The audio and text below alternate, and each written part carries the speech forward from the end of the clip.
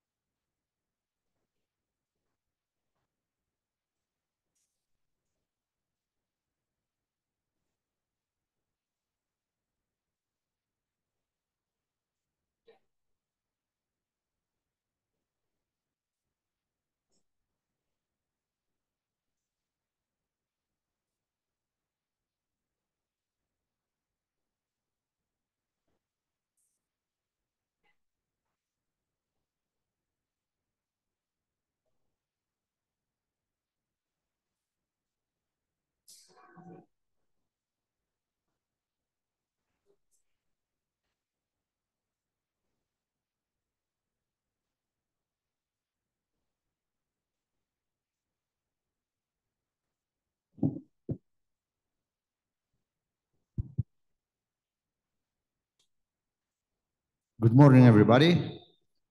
Uh, We started today's session with uh, this uh, uh, workshop. workshop. Uh, Francesca will tell us about uh, the cosmological simulation, etc. Something that is very interesting for all of us. So, Francesca, start. Let's go. Thanks, Panos. Okay, good morning, everyone. So um, I thought I'd um, start this um, in this session, basically give you a little bit of um, uh, a feeling for how you can use um, some of the publicly available cosmological simulations. Um, in particular, I'm going to be telling you, so there are different suites of cosmological simulations that are publicly available that you can use. Um, you might uh, know already about um, IllustrisTNG. There's also the Eagle simulations that are um, publicly available to use. They have their own interface. And also the Auriga uh, cosmo cosmological zoom-in simulations that I was telling you about on Tuesday, they are also now uh, publicly available. So um, I thought I'd uh, show you a little bit about how you can use these. So for those of you who have not used these before but are interested in using them, can get a little bit of a taste of this. So just to start, if you um, Google Auriga public data release, you'll come to um, this page here. Um, it's hosted over here. Um, and there's a lot of information on this page. So downloading the data is um, not super, super trivial. It's, it's easy, but you need to go, you need to download it via this Globus file transfer service because this is very heavy data. It lives on the cluster in, um, in Germany, and you basically need to just set up an account on Globus and ask to download uh, the data onto your local cluster or your laptop. Um, I'm not going to go through that because that's, I think it's self-explanatory, but once you go onto Globus. But if you have a if you do have a hard time, you can always write to me or to Rob Grand, and um, we can help you if you're if you're having difficulty. So just to say that on this page, there's a lot of information about the data. There's some very high level information that I'll go through here. Um, you can see a thumbnail gallery, and then also um, in here, if you go in data specifications, there's uh, again a lot of information that you can read here. A lot of this is also in the tutorial. And here there is some extra additional data, high level data that you can use as well. So there's a lot of stuff here you can play around. Um, okay, so for today, um, on the Hera webpage, if you um, if you go click here, um, this will take you to this Google Drive folder here, and we're going to be working with this uh, Jupyter Notebook uh, here. So if you click on the Jupyter Notebook, um, this is the, uh, the, the, first thing you'll see. So just to say this tutorial is based on a tutorial uh, developed by Rob Grand at another uh, school, and I've just adapted it for our purposes today. And um, I hope you all have your laptop. So basically what uh, I would like you to do is to, um, in your own uh, Google Drive uh, folder and Google Colab folder, which is usually called something like My Drive Colab Notebooks, um, you can create your own directory called Hera 24. Um, and then there's some information here about how to link um, the, the data. So in here, in the, in the Google Drive folder, I've put the, the simulation tutorial that you will copy over. And then um, in here, there's I've downloaded some snapshots from these simulations for you to work with. So um, if you um, if you create a, a, folder in your Google Colab, um, you can create a soft link to the data um, by right-clicking on the folder um, on this folder here, simulations. So you right-click there, and then just um, do organize, add shortcut, and put that into your Hera 24 directory. And then you'll be able to access um, these simulation outputs.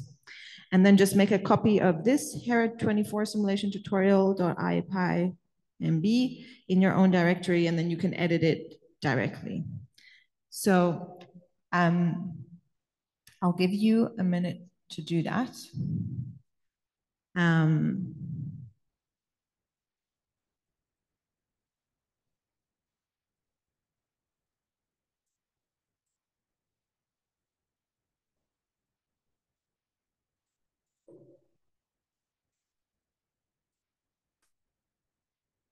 so are, are people finding everything okay?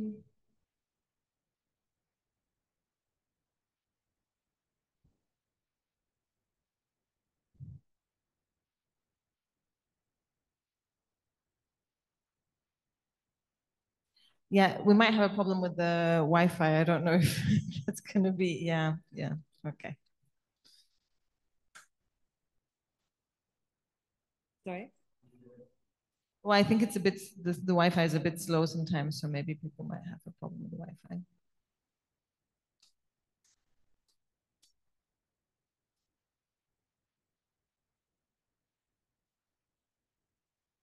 Are people able to connect or no?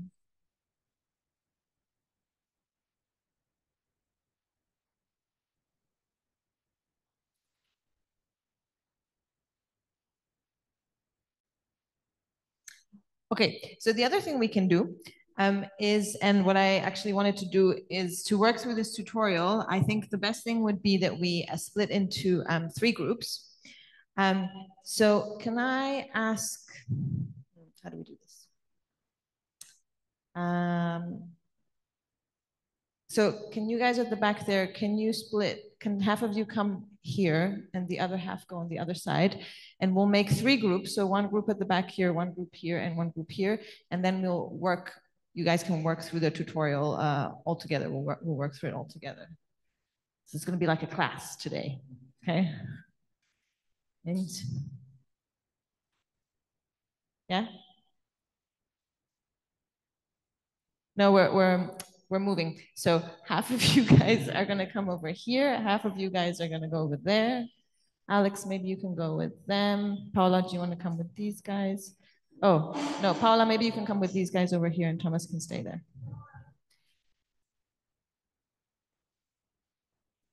Okay.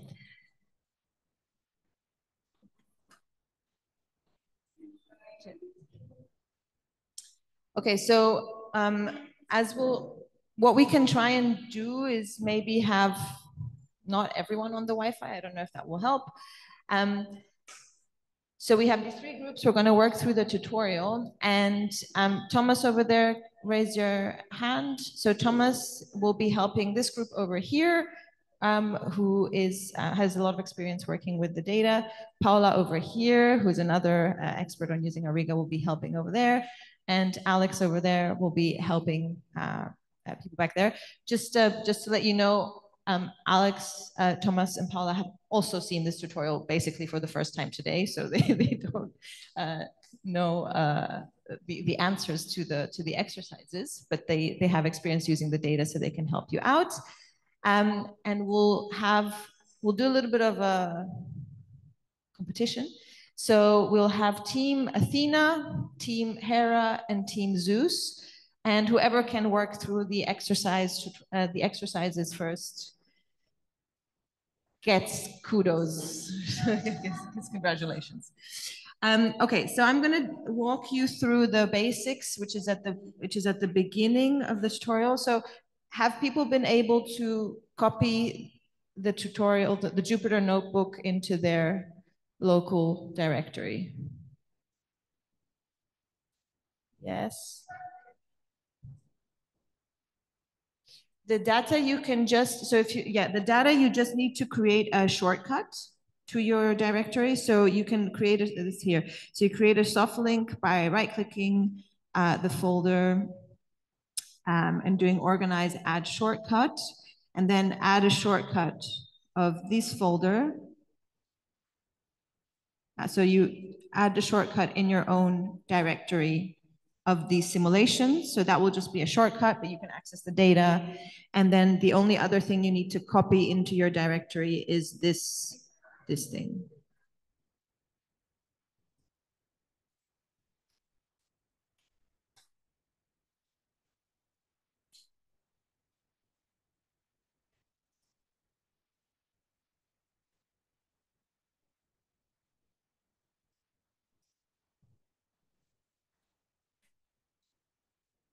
You're still trying to do the shortcut?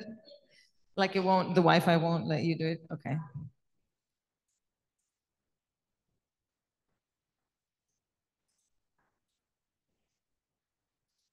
Yeah.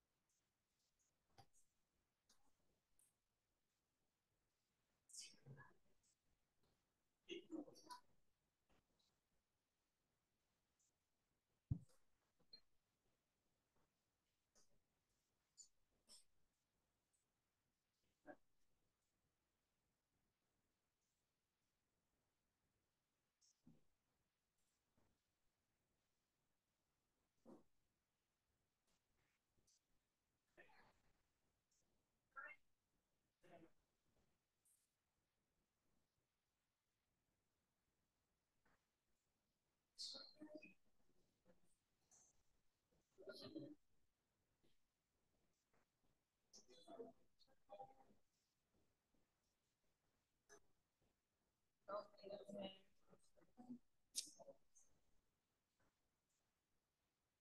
mean, maybe if you guys have like one function that you.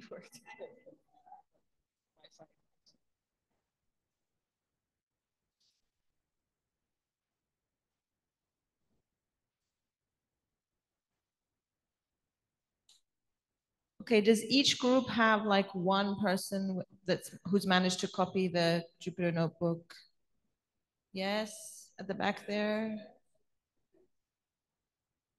Almost. Okay. Okay, I'll um talk you through a little bit of this and hopefully you you, you guys managed to, to copy it over. So so um, yeah, so this tutorial, by the way, um, is basically an edited, shortened version of, there's the same tutorial on the um, public data release website as well. So there's kind of the same thing, but with also a lot more stuff in it.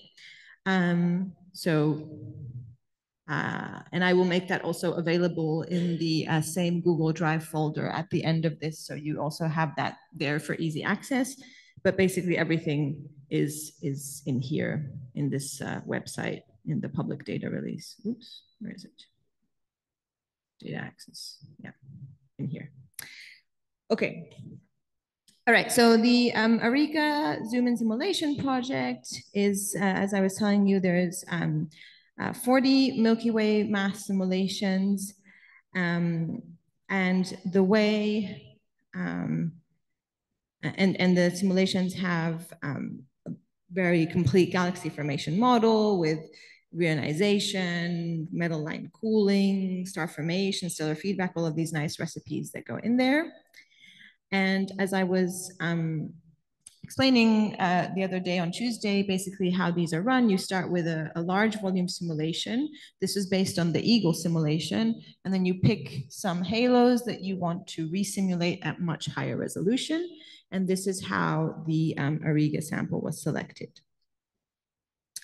Okay, so there is a lot of information in here. I'm not going to go through it in detail because it's a lot of information and you don't need to know all of this information in detail to, to be able to work with the data. But basically the snapshots um, of Auriga, they're written over multiple HDF5 files because these are very big um, like data products.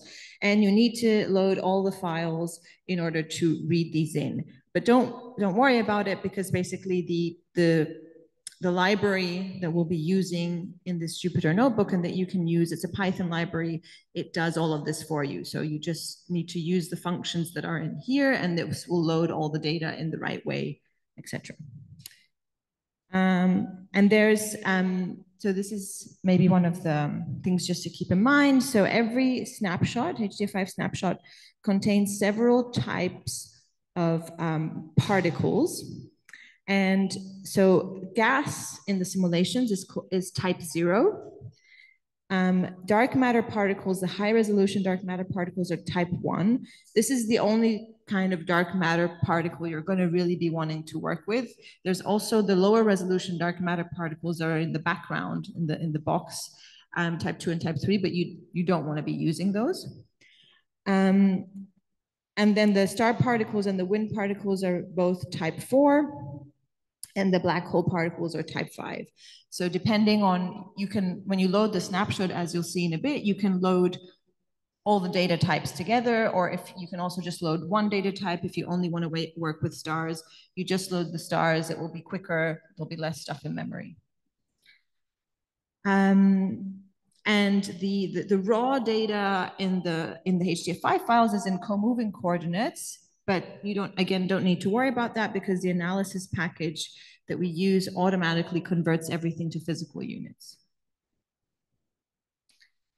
Um, and, and here you can see some kind of information that is um, some of the fields and attributes that are common to all the particles. So things like coordinates, position in the box, um, the potential, the particle IDs, the velocities, the masses. So this is something that's common to all particle types. And then for example, the stars have a lot more data fields because they also have things like abundances and a bunch of other things. Um, yeah, for the star particles, it's important to keep in mind that each star particle represents a single stellar population. Um, so each star particle is of the order of 10 to the 4 solar masses, and it represents a stellar population. So each particle is itself a population of stars that has an age and a chemical composition. And then basically you can imagine that in the star particle, you assume an IMF And then that tells you how much, how many supernovae, for example, will go off from that star particle. And so each star particle has all of these different uh, properties like the metallicity, um, the inherited chemical abundances from the gas cells it formed from, um, the time it formed, so the time of the, the star particle formed, etc. Um, and there is these chemical elements that for each star particle, these are traced in the simulation. And the cooling depends on the abundances of each of these elements. Um, okay, and then there's some header attributes like box size, mass table. We won't go through all of these. Okay, so let's get to this part here, which is the actual hands-on working part. So working with the data. So um, to analyze the data, we're going to use this publicly available Python package that was designed uh, for working with Auriga. Um, and the first thing you need to do is to um, mount this, to import this drive thing for Google Colab to be able to work in Google Colab. So you need to do this and it will probably then ask you to sign in and give permission to Google to all your life and all your files and all of these things which I'm guessing most of you have already done if you use Gmail. Um, so yeah, you need to click there. Um, I'm already logged in, so it just it just uh, executes that. But if you if you do that, it will probably ask you the first time to to log in.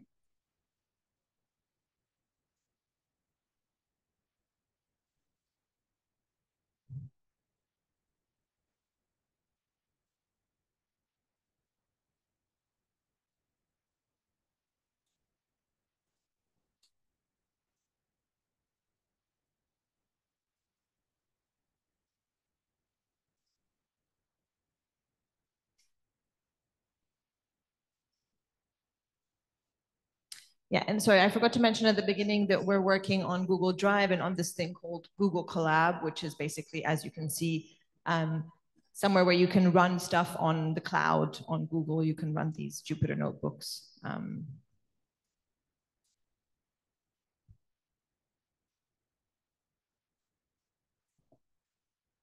but you can also just download this Jupyter notebook locally and work with this also locally, right?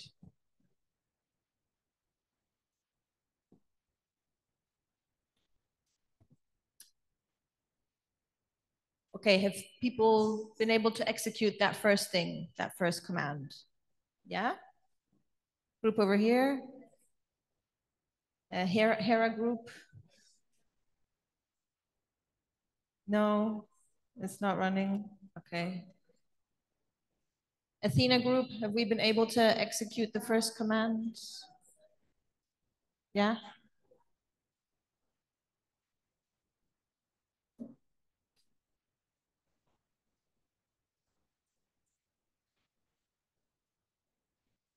Okay, I'm gonna, if you need me to stop or slow down, just say so, yeah? Otherwise, I'm just gonna kind of keep going. Okay. So um, basically, yeah, just we're pointing things to the right directory. Um, you will have in your directory this IPyNB, and you should have a soft link to the, the simulations. You won't yet have this Auriga public thing. And now you need to clone the Auriga public analysis package repository. Um, so I already have a, a, folder there, so that's why it, it's not doing that for me, but it should do that for you. Oh, okay. Oh, okay.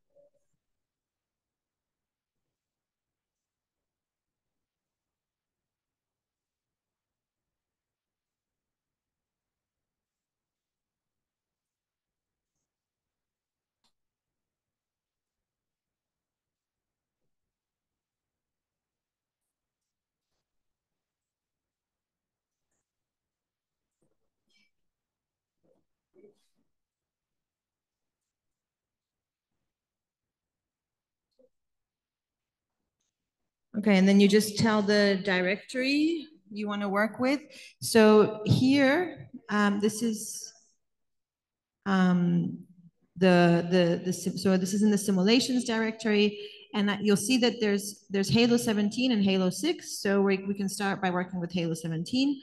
but you can later change this to Halo 6 and work with Halo 6.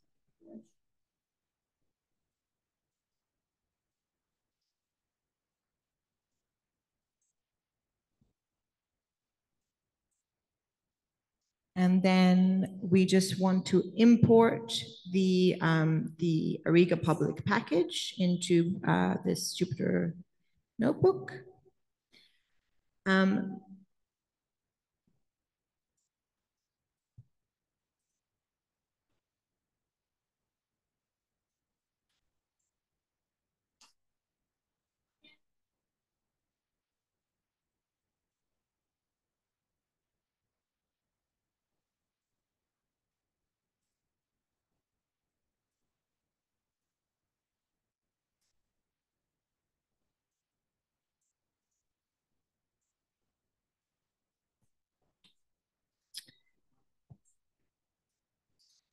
Okay, and then um, further down here, you see these are some of the functions that uh, we're using. So for example, we're gonna use um, the load snapshot class, and this just describes the, the input parameters and what it returns. Again, you, you don't really need to know the details of that, but it's, it's just written there so you can see um, what it does, and also a load snapshot header. Um, and basically now we're going to do this load snapshot thing. So we're going to load the snapshot in, so load in the data. And you can hear that, you can see that um, the we're loading here the snapshot number 127. Oh yeah, one thing I forgot to mention is that in this public data release, the you have 127 snapshots. 127 is the snapshot that corresponds to Redshift zero. Um, you see we're loading here particle type four, that's the stars and the, these wind particles. The wind particles um, are basically how feedback is done in this code, but we're gonna get rid of those and just keep the star particles. You'll see that in a bit. And then these are the attributes that we're gonna load, the coordinates, the velocities, the time that the star formed, so the age of the star, um, the initial mass, the mass today, the particle IDs, the potential, and the metals. Um, so this is what's going to be loaded now from the snapshot.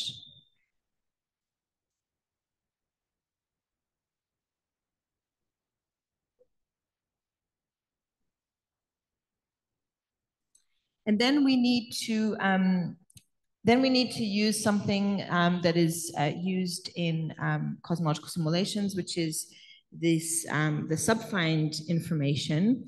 So when we load the snapshot, we, lo we load the raw data in the in the in the box. So this is just the positions and velocities of the particles, etc.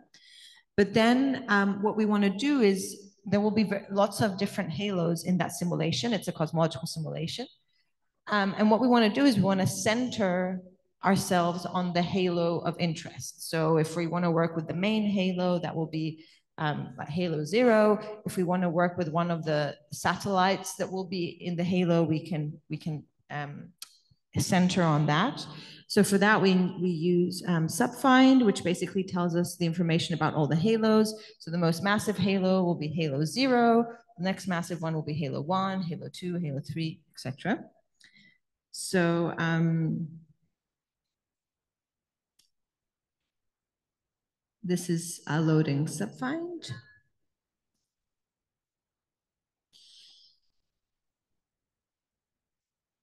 And then um, we want to center, as I was saying, so after we've loaded subfind, we want to center the particles on the most massive subhalo, the main galaxy. So that's um, given by this zero here. You could change that and put another um, second most massive, third most massive, and so forth. But this will give you basically the main Milky Way like, um, as it is now, it will just give you the main, most massive Milky Way like galaxy in the simulation. Then you also want to remove the bulk velocity of the galaxy. So the velocities are zero at the center of the galaxy, because of course this is moving through the box. This galaxy is moving through the box the same way, you know, galaxies move through the universe, but you want to center it so that, and remove the bulk velocity.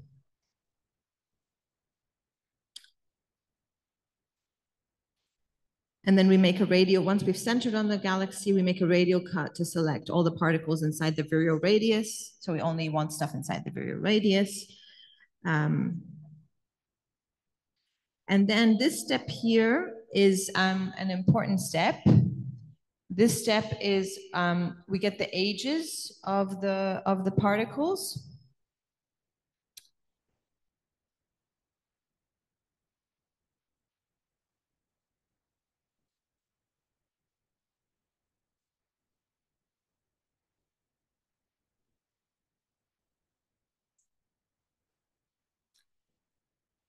And then you can now plot the, um, if you, once you have the ages, you can plot the star formation history um, for these, uh, for this galaxy.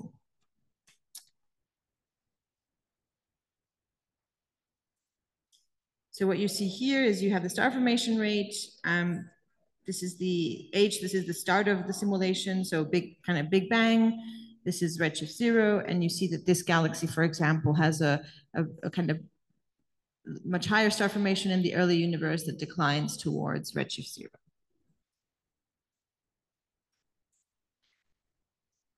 Okay, has any group managed to get to this point?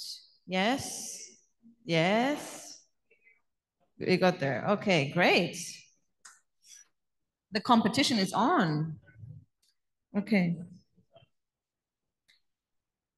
Okay, so so far we've centered the particles on the galaxy, but we haven't aligned the disk to the coordinate system. So the Z component of the angular momentum axis um, will be just oriented al along some random di direction, and you can find that. You'll see that here. This is just um, plotting the um, like two projections of the particles of this galaxy, and you see that it's you can't see the galaxy face on. It's just in some random direction, and then this, this package has an inbuilt function that will do the rotation for you. So if you keep going, does the rotation for you. And now you can see that you see the galaxy um, face on and edge on here. You can see this nice little uh, bar here also. And this even has a little boxy peanut as well.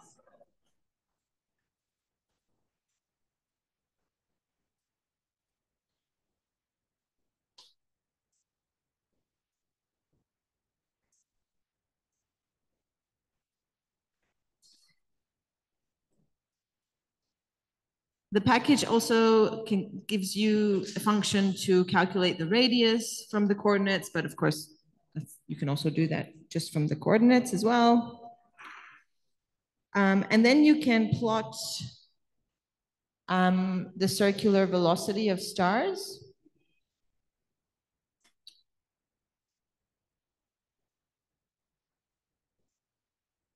So this is just by assuming the enclosed, assuming spherical symmetry and just getting the enclosed mass of the stars. So this is the circular, the contribution to the uh, rotation curve from the circular velocity of stars.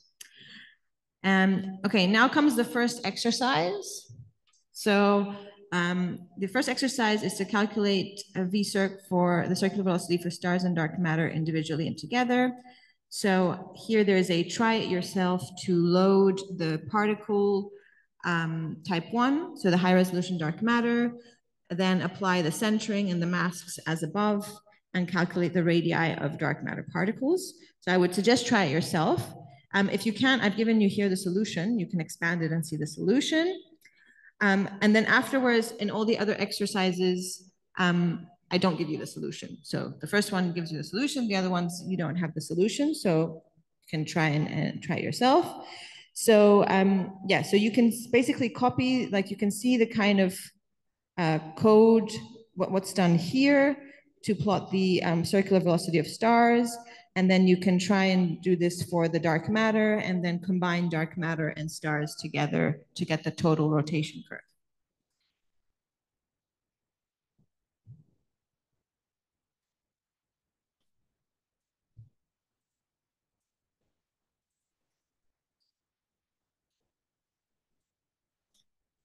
Okay, so whoever finishes this uh, little exercise uh, first of plotting the dark matter and the stars together to get the total circular velocity, give a shout.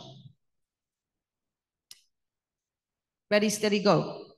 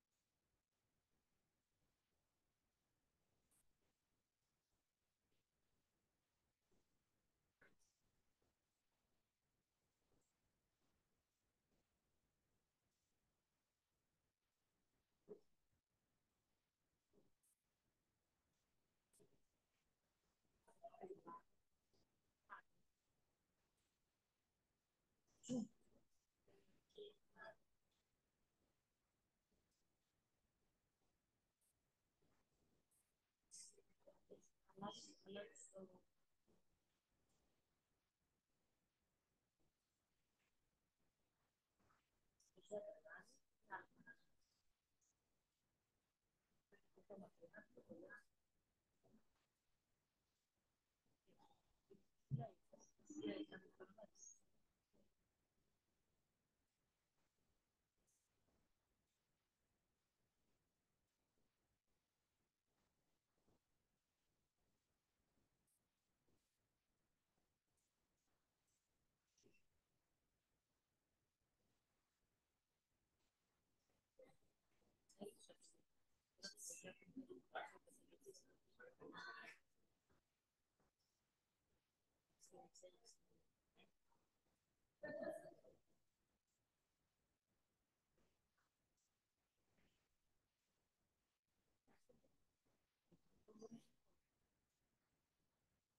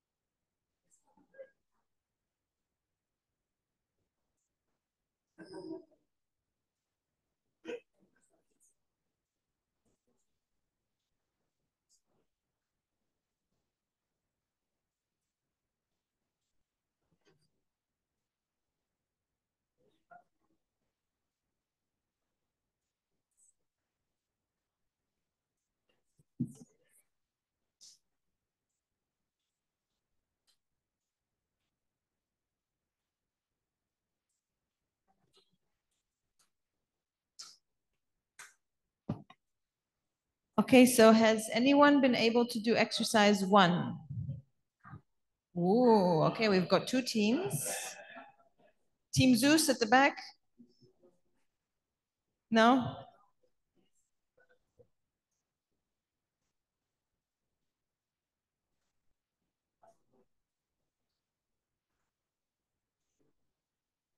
Is it more a connection problem or?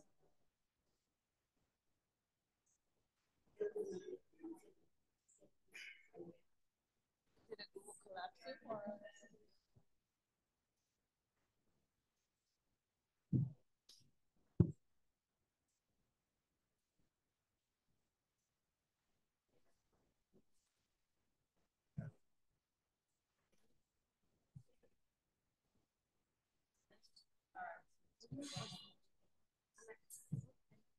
can, you can have, what you can also do. To here if you want to.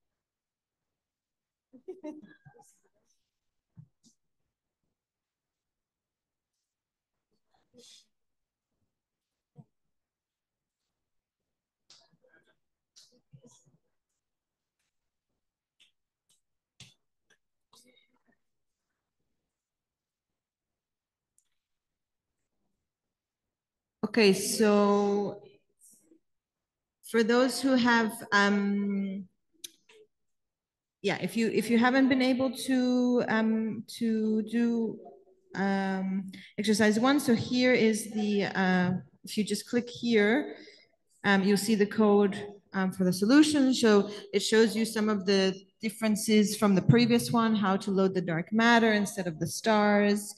Um, but then it does the same thing. It centers on the halo. It cuts all the stuff that's so it only keeps the cut that's in um, a small region of the virial radius, so on and so forth. Okay. So if once you have this, you now have the um, you have the circular velocity due to dark matter. You have the circular velocity due to the stars. So exercise two is now uh, add them together and plot the total circular velocity from stars and dark matter. And also plot the stars and dark matter on the same plot so you can you can see those. So you've done it already? Wow. Team Athena is flying. Oh, you did it too. Sorry, sorry. Team Hera is flying too.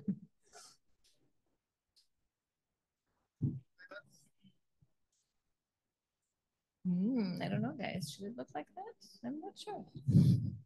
Did did you add it in quadrature? Okay. so it's so you want to add. Um, so to get the total, you need to add it in quadratures. You need to get the square root v v star squared plus v dark matter squared. Yeah. So v star squared plus v dark matter squared, all of that square rooted, that will give you the total circular velocity.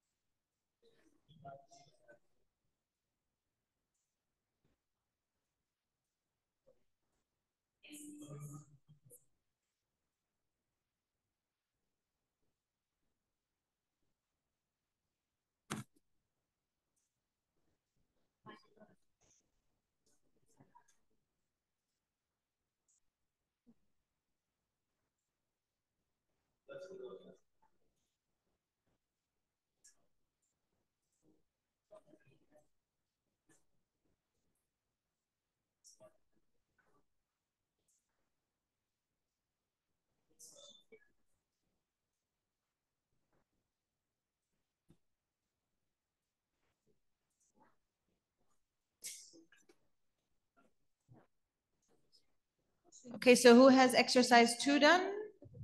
Yes. Team Hera, exercise two? No? Team? Uh, the dark matter and uh, stars, the total rotation curve. Yeah, you've got that? Ah, ages ago. Okay, great. good, good. Okay, so Team Zeus, how are things going at the back? Getting there? Okay. All right, so just in the last um, few minutes before before finishing. So um, in the next part, I basically just do some renaming of um, of things. So I so, so selecting stars that are inside a small region of the virial radius, and then just renaming things into X, Y, and Z, so you can work more comfortably with these later. Obviously, you have your own. Everyone has their own way of working in Python. But just the last thing I wanted to mention is the abundances. Um, so, oh, this is from another workshop. Okay. Um, but yeah, this is um, one thing to keep in mind is that you, you can work with the abundances of these stars. So here's a little code snippet for loading the abundances and then, and then getting the abundance ratios um, for each of the stars. So once you do that,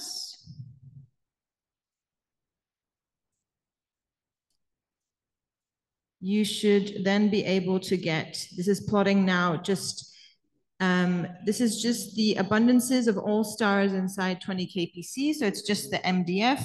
So on the x-axis, you have the, the, the, the metallicity and then just the number of stars.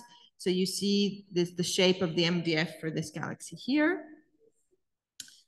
And you can also do something like plotting the alpha versus um, metallicity. So this is alpha over iron versus metallicity. This is again for all the stars inside 20 kpc.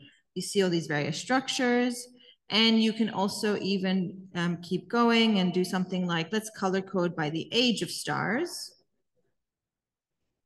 So this is now the alpha over FE plane, and the color bar is now the, um, the age of the star. So you can see how the average age in each pixel. So you can see how alpha rich stuff are more are older, and as you go to uh, more alpha poor and more metal rich, you also get younger stars.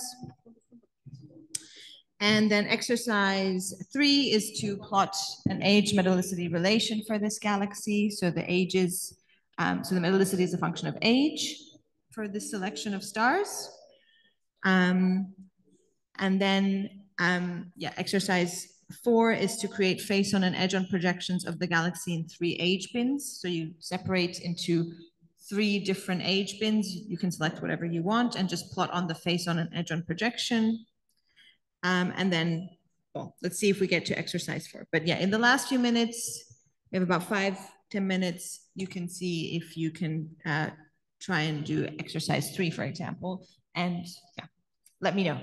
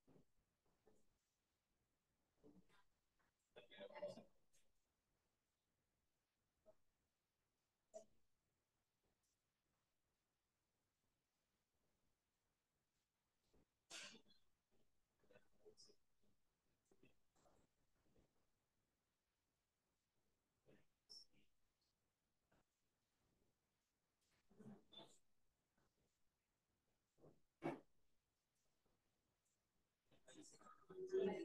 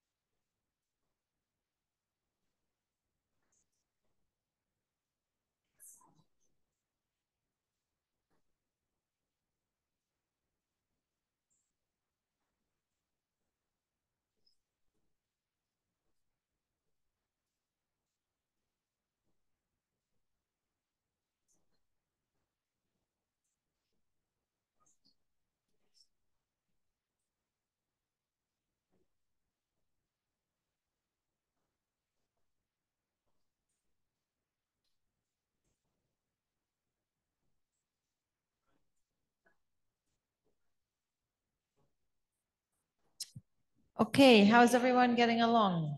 Do we have exercise four? No, three, exercise three. Yes?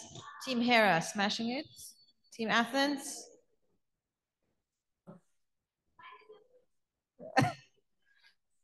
No, no. Team Zeus, how are we getting along back there?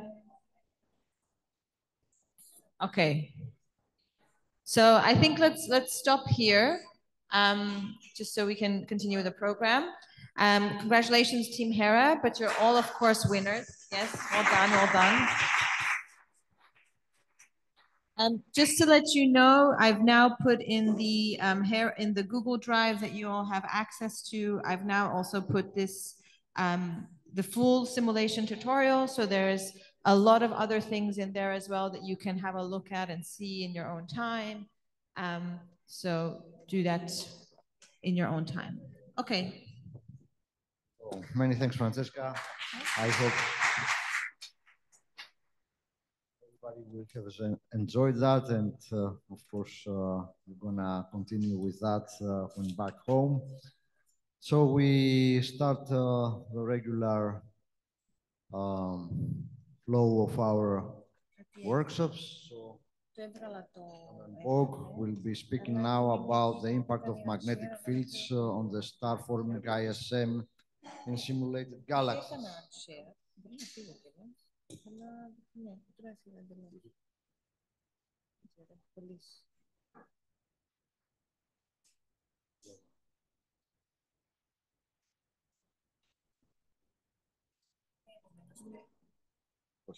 Perfect.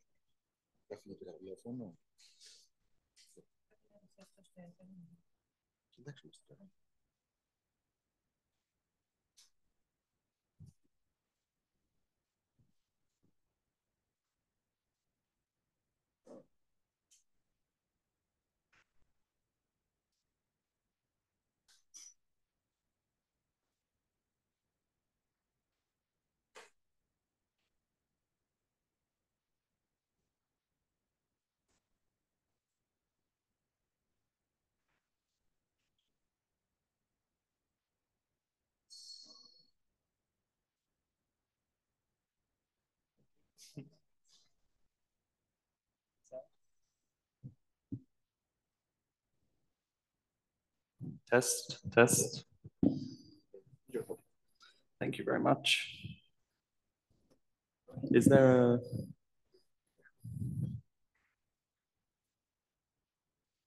And this is the laser? No? Ah, okay. Okay.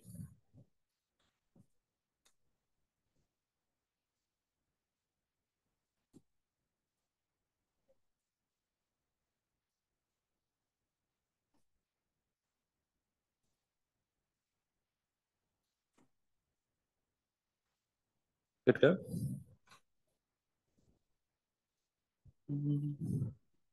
Yeah. Okay. Okay, great. So hi, everyone. Um, I'm Kamran Bogue, um, but everyone knows me as Cami. And I just finished my PhD. I did my Viva literally two weeks ago um, at the University of Manchester at the Jodrell Bank Centre for Astrophysics, um, working with Rowan J. Smith um, on the impact of magnetic fields on star formation and by extension, galaxy evolution. Um, thank you very much to the organizers for having me here. It's been a, a, really wonderful week in, in Athens so far. So I'm very grateful and excited to be talking to you all about my research, the results from my thesis. So let's jump into it. I should give a short disclaimer, first of all. My simulations are somewhat smaller than a lot of the other simulations that people are doing here. I'm usually um, working with star formation um, researchers. So I'm always trying to convince them that you need to take into account this larger galaxy scale environment in order to understand star formation. I think here I'm going to need to persuade the large simulation people that they need to take into account the star formation in order to understand what's going on with their galaxies. So um, I'm going to start with my take home messages so that you can all immediately go to sleep and stop paying attention. um, I've color coded this here by the two different projects that I'm going to present. The first one in sort of green um, is the paper that we're hoping to publish very soon. And in this work, I ran two simulations that are essentially identical to each other in every way, apart from the fact that one has magnetic fields and one does not have magnetic fields. And then I basically play a very expensive game of spot the difference. Um, and when I play that game, I find that the MHD galaxy is more compact than its hydro counterpart. Um, it also has less evenly distributed star formation and less evenly distributed gas um, throughout its disk, and a suppressed star formation rate by a factor of about 1.6 compared to the hydro. Um, and there's this shift that we find in the Kennicutt-Schmidt relation, which I'll talk about later, um, to higher gas surface densities in the MHD case. In the second project, which is in, uh, in sort of purple down here, um, I have a third simulation, which is another simulation with magnetic fields, but this one has um, some additional refinement scheme within it um, that allows us to get to higher resolutions and probe the alignment between the gas density gradient and the magnetic fields. Um, and we find, as other authors have found, that as you increase in number density of the gas, the gas becomes less and less aligned to the magnetic field. We also find that as you increase the magnetic field strength, that the alignment becomes stronger, which is somewhat intuitive, um, although that, that is true even at the same densities. So it's not just that magnetic field strength is increasing with increasing density. And we also find that alignment increases as you get to lower galactic radii, which is probably explained by the increasing magnetic field strength as you go towards the center of the galaxy. Okay, let's take a step back and ask, um, why am I doing this? Which is a question that I ask myself often during my PhD. Um, and the key thing that you need to take away from this is that star formation and galaxy evolution are intrinsically linked. You can't understand one without understanding the other. They are a, a system that, that um, feed into each other. And this was shown by um, Rowan Smith and others in 2020 when they were looking at star formation in different uh, simulated galactic environments. So the idea essentially is that the interstellar environment in which stars are forming is very much affected by these larger scale galaxy um, processes. And in turn, the evolution of the galaxy itself is somewhat determined by the um, stellar population within it and the star formation history. Um, and to go a step further, for a complete understanding of either of those things, we cannot ignore magnetic fields as much as it would be nice if we could, um, because magnetic fields are very challenging. some of you probably already know this. They're somewhat of an infamous um, subject in, in astrophysics. And this is put very well by uh, in 1967. I'm going to uh, read you this quote, which I love. He says, The argument in the past has frequently been a process of elimination. One observed certain phenomena and one investigated what part of the phenomena could be explained. Then the unexplained part was taken to show the effects of the magnetic field. It is clear in this case that the larger one's ignorance, the stronger the magnetic field. so clearly it's a, it's a difficult uh, thing to understand, right? Historically speaking. And there's good reason for this. Observing magnetic fields is really difficult. Um, it's not a, a simple thing to get good quality observations of, and simulating them is not very easy either. With these difficulties, however, we have still managed to improve our understanding of magnetic fields a lot in the last few decades, especially. Um, we know that magnetic fields thread the ISM on all scales. We know that there's enough energy in the magnetic field for it to be dynamically important.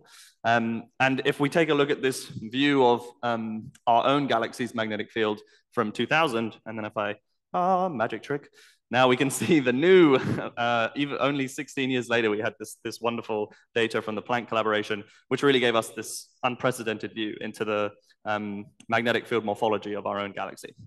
So the goal of my work is to continue to improve our understanding of the impacts of magnetic fields and to understand what, what um, role they play in star formation and in the evolution of galaxy disks.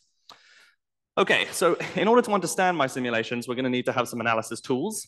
Um, and I'm going to explain two of them just briefly here. The first one is this Kennicutt-Schmidt relation that I mentioned earlier. This is a way for me to study the star formation statistically rather than looking at individual small clouds like some of my colleagues do. Um, and to put it just very simply, the KS relation basically tells you that as you increase the amount of gas available for star formation, how much does star formation actually increase? Um, so we'll come back to this later when it comes to my results. The second thing that I need to tell you guys about is this histogram of relative orientations analysis tool, or HRO. Um, this was presented by Juan Soler and others in 2013. And essentially what this does is it takes your gas density, which is a scalar field, and calculates the gradient of that gas density to get a vector field.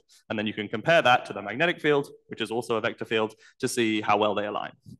Um, and in their work, they found this sort of characteristic shift um, from uh, parallel orientations to mostly perpendicular orientations as you increase the um, gas uh, number density. So we'll talk more about that later as well. Okay, so how am I going to do these simulations? We've already heard a little bit about the Arepo code, which is used for some larger scale cosmological simulations, although here I'm using it on a much smaller scale. And um, for me, this is solving the ideal MHD equations in 3D on this unstructured Voronoi mesh.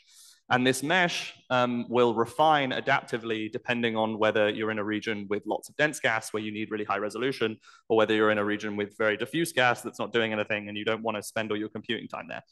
Um, I'm using a slightly uh, edited version of the Arepo code with a bunch of custom modules for treatment of the cold ISM.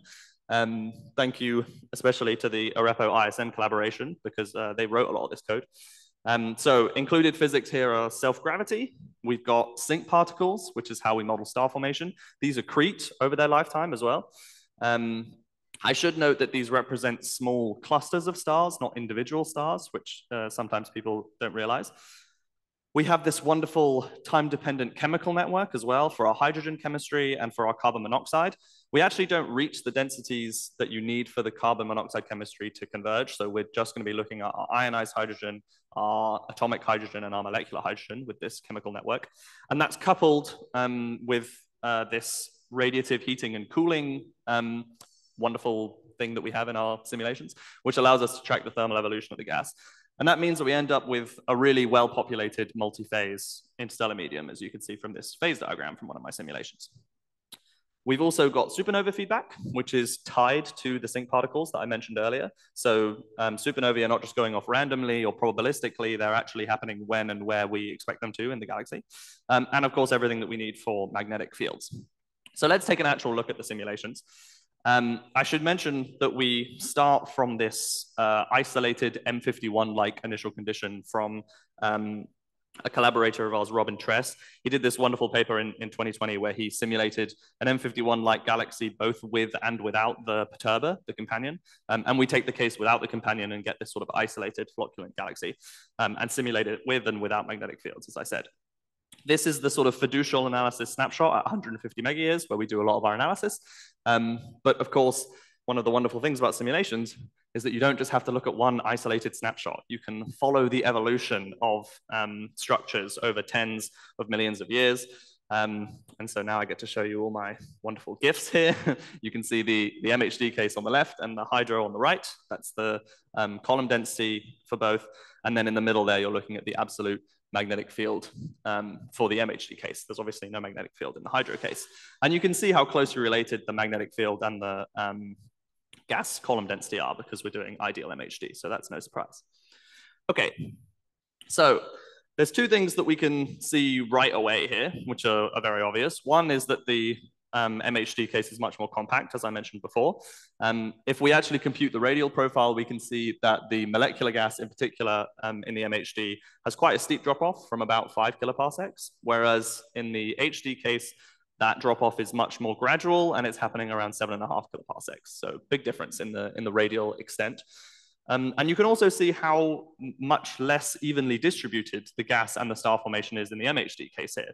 So the blue dots that you're seeing on these um, plots up here are the sink particles. Um, and they're much more clustered together in the MHD case, um, much less spread out.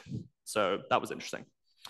Um, another wonderful thing about simulations is that you can view them from any angle that you want. Um, so if we look at the edge-on projections here, we can see that the MHD case has this um, sort of diffuse atomic envelope that extends above and below the galactic plane. You can also really see the difference in how steep the um, drop off in radial extent is from this, from this edge on perspective.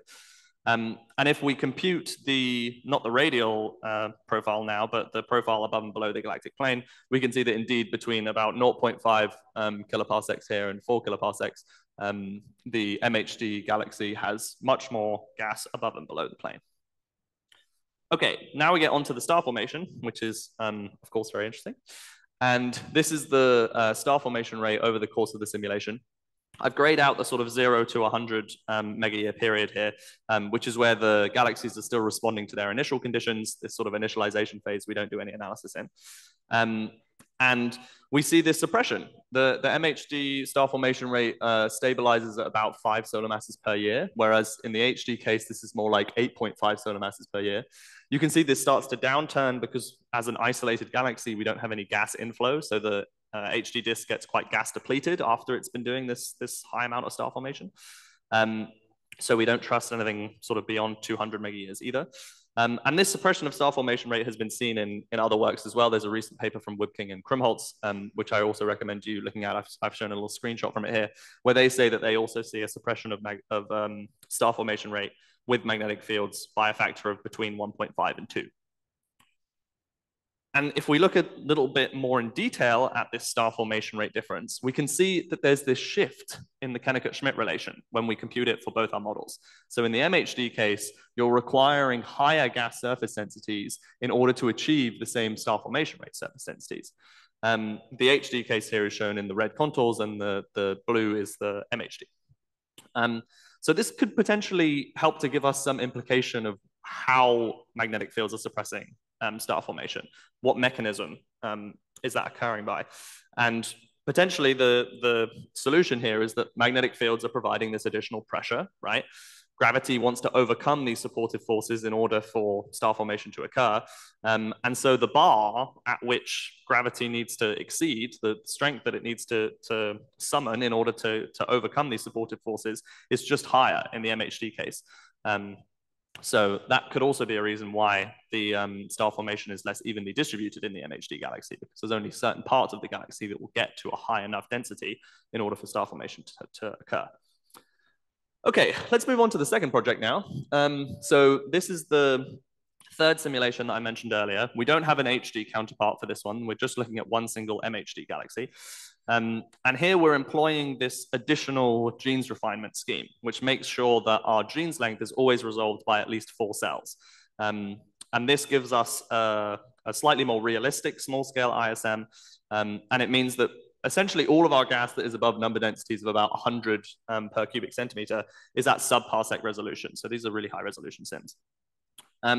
We then conduct this HRO analysis that I was talking about earlier on this model um, in two kiloparsec by two kiloparsec by one kiloparsec regions, um, which I'll show in a moment.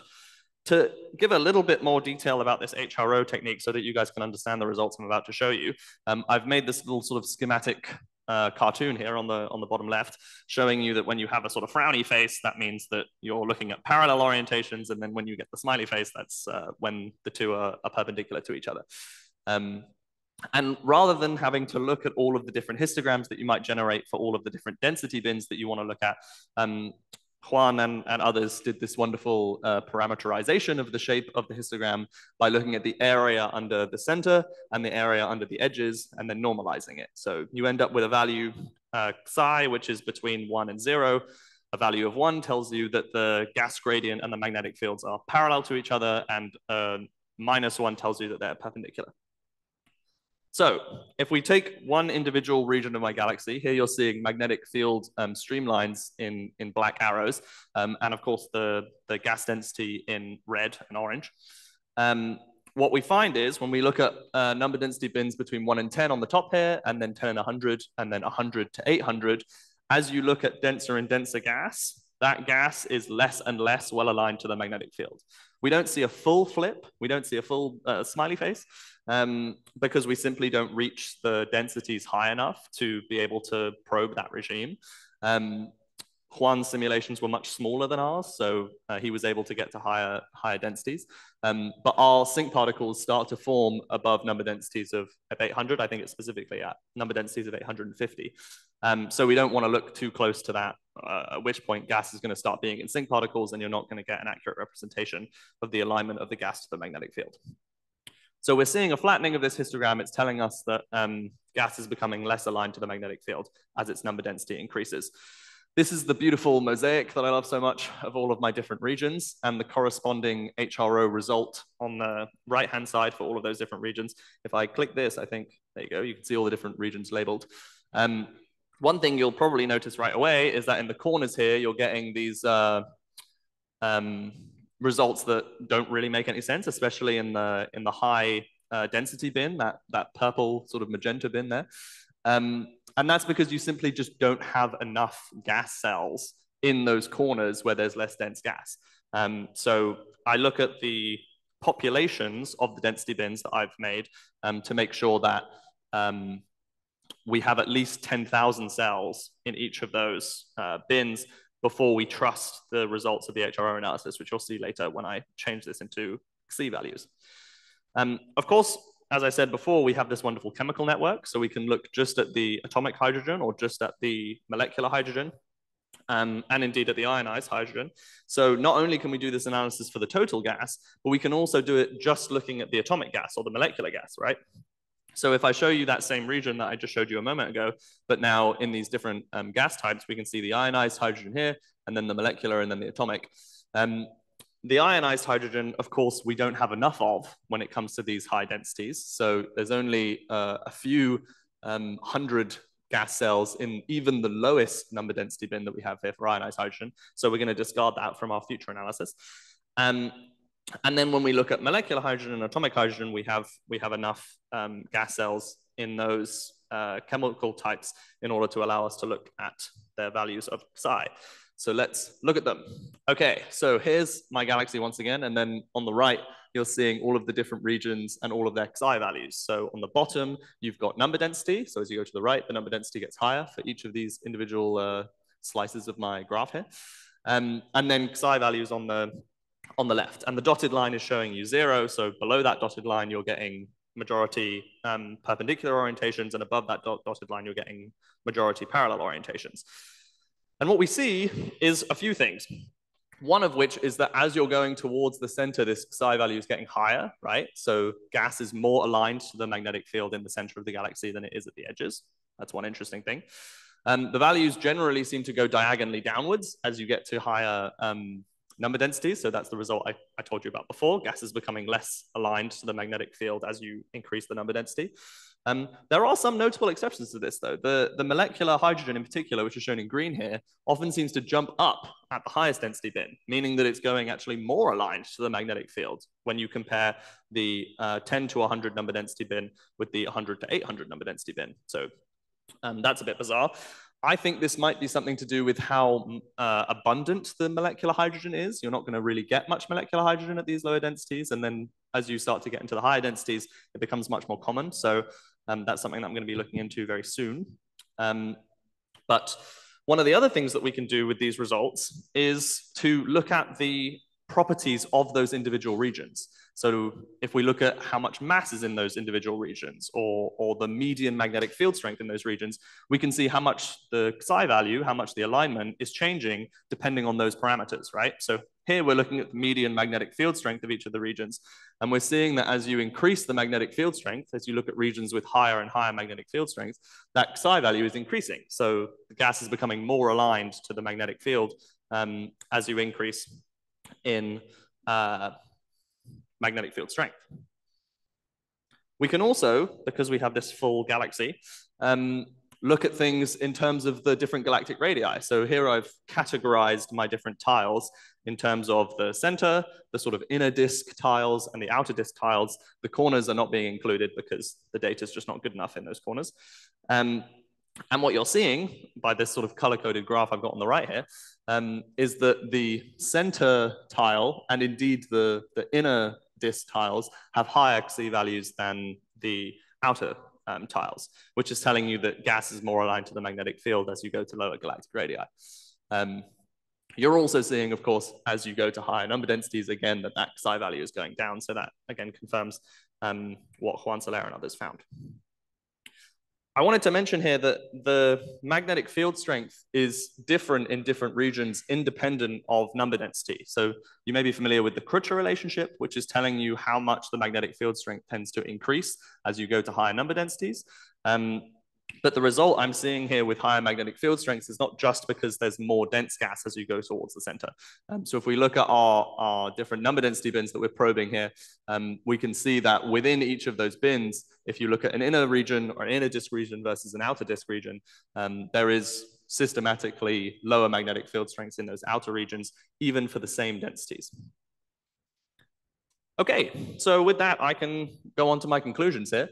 Um, as I said at the beginning, when I compared my HD and MHD galaxy, which are identical to each other, apart from the inclusion of magnetic fields, I found that the MHD galaxy was more compact and that it had less evenly distributed gas and star formation. It also had a consistently lower star formation rate, which has been seen by other authors as well.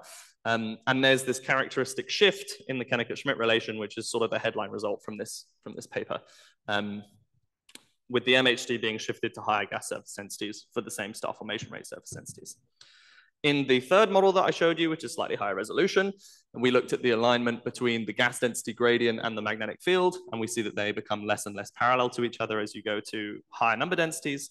And we also showed that the alignment seems to increase with higher magnetic field strength, even when you're controlling for the density of the gas, um, and at lower galactic radii also.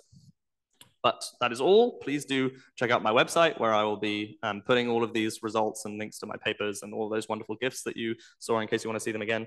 Thank you very much for listening and I'll happily take any questions. Thank you very much. Very interesting stuff. Questions?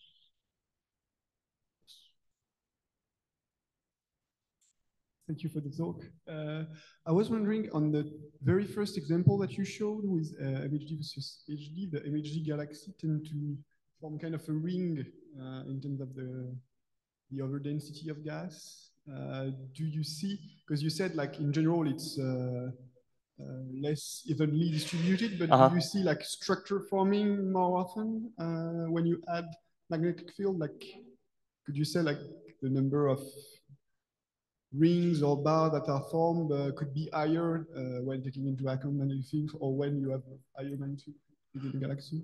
Yeah, it's a good question. Um, we haven't, I guess, looked specifically at structure formation in the in the MHD or the HD case. to look for more filaments or or, or bars or, or, or any of those features that you talk about. Obviously, we're, we're running for quite a, a short period of time in a cosmological scale sense. So um, the original goal of simulating a, a disk that was this large was just to get a realistic environment in which we could look at star formation. It wasn't so much to look at um, differences in the galaxy structures as you as you either included or, or didn't include magnetic fields. But it's certainly something that I'd like to do, um, maybe by running for a little bit longer. Um, the MHD case does tend to get higher peak surface density values than the than the HD because it's more concentrated. Um, but even just looking at the two morphologically, I, I don't know if I could say for sure whether there's a big difference in the in the structure that forms. I mean, obviously the, the HD galaxy tends to be a bit more bubbly. The the the um, supernovae and, and, other feedback processes make this um, very bubbly substructure that we just don't see in the MHD case. Um, but I think maybe I'd need to run for longer to really be able to make conclusions about that. Yeah.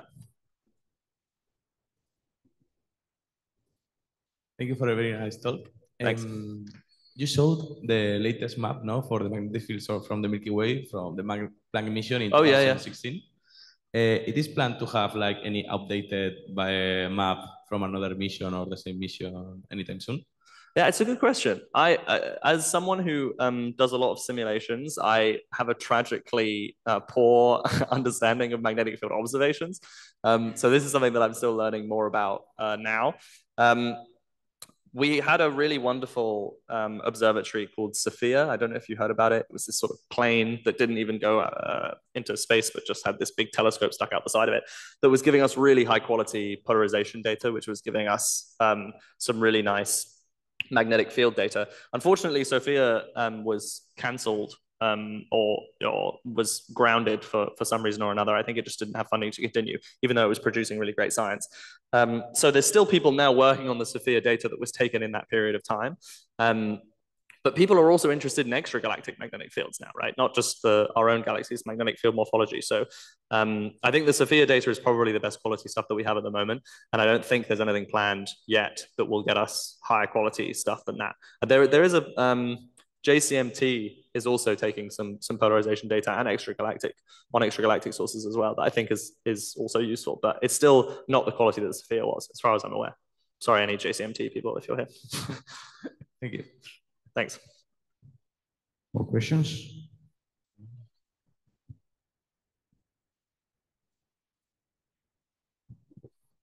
I have a question. Yes, the slides before you showed. I had a, a question on the there seems to be a threshold in low temperature around 12 Kelvin. A threshold, say that again? A, a threshold of lowest temperature. Of lowest? Yes. Upper. What temperature? Uh-huh. Why? Oh, in the, what, in the um, what happens in the code? Yes, yes, yes. So at, at 20 Kelvin, we set a temperature floor. We, we artificially say we're not allowing any um, gas to go temperatures below this value. That's um, because there is some artificial issue in Arepo that means that if you allow gas to cool to a certain extent, um, someone was talking to me about this last week. There's some there's some problem that, that arises if gas cools within I think less than 10 Kelvin then uh, there's this sort of cascade effect that happens in Arepo. It's something to do with the way that we're implementing our cooling functions. Um, and I think I think a, a, a, fix for that bug is being worked on at the moment. But in the meantime, we just don't look at any gas that is below temperatures of 20 Kelvin. Could, Um, it, could it have uh, an influence? You know? I mean, probably in the um, outer region of, of galaxies because its temperature is, is dropping. Will be lower, yeah. I think, I mean, for the most part, the really, really cold gas is the really, really dense gas, which is the kind of stuff that we're not really able to to reach with our simulations anyway, because we're doing things on a slightly larger scale. So I don't, I, I don't imagine that we're going to see any um, extreme differences if we if we allowed gas to cool below 20 Kelvin in the um, in in images like like this one. Um, but we I'd only know for sure once the the it's fix still a has been- huge uh, difference in physically speaking down to say the CMB temperature.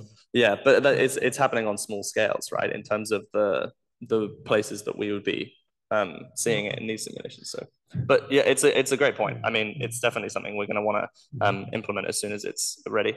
Yeah. Any other question? Dimitri? Very nice talk. Uh, I think, yeah, in the past, there was always someone in the audience asking, what about magnetic field? Yeah, right, exactly. Uh, I guess the next question now is, what about cosmic rays? Uh, yes. I don't know if you have anything to say about it, but if you do, great. Otherwise, what's what's the next steps? Yes, so um, Philipp Girichidis in Heidelberg is doing a lot of work with simulations of this sort of scale. I think also with Arepo, um, and has been looking at the effects of cosmic rays for a long time. And um, the, the trade-off with these simulations is just that eh, you want to keep including as many things as you can, but the more things you try to put in, the slower the simulation gets, and eventually it stops being feasible, right? We, we have a prescription in these simulations for early stellar feedback, not just um, supernovae, but photoionization and, and all of those things. And we, we just can't include it in the simulations that we run because it makes the code too slow. Um, and cosmic rays are another thing that has been implemented in Arepo now, and and theoretically we could include in our simulations. But because we're trying to do this work with magnetic fields, um, and to have sink particles that are are reasonably well resolved, um, it means that that cosmic rays are, are are not feasible for us at the moment. There is some work to um, improve the parallelization in Arepo, I think specifically in the sink particle routines, um, which are currently our, our biggest issue in terms of slowdown. And once that's been piped through, then it will be possible, quite possibly, to include cosmic rays. And um, Philipp Girichidis has been encouraging us for a long time to, to start including them. Um, but it, the papers that he's published both recently and, and even I think like 12 years ago or something. He had a great paper on this. Um, so uh, yeah, that gives us almost everything we need to know about what effect cosmic rays would be having because the, their simulations are so similar to ours. Um, but I'd love to include them. Yeah, that will that will be next. One thing at a time. Thanks. So let's thank the speaker again. Now we have a, a coffee break. Uh, just make sure that the speakers of the next session have arranged everything with their presentation of the technicians or there. So we come back in uh, a little bit less than half an hour.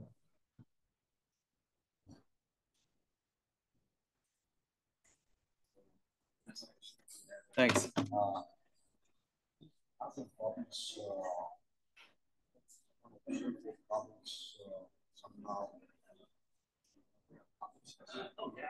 I mean, when, JWST, we've had we've had this sort of bubbly substructure in our simulations for a long time. And when the JWST just came out, there was one uh, forget exactly which galaxy it is now, but it's. I mean, I'll show you the image. It is super super bubbly. Like the the fact that our simulations have been predicting this was um, very encouraging.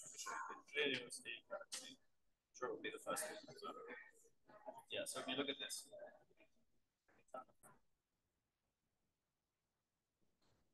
So we start again. Please take your seat. There is a small change in the program. Actually, we have Anelise uh, talk right now and Amitas uh, later. So now we will be listening to Anelise Audibert's talk, feedback from low power radio jets on the gas reservoirs of quasars. Thank you, Panos, and thank all the organizers uh, for giving me the opportunity to present my work here today.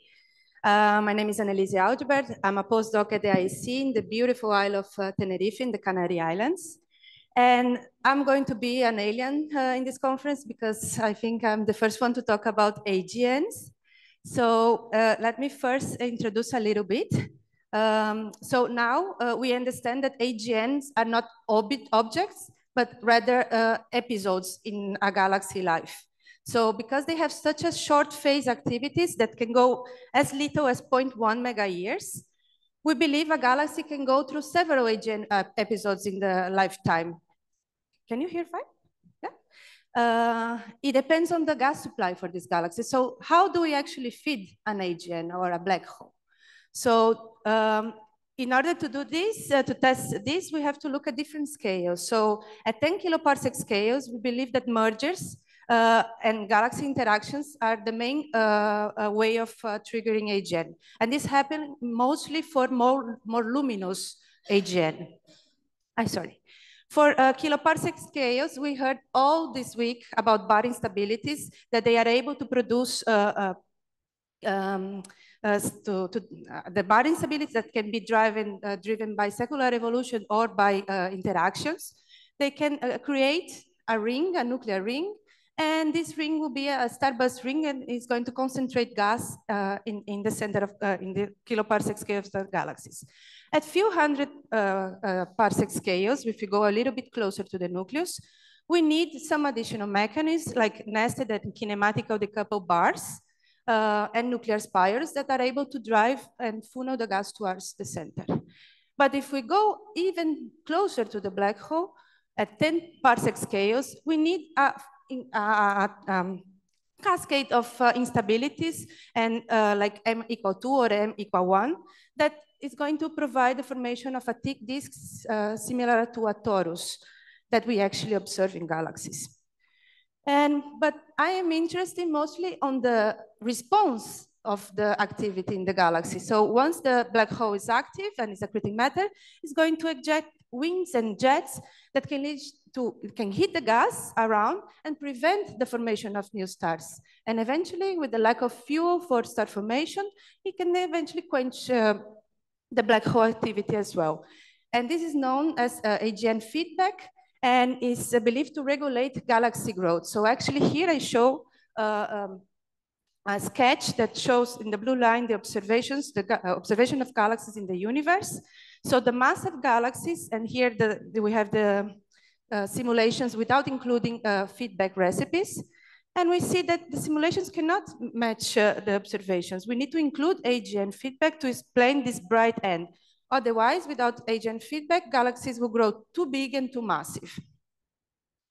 And nowadays, from the observational point of view, we know that outflows are ubiquitous, at least in the most luminous AGNs, but they are observed in multi-phase, like, uh, I mean, uh, we can observe uh, say, uh, tracing several lines, atomic lines, molecular lines, ionized lines, using different facilities but they are also multi-scale phenomena. So here I show from the accretion disk scales, like these uh, winds launch at very close to the black hole, to the ISM of galaxy, and then to the traditional uh, uh, radio lobes that are acting in the circumgalactic medium. And there are two main modes for uh, radio, uh, AGN uh, feedback. The quasar mode that is happening uh, in, uh, through radiative process, like a wind launch in the accretion disk. And this happens in high luminosity AGNs that are accreting matter close to the Eddington luminosity, and mostly in high Z and uh, young quasars. On the other hand, we have the radio mode, that also known as kinetic mode, that is happening to the uh, launch of uh, collimated radio jets. So this is happening mostly in low luminosity AGNs at low Z and massive host galaxies. And this mode of AGN is usually associated with the large-scale uh, lobes that are preventing the cooling flows in the galaxy clusters. And uh, from the observations, we can observe molecular uh, gas outflowing in different phases. So here there is a compilation of observational properties that we can measure. Like here is the, AG, uh, the bolometric uh, AGN luminosity, and here is the mass outflow rate traced by molecular wings in blue and ionized winds in blue. And we can uh, see two clear trends in this plot. First, there is a correlation between the mass outflow rate and the AGN luminosity. So this goes with the idea that the AGN drives a wind that pushes the gas away. And from uh, uh, simulations, we know that this is about the energy of the outflow is about 5% of the, uh, the AGN luminosity. But another, another thing that we can see that is an offset between the ionized uh, winds and the molecular ones.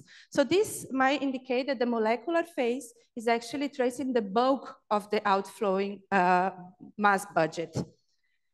So uh, this plot also gives us the impression that this only the quasar mode uh, uh, um, feedback that is happening because it's only correlating with the bolometric luminosity of the AGN, but we are going to discuss this later.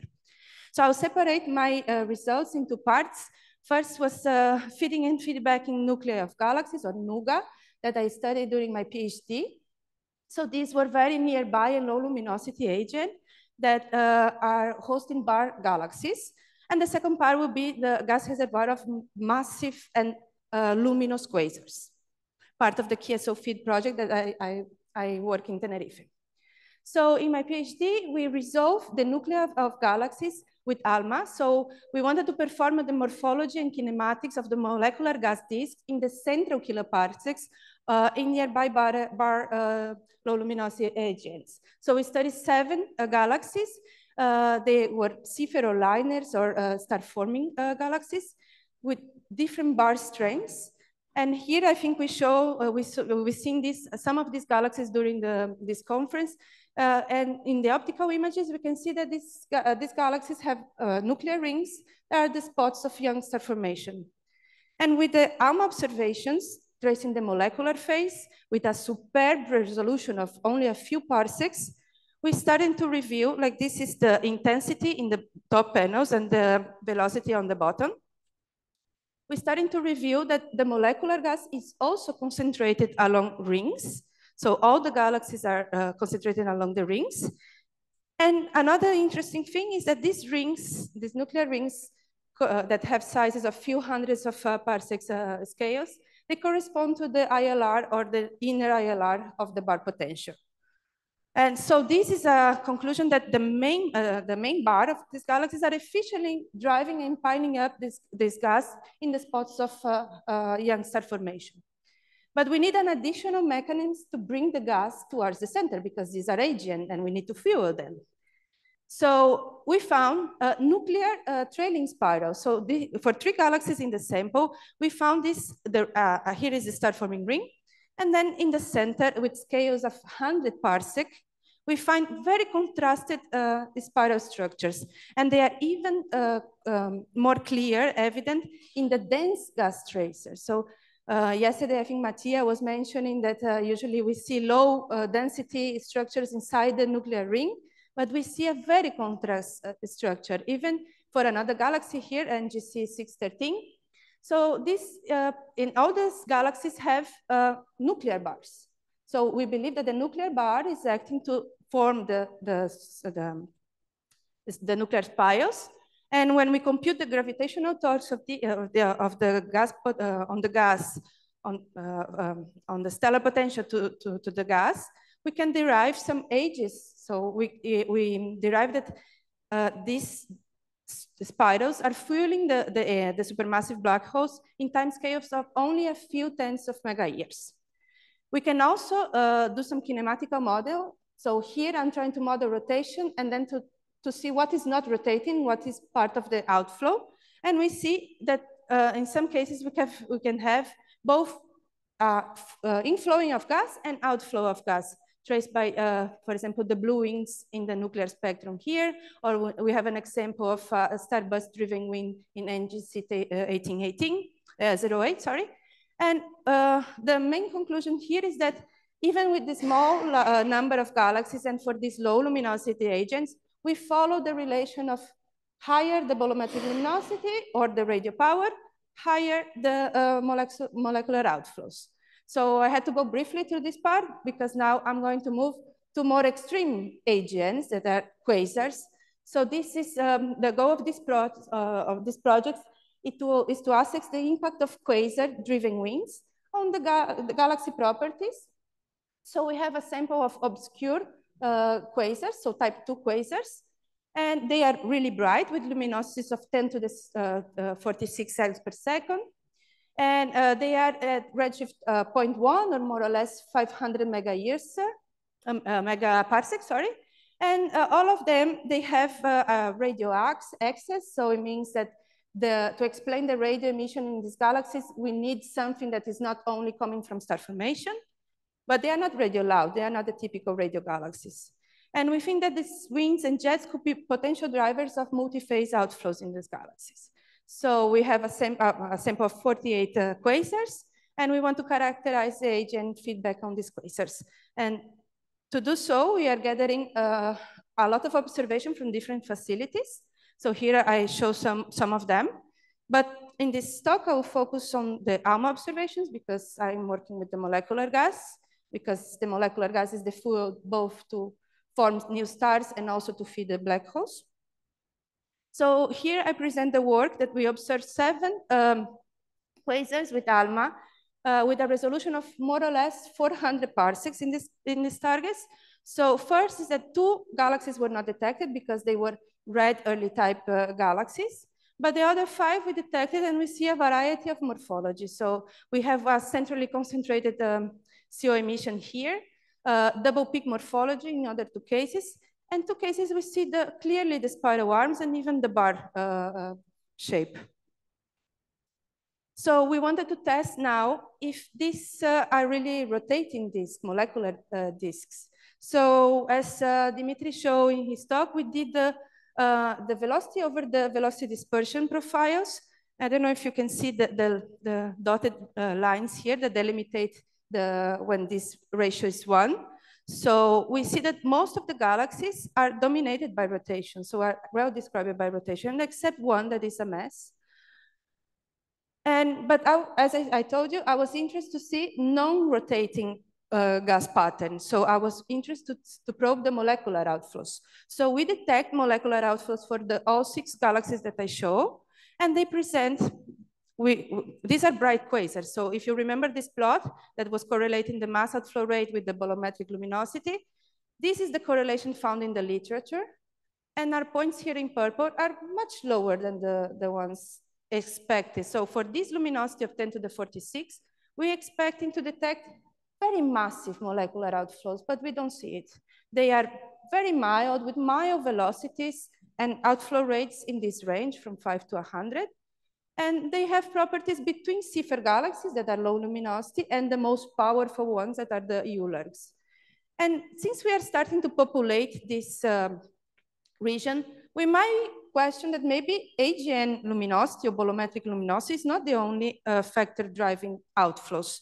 So maybe there are other factors such as the jet power, the coupling between these winds and jets in, in, with the disk might be playing a role. So to study this, we did an additional test that is to perform, here is the energy, the kinetic energy of the outflow in, in the y-axis.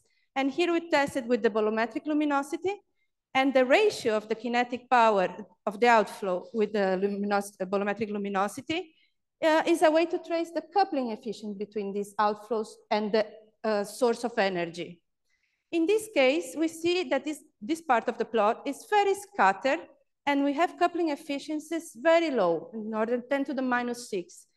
And these coupling efficiencies are much, much less than the ones predicted by cosmological simulations that include AGN feedback in the quasar mode uh, regime. But on the other hand, if we look at the jet power instead of the bolometric luminosity, we see that it's uh, still scattered, but there might be a correlation. And the coupling efficiency between the kinetic energy of, of the outflows and the jet powers is to the order of 10 to the minus 3. And this is in prediction with the simulations of, uh, ra of radio mode simulations uh, uh, in, in the literature. So we are starting to believe that even in this highly accreting system that should be dominated by the quasar mode of feedback, we believe that these low jet powers might be the dominant feedback me mechanisms. And this is in agreement with other results from the literature. But I'm going to uh, showcase one specific example, that is the case of the Teacup AGN. Why Teacup? Because I don't know if you can see clearly here in this image, but it has like this uh, bubble shape that resembles the handle of a teacup, seeing that in the large scale. But we were looking at the center, and in the center, it has a compact radio jet of kiloparsec scales that I show here in the contours, that we believe they have a very small angle with the CO disk, the molecular disk. So I analyzed uh, CO221 and archival CO322 observations, so I show them here. And we see that the double peak morphology is kind of correlated with the jet direction. So it seems that the jet or a wing is pushing away the gas in the center and make creating this uh, double peak morphology. So when we were doing the kinematical modeling using the 3D Barolo, that is a tool to de derive um, the velocity curves of the galaxies. So here is the uh, velocity field, and um, in the middle is the model and the residuals. We see that we have a, a, a lot of residuals along this direction. And actually rotation in this galaxy accounts for 55% of the, the flux. So for high velocity gas, the rotation is not able to be explained. And since we had two lines, we could do uh, especially resolve line ratio. So this is uh, what I plot, plot here. Um, uh, a line ratio might, might trace difference in the gas conditions, in temperatures or in excitation. So we see an enhancement of this line ratio along this direction that is perpendicular to the jet and is much higher than the values found in typical galaxy disks. And this might say that the gas in these regions have different gas excitation. And we believe that this hot gas that is part of a cocoon of shock, of shock, uh, shocked gas. But on the other panel, I show the velocity dispersion, and we see that the velocity dispersion is also perpendicular to the radio uh, jet direction. And this phenomena, uh, it was already observed using MUSE observations in the optical for some jetted Seyfert galaxies and also for some radio galaxies that they see the velocity dispersion also perpendicular to the um, jet orientation. But this is the first time we find clear evidence of enhancement in velocity dispersion and also in gas excitation in the molecular phase. So we believe that the jet here is playing an important role. And I will do a parenthesis because in the introduction I mentioned that radio mode is usually associated with the large scale radio jets. But I wanted to say, uh, say about radio mode feedback in galactic scales, acting actually on the ISM. So there are hydrodynamical simulations of relativistic jets, jets piercing a galaxy disk, a gas-rich galaxy. And as the jet percolates to the galaxy disk, here can, we can see different snapshots for the evolution of the, uh, of the jet. And we can see that as it percolates, it creates a cocoon of shock material that is able to drive multi-phase outflows. And the feedback from these jets depend on the kinetic energy and also uh, in the clumpy distribution of the gas. But one interesting result from the simulations is that we can have strong feedback even from low power jets. So one may think a very high uh, powerful jet will be able to create more damage in the galaxy, but this is not what we see from the observations. Uh, here we have the same gas conditions, initial gas conditions, and a simulation from a low jet power and a high jet power. And we can see that for a shorter time, the high jet power is able to escape the galaxy easily. On the other hand, the low jet power is trapped into the galaxy potential for longer times and creating more damage over larger volumes. And one the, also another result from the simulation is that uh, also the coupling between the ISM and the jet inclination. So for a jet, inside the galaxy, percolating in, within the galaxy plane, will create more damage than a jet per perpendicular to the galaxy plane. So we thought that this might explain what we observe for the ticker. So we contact the simulator. So we run simulation E of Mukherjee and using the uh, prescription uh, uh, describing Meenakshi to reproduce the observed features of the gas. So we mimic what will be the behavior of the molecular gas. So here on the right uh, panels, I see the observations. So this large scale image uh, showing the ionized gas, and we can see that it correlates pretty well with the simulation of the uh, hot tenuous gas. And in the center, we have the ALMA observations that show also this uh, high velocity dispersion. And here we can see the simulated velocity dispersion and it matches pretty well. The simulations are also able to predict this enhancement of turbulence or outflows in this direction.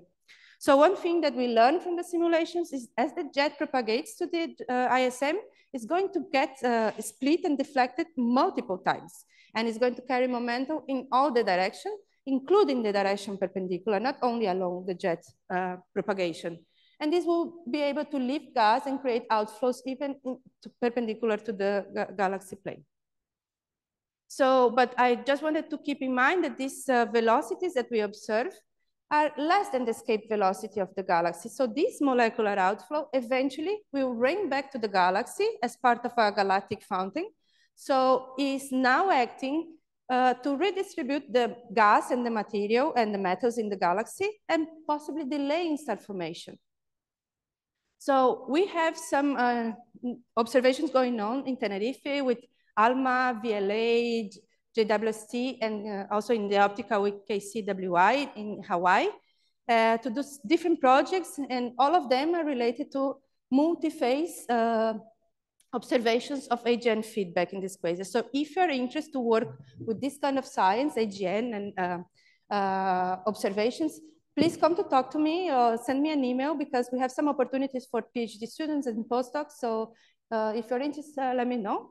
And this is my takeaway uh, message. So we find that even uh, though the AGN feedback in this very powerful galaxy is not depleting the molecular gas, we see molecular gas there, but they are doing something. They are actually, uh, we find evidence that these low power jets or wings are disturbing the morphology or the kinematics of the stars in the central kiloparsecs of this galaxy. So we are witnessing the uh, AGN feedback on the current AGN episode of these galaxies. So stay tuned because we have a lot of data uh, coming up and I'm happy to take questions. Thank you.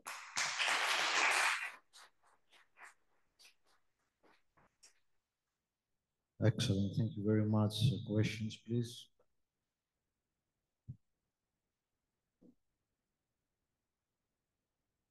Yeah, thank you so much.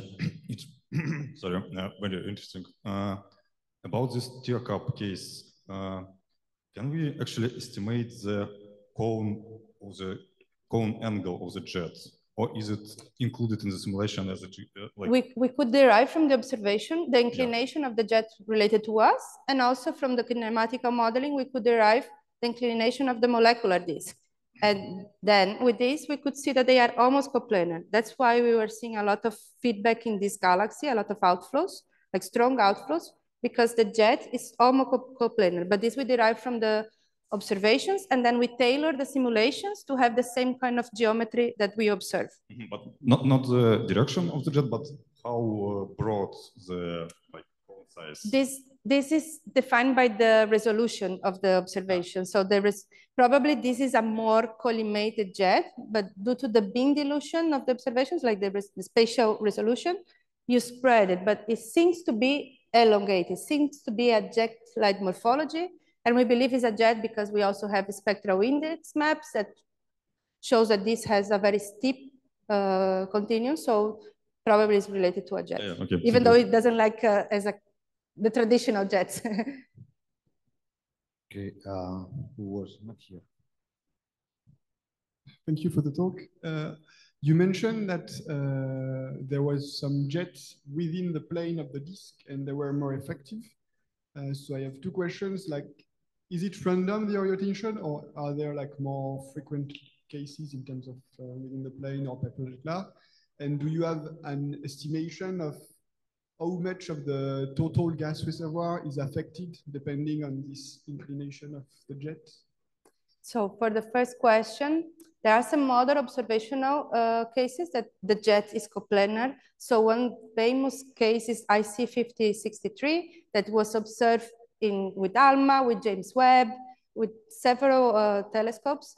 And we see that the jet is coplanar and is driving also an outflow, but it's driving in the direction of the, the the jet propagation. And for the second question, what, what was it? Sorry. Do you have an estimation of depending on how inclined is your jet? Yeah. Which so fraction of the total gas reservoir is uh, mm, ejected? Not really a fraction, but how to reproduce certain observed properties. So there is this paper from Meenakshi. Let me see if I go back. If you want to take the reference. So Meenakshi, she analyzed the simulation. So she ran this simulation and she tried to test with different inclinations related to the disk and also different kinetic powers of the jet. So they have a set of uh, inclinations, possible inclinations, and we see that the, the stronger feedback comes when the, the jet is almost to the plane of the galaxy. And when it's perpendicular, it's almost doing nothing.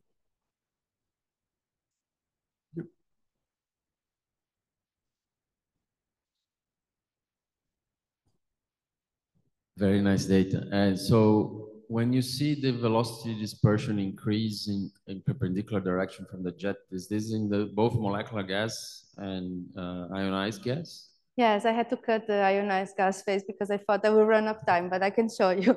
Yeah, we see for the same target, we see either with MUSE or with the MEGARA in the Tenerife, in La Palma Island, we see both trends, but these are much larger scale. But it seems to be perpendicular in the same direction that we see the molecular uh, dispersion, ionized dispersion is also, but in much larger scale. Okay, and if you do kind, kind of a BPT diagram, what does it, what does the ionized guys gas say? It's, uh, I think they, they with the? MUSE data, they did the, the resolve uh, BPTs. And also for the paper uh, of Seyfert uh, jetted galaxies from using MUSE observations, they did the resolve BPTs, and they find that this direction that is perpendicular is mostly dominated by shocks. Okay, okay, thanks. So it's like two results uh, together, like a combination.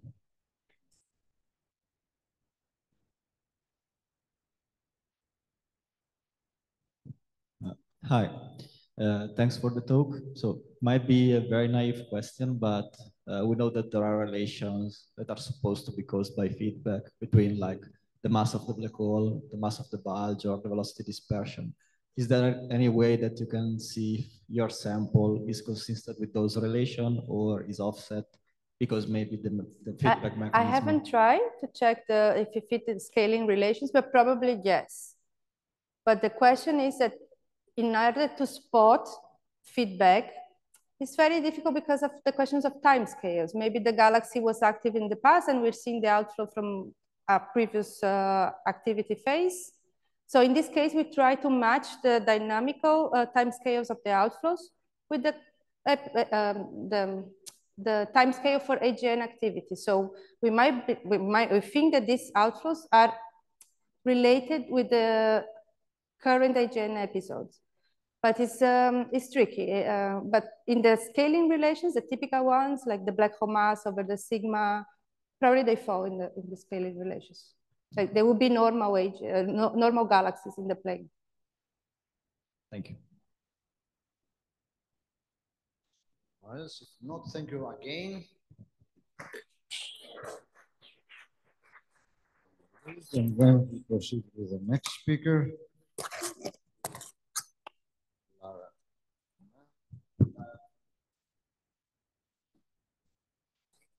Structures in the Magellanic Clouds.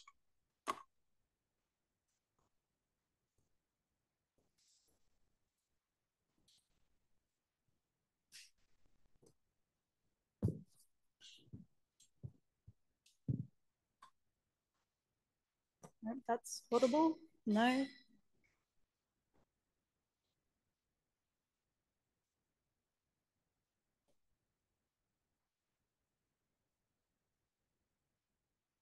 Yeah, that one.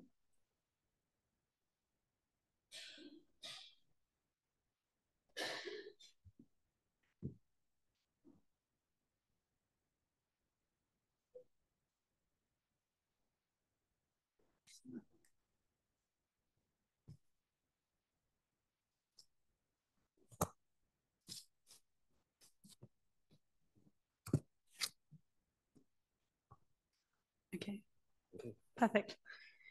Great. So thanks very much for having me at this excellent conference. I'm Lara. I'm a postdoc at the AIP. And today I'm going to bring you back down from the very large scales of the previous talk, uh, in terms of distance at least, to something a lot more local, um, the Magellanic Clouds, and in particular the LMC, what we know so far about some of the structures in its disk, and then some upcoming observations that are going to give us a lot more detail on how those structures have formed.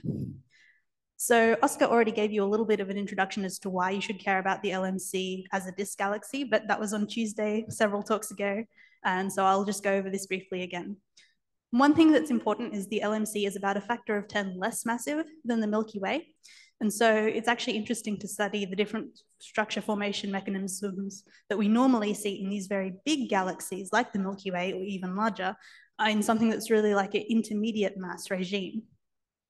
In addition, the LMC is an actively interacting system. We know that not only is it probably on its first infall to the Milky Way potential, it's probably also been interacting with its companion, the SMC, for the past several gig years.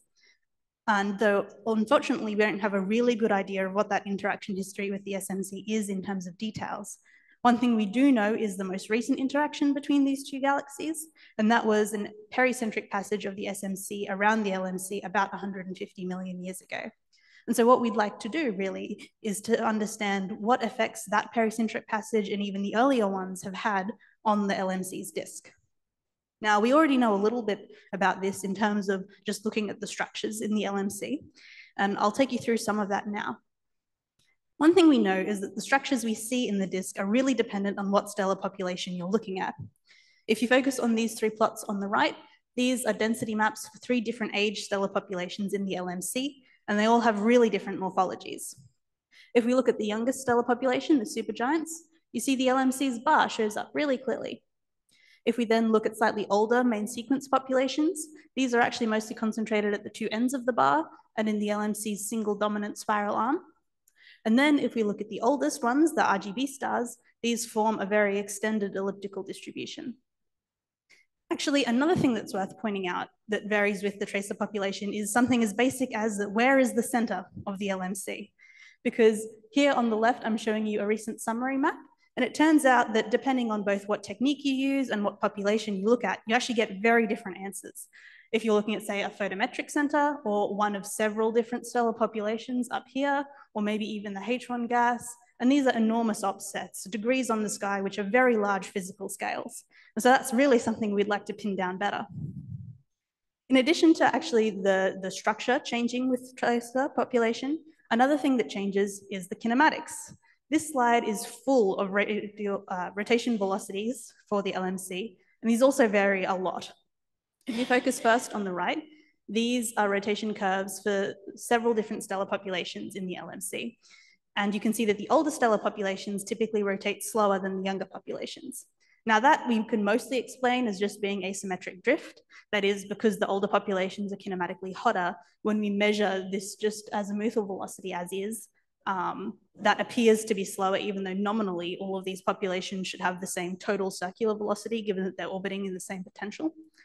Um, but even with asymmetric drift, it doesn't explain just the degree of bumpiness that we see in some of these rotation curves. In addition, even if we just look at a single stellar population, in this case on the left, these are just old RGB stars, you actually get an enormous variation in both what you calculate as the rise of the rotation curve and what you define as like the flat velocity, depending on both where you're looking in the disk and whether you're using, say, proper motions or line of sight velocities or some combination of both. Finally, as well as these differences, we also just the underlying structure of the LMC is, of its disk is completely messed up. Um, the LMC we know is inclined, and so in this plot, what this line here is showing you is the line of nodes, which describes how the LMC's inclined disk plane intersects with the plane of the sky. And as you can see, this actually twists really significantly once you get out past around six degrees. And that's not just a projection effect because the LMC is large on the sky, it's actually an underlying change in the disk properties. And we know that the LMC's disk is warped. In this plot, if the LMC's disk were perfectly flat, it would exactly follow this red line.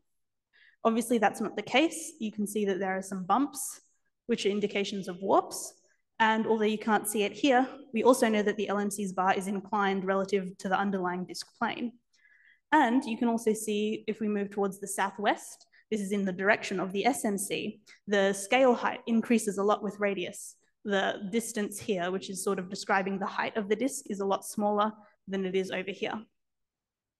And so obviously this is telling us that the LMC has been really messed up by all its interactions with both the Milky Way and the SMC.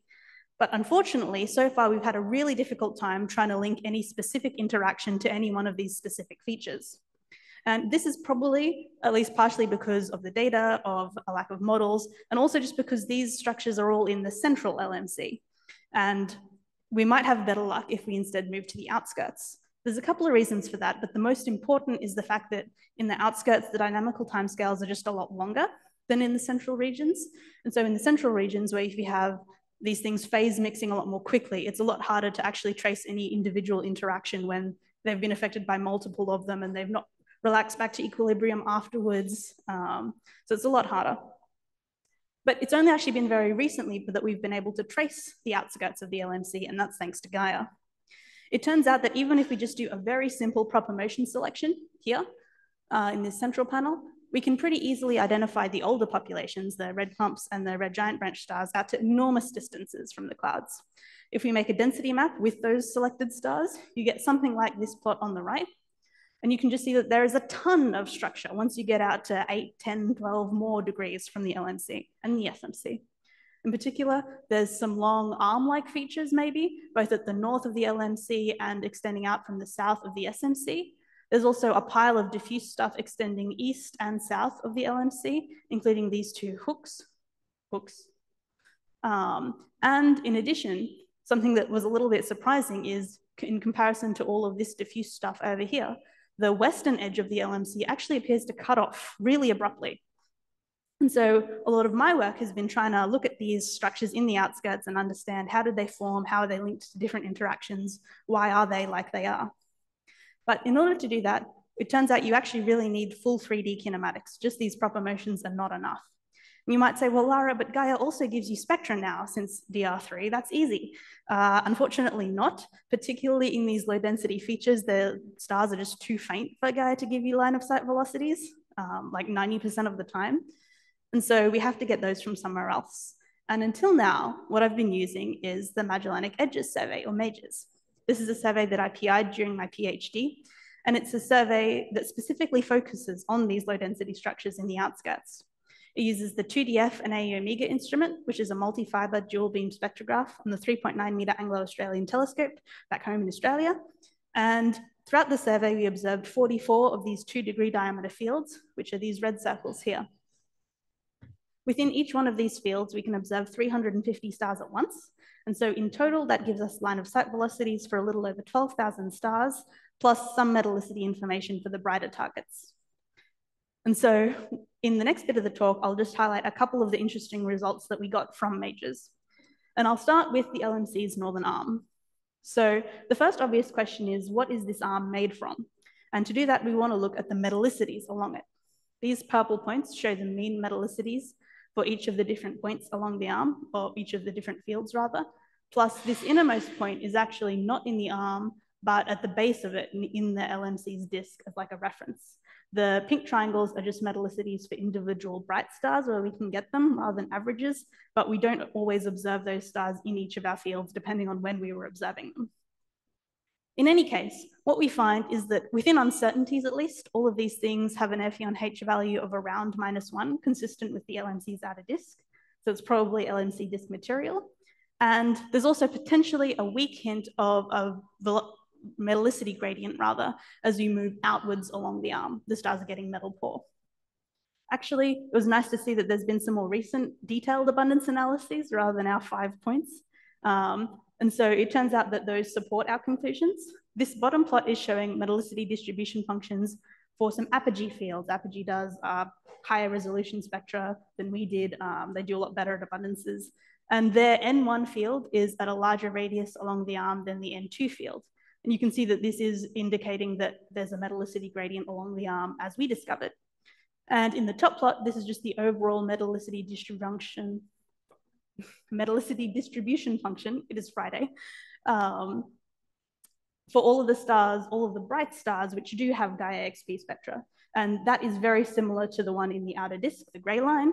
So overall, we do think this is in fact LMC disk material that's been flung out in this arm. So the next question is, well, what are the kinematics along the arm? How did it form? And to do that, what we first want to do is look at the kinematics of the arm in the frame of the LMC disk, because when we target the red clump stars along the arm, that's most of our targets, um, that's a standardizable candle. And so that means that we can actually derive mean distance estimates for these fields, which then lets us calculate where they sit in the plane of the disk and give us these sort of velocities. And we know that the arm is mostly in the plane of the disk, so this is a sensible comparison to make. Here, what you can see is the azimuthal or rotational velocity, the in-plane radial velocity. In this case, a positive value would mean that the stars are moving outward in the plane of the disk. And then we have the out of plane or vertical velocity here, where in this case, a positive value means motions that are perpendicular to the disk plane in a direction that happens to be mostly towards us. Uh, the gray lines here in these plots would show what you would expect for a perfect equilibrium disk. So for a population of this age and type, you expect a rotational velocity of roughly 70, and then zero net, because these are averages within each field, zero net radial or vertical velocities. But obviously, we find some pretty big deviations from that. Now, this increasing vertical velocity we see along the arm is actually pretty easily explainable as just being a result of the LMC's infall to the Milky Way potential. In this very rough schematic, basically you can see that the LMC is coming in from underneath the Milky Way's disk plane. And so the gravitational force of the Milky Way is just pulling in a direction that happens to be mostly aligned with what we define as VZ. So, and because the relative gravitational force of the Milky Way compared to the LMC is stronger at large LMC radii, you naturally just expect this VZ to increase as we move along the arm. But there's no such simple explanation for why you have these enormous negative radial velocities all along the arm. And so in order to try and understand where that was coming from, what we did was to compare our observations to a suite of very, very simple dynamical models. These are not even n-body models, they're just tracer particles in a potential um, that is static even. So a lot less technically, you know, savvy than a lot of what everyone here is doing. So don't take these results as being perfect. You know, they're not supposed to quantitatively replicate everything that we see. Mainly what we're interested in is what are the sorts of interactions between the clouds that could cause this and can they potentially affect stars in the regions where we see the structures? So we actually find there are basically three main, at least in the timescales that we run our models, only for a gig year, three main types of interactions. And I'll show these schematically in these two plots on the left. On the bottom, you have the total radial distance of the SMC from the LMC. And then in the top plot, you have the vertical distance of the SMC from the LMC's disk plane. Um, and again, these numbers just give you a rough idea of the scale, not absolute. And then here, what I'm showing you is the, the density distribution of a bunch of the particles in one of our simulations as they appear today. So the first sort of interaction we see in all of our simulations is the SMC's recent pericentric passage around the LMC about 150 million years ago, which is good because we know this was a thing that actually happened. So it's nice that it's in all our simulations. But it turns out this is not what is affecting the northern arm. Here on the plot, what I'm showing you is the rough position of the SMC during its pericentric passage um, 150 million years ago, and as this blue cross. And it turns out that this is diametrically opposite from the northern arm, which would be along here.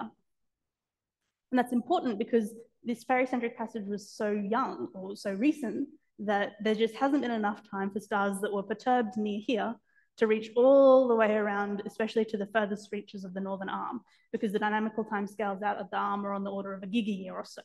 So there just hasn't been enough time for this perturbation to propagate basically across the LMC's full disk.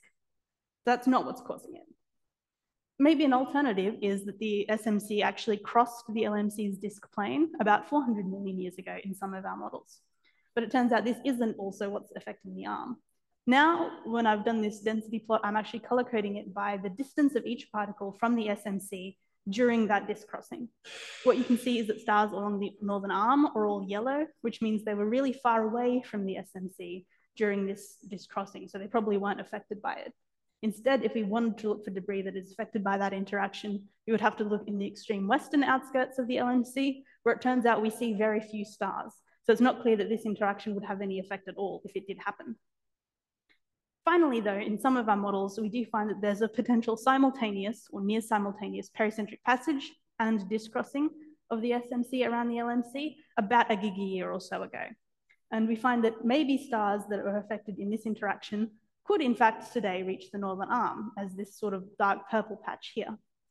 And so our current working hypothesis is that in either this interaction or maybe even an older one that we can't quite trace, the stars were first perturbed along the northern arm, and then it's not been affected by the SMC, but more recently it has been affected by the LMCs in fall to the Milky Way. Another quick result that I'll present from MagES relates to the structures in the southern LMC's outskirts. Again, our question, what are these made of? We look at the metallicities. And again, they're broadly all around the same as the LMC's disk, but there's quite a lot of point-to-point -point variation. And this is probably indicating that there's varying amounts of SMC depending on where you look. And this is again true in those more recent papers. You see that for the individual APOGEE fields, they can vary a fair bit. And the overall metallicity distribution functions for the bright stars sit in between the LMC and the SMC. So there's definitely SMC debris there, but the amount of debris is really varying strongly depending on where exactly you're looking. Nonetheless, we still want to look at the kinematics of these stars. And again, here we see the radial velocity in plane, the vertical velocity, and here for the first time, the out of plane distance, which tells you how far above or below the plane this stuff is located. In an equilibrium disk, this would all be zero or it would all be white, but obviously not. These have quite strong differences from that. And we think this is probably due to a combination of interactions, repeated interactions between the LMC and the SMC. When we look at our models, the ones that come closest, um, although close is a relative term here, are models which do show these repeated interactions. At least in these models, you get the kinematic trends broadly correct. So, you know, red with red, blue mostly with blue. And this is a lot closer for these models than ones which say only include the SMC's most recent pericentric passage. And the remaining differences here are again due to a combination of the limited, you know, effects of our models. They're not proper dynamical models, only, only, test, only test particles. And also because these models are only including LMC debris. The SMC debris in these fields, it's gonna have its own distinct kinematics that we can't quite separate at the moment. And so that will also cause differences here. So MagES has taken some of the way, but clearly we need more in order to more precisely constrain these older interactions and link them to these things. So there's a couple of things we need. We need better models, obviously. Um, now, some of these do exist. This is a fairly classic one from Gurtina Besla. It's a proper model. It includes gas. It includes the deforming gravitational potentials. It includes mass loss from the SMC. Great. But it's only one model, and there are a limited number of models of this type to actually compare to. So that just by nature of the fact that these are really computationally expensive means we can only learn so much from them because they only cover a certain parameter space. Where we might have a bit better or a bit more immediate success is if we have more data. So in particular, rather than just these individual points, what we'd really like is contiguous data across the whole system. And we'd also like this data for stars of multiple different stellar populations, not just the old stars that we've been looking at in MagES, but because I told you in the earlier part of the talk, the younger stellar populations have really different morphologies. We want to look at them as well. And the way we're going to do that is with 4MOST. And you already heard a great talk on Wednesday from Mark about 4MOST, so I don't need to go over this much. But there are two things that I really want to highlight um, that make 4MOST a great instrument for this science case in particular. One is that 4MOST has a really extended field of view over four square degrees, and that's about this many full moons, if that's a scale you care about. Um, in addition, it's very highly multiplexed. Each one of these points represents one of the fibers, which means we're observing over 2,400 stars at once. And that combination of things is really important because not only are the clouds just enormous on the sky, in the central regions, they have a really high target density. And so you need both a really wide field instrument and one that has very high multiplicity in order to actually survey the clouds. Otherwise, it would just take you like a million years. So with 4MOST, what we're going to do is hopefully late next year, early 2025, we'll start this big survey of the Southern Hemisphere. And as part of that survey, we're doing a specific targeted survey of the Magellanic Clouds called 1001 Magellanic Fields, or 1001 MC. This is a survey that I'm co-PIing with my supervisor, Maria Rosa Cioni, and this is really going to revolutionize the way we look at the clouds. This here is the survey footprint, and you can see that this extends out to a bit more than 15 degrees from the LMC and a bit more than 11 degrees from the SMC. In total, that gives you an area of around a thousand square degrees, hence the name. And across that area, we're going to observe about a million stars. I've overlaid here just to give you an indication of the rough sort of trajectories of the thin features that we've been looking at with MagES, the northern arm, the eastern and southern outskirts. We do a pretty good job at covering these, which is nice, with unfortunately the exception of this southern arm, the reason there's this cutout is because there's a hard minus 80 degree declination limit for our survey, not just for ours, for every survey, um, which means that we don't get data for this arm, but because we have some MagES fields there, we know that we can get this data from other telescopes. So in terms of what stars we'll be targeting across that area, uh, it's more or less every different type of stellar population you can think of. This here is an infrared CMD of the LMC from the VISTA survey of the Magellanic Clouds. And this is one of the target catalogs that we're selecting from. Um, these black boxes here show you the different stellar populations that we'll be covering, including the younger supergiant stars, the intermediate age AGB and new carbon stars, the oldest or predominantly old red giant branch and red clump stars, and main sequence stars and subgiant stars of varying ages. And we also target Cepheids and RR Lyrae as variable stars as yet more different uh, tracer populations to look at. And this is really going to do an amazing job for the clouds. just some quick ideas of things that we'll be able to do. Obviously, we'll be able to get a lot more precise kinematics for all the structures we're looking at and contiguous coverage of them, not just at individual pointings. And we should also be able to measure new substructures that we haven't otherwise been able to identify where we don't have this full 3D information. Another great thing is that we'll be able to get abundances for a lot of these stars. Historically, this has been really difficult in the LMC because it's so far away. It's hard to get, there's a limited number of stars you can get high resolution spectra for, and you have to integrate for a long time to get them. So we'll be able to do a lot better here just because we're targeting a lot more of those stars. And also abundance pipelines have come a long way. So that's going to be really helpful for not just identifying where structures are coming from in terms of being them like LMC or SMC debris, but we should also be able to search for the remnants of even smaller mergers because the LMC is massive enough that it should have experienced maybe a couple of those in its lifetime.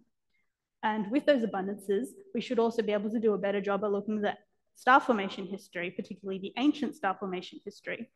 Um, and we should be able to tie that to both the interactions specifically and to the different structures that they form. So the future is looking really bright for the clouds with 4MOST. And so I will leave you on that happy note with our summary in that the LMC is a very disturbed low mass disk galaxy. In order to trace the structures within it, we need both abundance data and full 3D kinematics. Until now, we've been using MagES to get that, and we've made some new discoveries with it in terms of the northern arm being LMC debris that's been perturbed by old interactions with the SMC and recent interactions with the Milky Way and the southern outskirts being just a mix of debris that's been perturbed repeatedly. But we'll learn a lot more with 4MOST, and if you're interested, you can think of and you think of new ways to exploit this data. I'm sure there's a lot to do with the bar uh, and gas funneling that I have learned a lot more about this week. So if you're interested and you want to work with this data, please do talk to me. Thanks very much.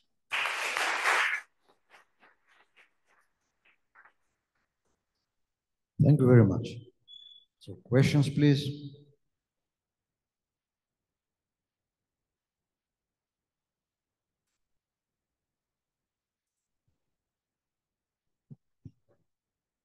Thank you very much, uh, Lara, for the nice talk. I was wondering where you were showing the, the velocity and the position maps on the southernmost region. Mm -hmm. I don't know if you can come back. This yes, one. exactly this one. Uh, if you look at the VZ and in the set maps, you can see like mm -hmm. on VZ, there is kind of a dipole in positive Yes. and negative. Yes. Regardless, in the set for the same position, everything is red. So it clearly shows like a positive uh, vertical position. Mhm. So it's kind of asymmetry, no, between the VZ and the set on the right and the left part of the galaxy. Do you know like which type of interaction creates this kind of uh, feature? So I think this is related to, so in this one in particular, it's partly related to the disk crossing because the disk crossing happens, okay, so the disk crossing happens here. And so by the time that's happened, the, the stars have sort of moved over here. So I think this is mostly what's that from. But I will give a little bit of caution about this plot in particular is because you have to assume, just we have to assume one fixed inclination to compare. And we know that that's not quite true. So what you'd really prefer to do is like model the inclination at each one like at each point, and then maybe it's not, you don't see such a strong uh, impact. But yeah, Thank you. Very nice talk. I'm really looking forward to see what 4MOST can do uh, with, this galaxy. There will be a lot of nice data. So while the disturbances are very clear in the warp and the kinematic features, etc., and uh, also morphologically, the LMC was always seen as like a lopsided bar. Mhm. Um, in some of the deep images you you you showed, it looked actually that that if you go deep enough, it, the disk is very symmetric, right? Uh, morphologically, it is, and the bar is right at the center of the disk. yes, yeah, yeah. I know, I know the plots you mean. So that those are a little misleading, I guess, because you have to saturate at such a low density to see um, Right. some of the old, the the very low density features. But yes, it when you get to the outskirts, it's not that um, like offset. Yeah. the, the bar is more or less in the center. That- yeah. That's very interesting. And, and I, and I was wondering if the bar then in this case could help you pinpoint where the center is, right? Because if you saturate the outskirts, you Mhm. have this almost perfect disk and, Yeah. and, and, and the bar looks like it's right in the center. So the center will be the center of the bar, I guess, like in, in, in regular galaxies. hopefully. um, yes, I think we'd like to, to test that just to make sure with kinematics. Um, I guess the other thing is that I'm, I'm not sure about and that I'd like to maybe put to the audience is um, people have talked a lot about like gas funneling along the bar and stuff. Um, but we don't, there's like characteristic S-shaped velocity contours that you should see. And I think historically we've not seen them in the LMC. And so I don't know what that means. Mm. Um, that it's just, if that means the bar is too young for that to have happened much. If it's like a recent bar, you I guess you do still expect it to form right in the center, yeah? So. Yeah, it could be. It was also interesting when you showed the different stellar populations that you have very young stars uh, aligning the bar, right? So there's some star yes. formation going on in the bar. Yes, yes. Also interesting to look at as well, for sure.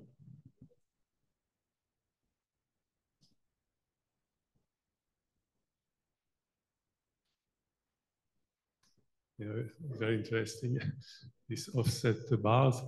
I have a question. How do you define the kinematic center observationally? You ah. just subtract an average. And, yeah, so this yeah. is, um, I think historically when people have done this in terms of looking at the center, they just build a model, like a kinematic model that says, oh, this is just a regular rotating disk. And then you just fit for what point it's rotating around. And, and you also simultaneously fit for the rotational velocity. Whether or not that's super effective. Do, do you compare with the gas kinematics?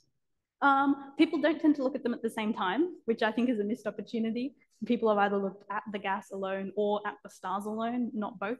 And so I think we could learn something if we actually did like a joint fit to see what that's doing. Because what could happen with the offset bar is mm -hmm. a kind of epicyclic motion. The bar is rotating while, mm -hmm. while the, the wall rotates around the common center. So, so you could introduce two, two rotation velocities, in fact. Ah, okay. I'm not an it's, expert it's, in that. It's epicyclic motion.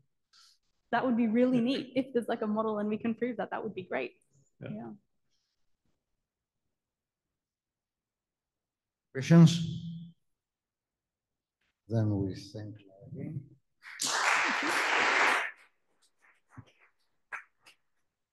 Uh, Namita Uppal now will speak about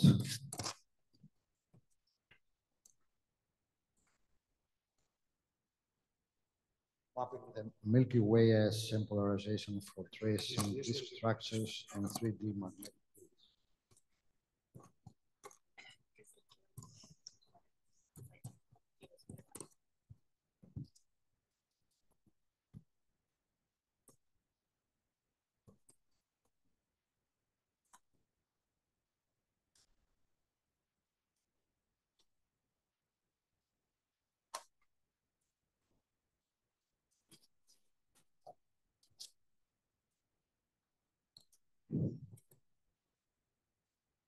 Which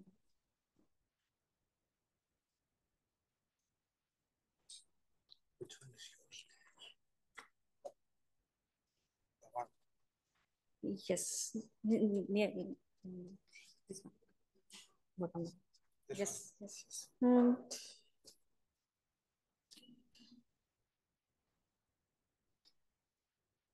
okay, hello everyone. Uh, I'm Namita Uppal. I would like to firstly thank the organizer for giving me the opportunity to present my work here. I have just recently joined IF4 as a postdoctoral fellow. So I will be presenting some of my PhD uh, results here, uh, which is the mapping of the Milky Way disk structure using ISM polarization. So I'll be demonstrating how polarization can be used to map the dust distribution in the galaxy. Uh, so starting with the very basic, we must all have seen this kind of view in the night sky. So this is a part of our Milky Way galaxy. Since we are living inside the galaxy, so we can uh, in, uh, study the individual star with greater detail as compared to any another uh, any external galaxy. But at the same time, our position inside the galaxy poses greater challenge to study the global properties of the galaxy. For example, we do not know how our galaxy actually looks like because from our point of view, uh, all the structure features in our line of sight overlap to form this kind of band in the night sky. So, uh, the, which is not a, a complete picture of the galaxy. So my aim is to construct a 3D map of the Milky Way disk And, uh, and the basic idea of constructing the 3D map is just to uh, see the distribution of material in the, gal uh, in the galactic plane. By material, I mean, say, gas, dust, or stars. So I am, um, a lot of work has been done in this direction, and I am mainly interested in uh, studying the distribution of the dust in the galaxy. So for example, this is the M57 spiral galaxy, the JWST image. Here we can see that dust is highly confined into the galactic plane. So by means it is giving us the signature of large scale spiral arm and also it is uh, giving insight into the small scale features that are present within the spiral arm of our galaxy. So a similar thing could also be possible for our galaxy. But mapping, uh, making this map for uh, around Milky Way galaxy is quite challenging if we consider the thermal dust emission. Because thermal dust emission is, will give us the line of sight integrated uh, information only. So, but to construct this map, we need a, uh, we need to disentangle the dust clouds along the line of sight. So, so that we can make, make a uh, uh, face-on view of the galactic plane. Uh, so directly tracing dust will not uh, help us to create uh, this kind of structures, uh, but there are some indirect way. For example, we can use some properties of the dust like uh, extinction. We all know that uh, starlight are, is getting extincted by the presence of the dust cloud in the galactic plane. For example, that is why we are getting this kind of dark lane in the galactic plane. So after Gaia, there are many 3D extinction map has been formed and but most of these maps do not show any spiral structures or else they are highly confined into the solar neighborhood. Um, this is because partly because this is a derived quantity and we need a lot of assumption to derive the extinction in different line of sight. Uh, but the another property of the dust, which is a interstellar polarization, uh, which we, here we can see that where the uh, this plot represent the polarization vectors, where uh, the length of each line, black line represent the degree of polarization and its orientation is based on the polarization angle.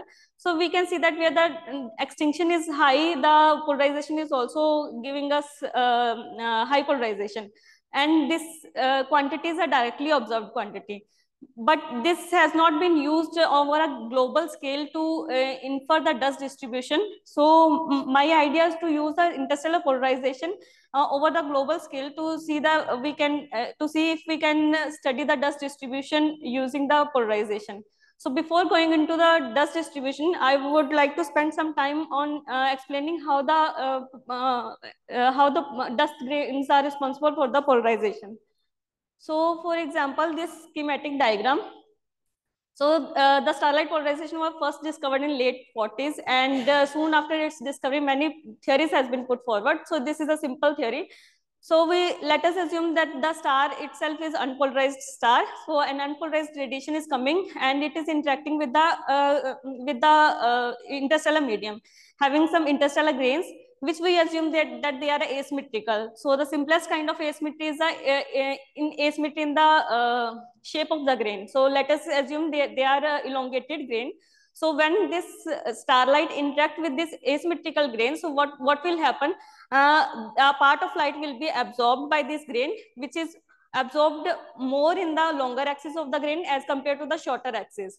Hence, the scattered light will be uh, partially plane polarized towards the shorter axis of the grain. And we will get the net polarization even uh, only if there is a, any net alignment of uh, uh this uh, alignment of axis of symmetry or anisotropy of these grains along some direction, which is provided by the local or global magnetic field over there, that region. Since now uh, that's how we will get the polarization of an um, we get the polarization of an unpolarized star if we observed in optical or near infrared wavelength. Now, because this grains has absorbed some uh, some starlight, it will be get re-emitted in the longer wavelength. Now, the longer uh, the light which will be getting re-emitted in the longer wavelength will also be polarized but in a direction which is nine, perpendicular to the what we will observe in the optical polarization because the light will be uh, absorbed more in the long towards the longer axis of the grain and then it will uh, in the emission it will show the polarization angle towards that direction. So now we know that uh, how the starlight is getting polarized. So we, we can use ism polarization to infer uh, the plane of sky magnetic field because the polarization angle will give, give the direct proxy of the orientation of the magnetic field over the region. We can also constrain the dust uh, properties using the polarization measurement, and we will use the dust. We can also study the dust distribution. So my main interest to study the dust distribution and plane of sky magnetic field. So going to the first dust distribution part.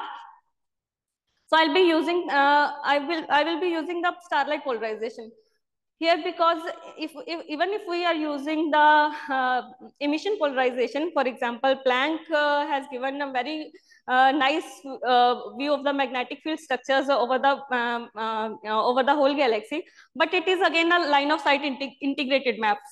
Uh, it is we cannot create a 3D uh, maps unless we have the distance information. So from Gaia, we have the distance information of stars. So we will be using the stars and the polarization of those stars along with its distance information to infer the dust distribution along the line of sight. So for example, this is a cartoon diagram showing one line of sight having uh, where the stars are distributed at different distances and also has some interstellar clouds. Uh, so what will happen, uh, uh, for example, for let us take the first star. So uh, there is no foreground uh, dust cloud. So the polarize, so it will not show any polarization. So this is unpolarized star will get a 0% polarization. But moving to the next star, so what will happen because there is a one foreground dust cloud where the dust grains are aligned in some particular fashion, let's say, uh, due to the magnetic field. And uh, so we will get some degree of polarization. For example, let us say we have 2% polarization. Now moving to the third, third one, we, uh, then uh, it is the light is passing from uh, foreground to clouds and uh, polarization is a cumulative quantity. So it depends on the alignment of the dust grain in these two clouds. If, if there is a, the alignment of these two clouds are uh, grains are same, then we'll get the, the polarization will increase for this star. Otherwise it will decrease. In any case, we will find a jump in the in polarization, whether it is increasing or decreasing. And in that way, we, we can see uh, we can see how many dust clouds are present along our line of sight, and we can also constrain their distances. So uh, with this idea, we wanted to see, uh, this is our ideal picture only. So we wanted to see in real observation what kind of, uh, uh whether we are able to disentangle the dust cloud along the line of sight or not. So for this, we planned observations and uh, uh, instead of going uh, in an, any random direction, we plan to select an galactic open clusters. Why? Because open cluster, there are a bunch of stars present at the same location, same distance. So it will be easy to constrain the polarization properties uh, statistically uh, as compared to any random uh, direction. There are a total of 7,200 clusters that are known till now after Gaia. This is the distribution of these uh, 7200 cluster uh, in the face-on view of the galaxy. And uh, only 40 cluster has been observed uh, using polarization observation. That two for uh, uh, cluster properties to see the cluster properties itself, not according to the global properties of the galaxy. So these are highlighted by these black dots and their distance is more or less at approximately 3 kiloparsec. So what we wanted, we wanted to select the cluster in the same line of sight, but at different, different distances so that in a one line of sight, we can probe as many dust clouds as, as possible. So for the selection, we wanted to select a somewhat older clusters so that they are not expected to have intra-cluster dust. So whatever be the uh, signature they are giving, they will be giving the signature of the foreground dust, uh, uh, dust cloud uh, information and also based on the um, observation, uh, other observation aspect, we selected some cluster. We selected clusters in the anti-center direction, now closer to the anti-center direction. Now why anti-center direction? So it is known that the, this direction is characterized by the low extinction. So we can uh, observe deeper and go because we are uh, going to have uh, perform the observation in the optical so we can go in deeper and uh, can probe the distant features of the galaxy and uh, secondly because if we wanted to rely on the dust emission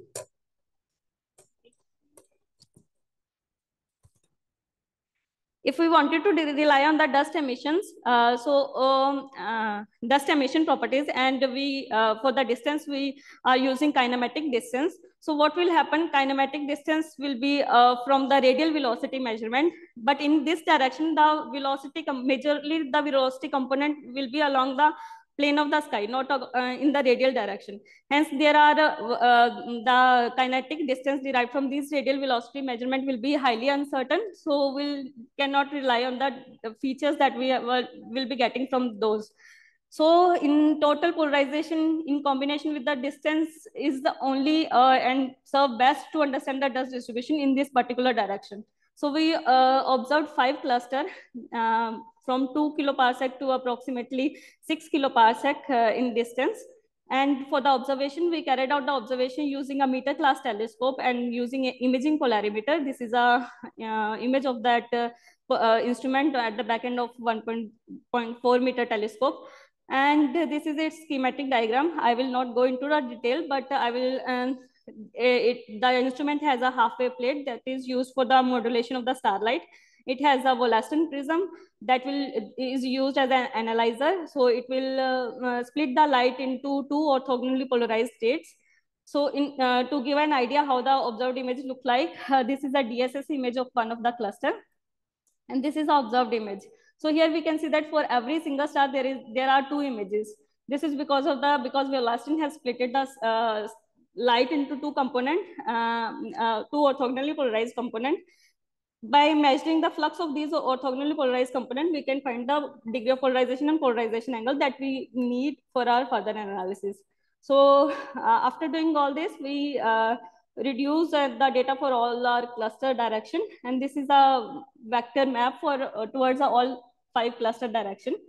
Here the red or black lines represent the uh, polarization segment where the length of each line corresponds to the degree of polarization and orientation uh, gives the proxy of the magnetic field direction. And this gray line represent the orientation of the galactic plane. So from all the picture, we can see that uh, more, more or less the uh, magnetic field is aligned uh, very well with the galactic plane, except from few directions like especially in this direction, we can see that there um, magnetic field is uh, giving some, some curvilinear morphology. To explore in more detail, uh, we used the uh, Herschel 250 micron intensity image for, uh, uh, this is an integrated map. And we can see that there is a loop kind of structure and the magnetic field is following that loop. So we can see that the polarization is very helpful to study the spatial morphology on the sky plane and uh, also the magnetic field, uh, how the magnetic field is interacting with the, uh, the dust clouds. This is one of the uh, property that, that we can explore using the uh, starlight polarization. But my main focus was to see the dust distribution along the line of sight. So for that, we uh, combined the polarization information with the distance from Gaia so here I plotted the degree of polarization towards one of the cluster uh, and the polarization angle. And uh, in the bottom panel, the reddening uh, taken from one of the 3D extinction map as a function of distance. And to see the smooth variation, we have been the data into 250 parsec bins to uh, uh, in the green lines to see a smooth variation. And we can see that at least at two places, we can see a jump in the polarization. At the same time, the polarization angle is also showing a jump from here to here. And then after this point, the spread in the polarization angle is decreases. So this implies that at least two dust layers in this direction are present. By this is a from visual inspection only. So from visually we can see that two dust layers are present in this direction. We checked our uh, uh, interpretation uh, uh using an independent method, uh, Bayesian-based uh, decomposition of starlight polarization in 1D.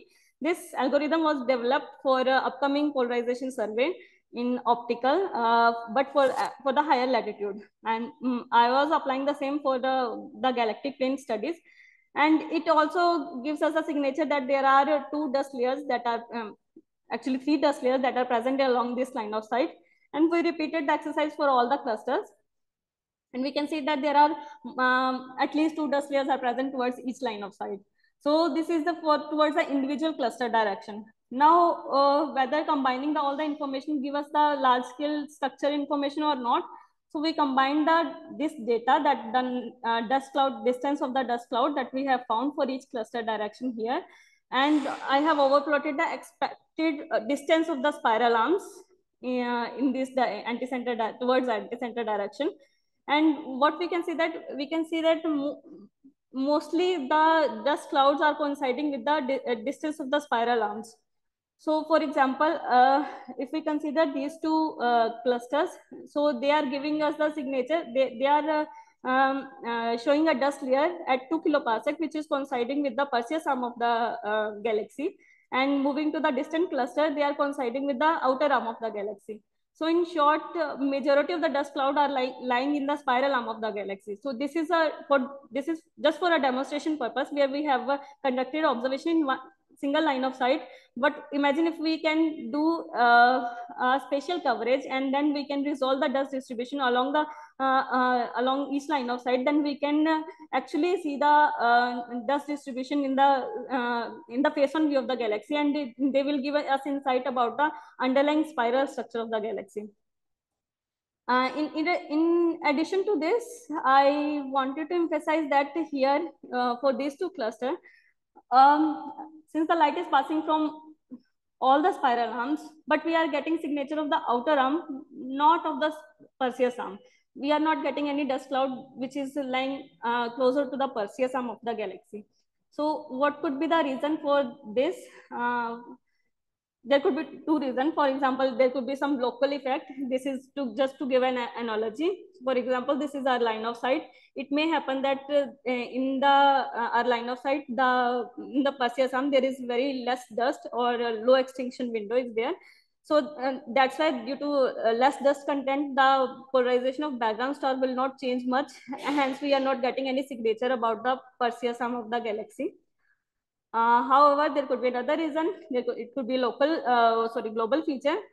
Um, this we know that our Milky Way disk is not uh, uh, uh having equal thickness, but the thickness is increasing, uh, increasing with the radial distance. So it is a flared galaxy. It has been proven many um, distribution studies, and it means that the Perseus arm will be less thicker as compared to the outer arm. And if we see the latitude of these two um, latitude of these two clusters uh, plus 3 and minus 3.6 which is a bit uh, more as compared to the other observa uh, observations and uh, it may happen that our line of sight is not crossing the uh, Perseus arm. It is directly crossing the outer arm. That's why we are not getting any signature of the Perseus arm of the galaxy, uh, but we are getting signature of the outer arm. So uh, in order to see which one is true, we need uh, more spatial coverage. If uh, it, the same signature still persists, that it means that this is due to the uh, flare structure of the galaxy. Otherwise, uh, it, it could be local structures within some line of sight.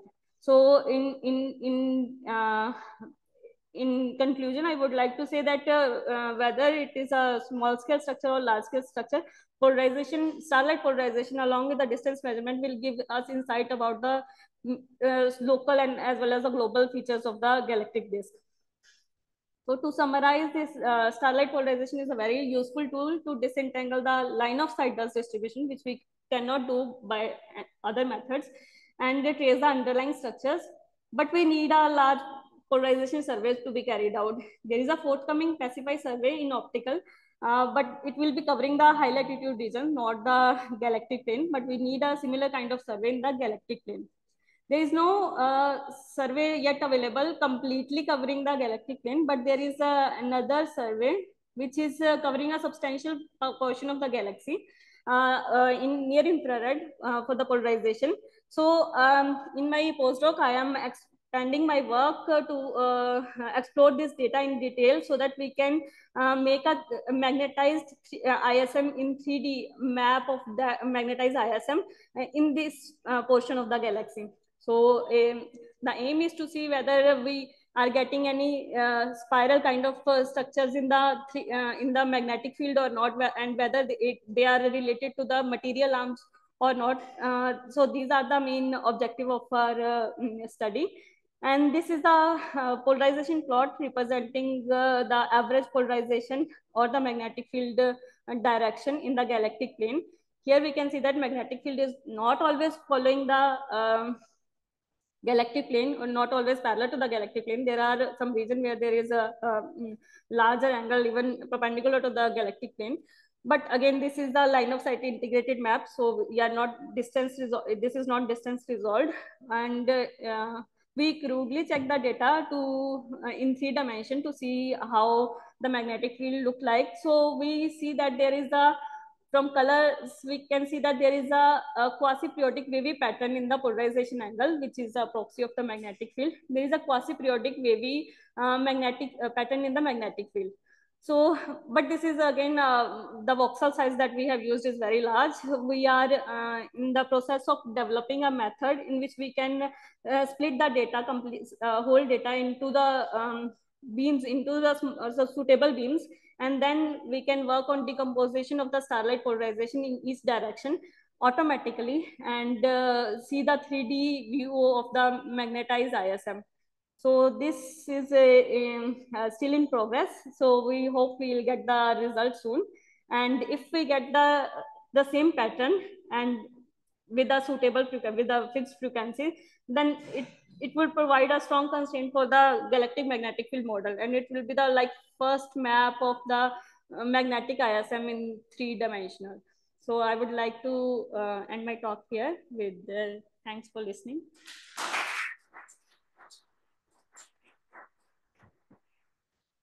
Many thanks, Namita. Questions?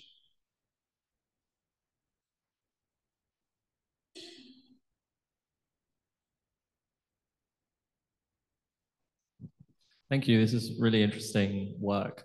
Um, I have two questions. The first one is on these 3D dust maps um, and uh, about how much resolution you're able to get on the uh, dust distribution that you're inferring. Yeah, I understand that there are points where you can say, okay, there's definitely at least this much mass of dust in these regions because otherwise we wouldn't have the polarization results that we have. Yeah. C can you tell the the width, the density, the height of those dust features, or is it just telling you that there must be dust of at least a certain amount within a particular space? So our idea is to find the distance of the dust layers. So not uh, in the sense that uh, that if there is a cloud, how much uh, in uh, spatial range, uh, how it is uh, distributed.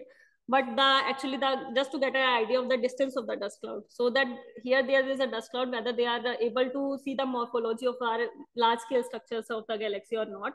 So this is our aim. But the next thing is that uh, since uh, this is a star by star measurement, so it will be high resolution. So if we are deciding the size of the beam which we are will be working so if the beam will it the resolution of the map will depend upon the beam size so we are still working on that okay thank you and the, the other question about magnetic fields um, the um, assumption on the shape of dust grains in order to give you your magnetic field direction do we have any sort of uh, idea of how confident we are in that assumption, uh, what, what dust grain shapes are actually like, and how much of an error that might result in in terms of your magnetic field directions? So dust grain shape is does not matter. I think uh, it depends. It is uh, that the dust grain should be asymmetrical. So asymmetry could be in anything. The simplest way to visualize is to see the shape of the grain. But yes, the if this is the shape of the X grain, then the preferred geometry where they will orient is the towards the shorter axis of the grain. So the dust grain must have oriented in uh, in the uh, with the magnet uh, with the, its shorter axis parallel to the magnetic field. Only then we can get the information. This has been cross-checked using the uh, synchrotron uh, emission. So a particular area has been observed in synchrotron as well as in uh, ISM polarization and the magnetic field uh, uh, from both the field has been uh, um, compared and it has been observed that this should be the case if we want to have similar result as the um, synchrotron emission. Great, thank you. Thank you. Other questions? If not, we thank again.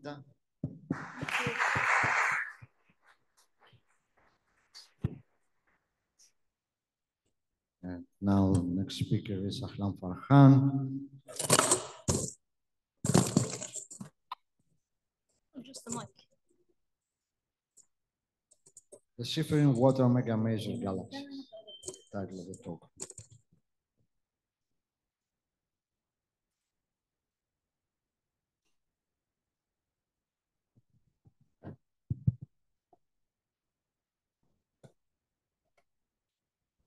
One is yours?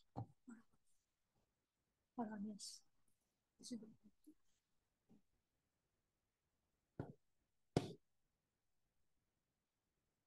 Good afternoon, everyone. I'm Ahlam Farhan, and I thank all organizers to have let me have the chance to present my work in uh, water mega maser galaxies. So here are the main outlines of my talk. I will be introducing the topic because it's not a much familiar topic in astronomy. Uh, I will talk about the importance of uh, water mega masers, why we study them, and I will talk about uh, the MCP, the Mega Maser Cosmology Pro- Project. I will talk about the main problem in maser studies, which is challenges in detecting water mega maser. And I will talk a little bit about my work at the end of the talk, uh, how we start to relate AGN with maser, and I will wrap up with conclusions.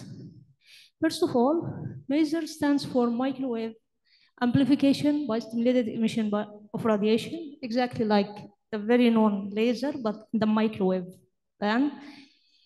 Uh, the theory of maser was established by Einstein, as we all know, in 1917, and it was materialized by Charles Townes in 1953, for which he earned the Nobel Prize with his colleagues for uh, this work. The discovery of astrophysical masers. So we said that first was it built in the laboratory here in the ground, and then in 1965 they discovered that there is some maser emission from space coming from space.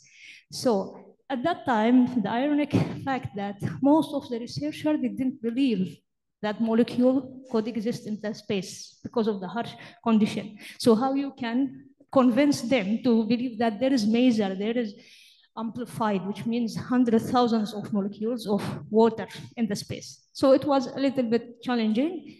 And for that reason, they called that the first maser discovered, they called it the mysterium. So no one knew what is it. It's something mysterious. We don't believe that it is molecule, something maybe happened uh, in the analysis or uh, in the errors. Uh, but not later, after that year, they started to discover maser from other molecules. That those molecules like water, hydroxide, silicon uh, oxide, or meth methanol, that we have maser emission from them in the laboratory, and we have exactly the same emission line from the space to add confirmation to the discovery, in 1973, they discovered the first maser from extragalactic, or even they extended the distance. And it was followed by the discovery of water maser, which I will be talking about, which is my subject. From now on, I will not talk about other uh, astrophysical masers. By the way, they call it astrophysical maser just to distinguish it from the one that we build in the lab and we use it. So here is the ortho configuration of water molecules. We have these two rotational. Ortho means that uh, both of the hydrogen uh, atoms are spinning opposite way uh, in the water molecules. So we have this uh, rotational transition that gives exactly like 22 gigahertz line. And this is what we call water maser or water vapor maser. Uh, the characteristics of water masers are they are found to be in dense warm, this density and higher than 300 Kelvin densities. And we have two type of astrophysical masers. We have the galactic masers, the maser spots that we can find in the Milky Way, inside the Milky Way, they have luminosity more like less than uh, 10 to the power minus four. And we have extragalactic masers. For extragalactic masers, they are typically exceeding 100 luminosity of the sun. So you can see that the difference between galactic maser and extragalactic maser is big. That's why we call extragalactic maser mega masers because they are million times more luminous than galactic ones. Why we study maser galaxies or extra? Now, now one, I will be talking just about mega maser galaxies, which means the one from, ex, not from the galactic one, the extragalactic ones. And we call them mega maser galaxies because even if their maser uh, luminosity is small, like one luminosity of the sun, the tradition happened that we call them mega, whatever the luminosity. So we study mega maser, water mega maser galaxies because they're important in accurate black hole mass measurement. I can say that they are the only mean that we can constrain the black hole mass in AGN. So they have direct way to uh, spot them. Using VLBI and big radio dishes, we can spot uh, molecular clouds uh, very accurately using milli-arc second resolution to track one by one of these points you see of the masing disk. You can imagine this is the uh, supermassive black holes at the uh, center, and we have the accretion disk that you all know about it. And we have a torus, like donut-shaped torus of dense gas that somehow maybe you can consider them at the outer region of the accretion disk. Using the LBI and big dishes, as I said, we can spot them and uh, practically measure these three quantities. We can look at the angular dress, uh, the angular uh, uh, distance of them in the sky, theta. We can also measure the velocity of them from their redshift, blue shift, and we can also monitor them for a couple of years. So we can, for each spot, we can say that it has acceleration in that direction. So we can also calculate the acceleration.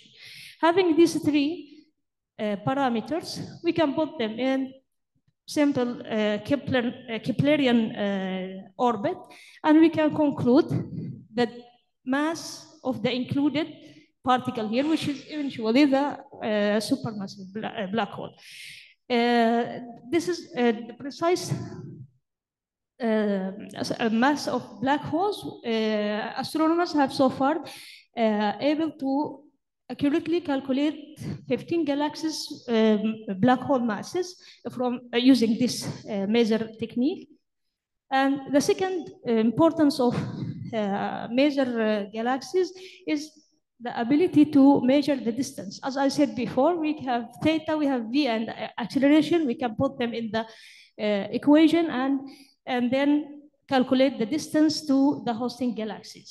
So here is the mm, typical spectrum of the, the 22 gigahertz of these galaxies. We have triple peak, the systemic, systematic uh, velocity, the redshifted velocity, and blue shifted velocity. Uh, astronomers have so far calculated five. Let me see, there is another galaxy missing here. Let's say six galaxies. They calculated the distance to them with one direct method. Uh, the, the unique thing about Maser, about this, uh, you may say that the accuracy is not so much big, but this is the only way that we can calculate the distance directly without relying on the uh, microwave, uh, cosmic microwave background or uh, distance ladders. So it is a direct method. And the other importance of maser uh, water mega maser galaxies is they are the only mean to just trace the sub-parsec of the AGN. So you can trace them with accuracy less than one parsec. You can study the dy dynamics of them and uh, can have some uh, information about the physics going there. Let me just introduce the MCP, the Mega Maser Cosmology Project. This project aiming to study the distance to uh, water mega-maser galaxies when we eventually have a lot of them. And then they will use it to constrain the Hubble parameter to the accuracy of 3%. So they can help in solving the tension, the, you know, the Hubble tension between the early and the late uh, universe. So they aim to have like 10 galaxies that we have accurate measurement. I said that we have already six of them. We still have four or like four, five galaxies more, and then we will reach to uh, constraining the Hubble parameter with a very accurate uh, uh, value. So the problem with studying mega maser galaxies is the detecting problem that we have that they are very rare kind of galaxies. Over 6,000 galaxies have been observed, surveyed, and hundreds of observational nights have been conducted using big dishes because it needs a high resolution.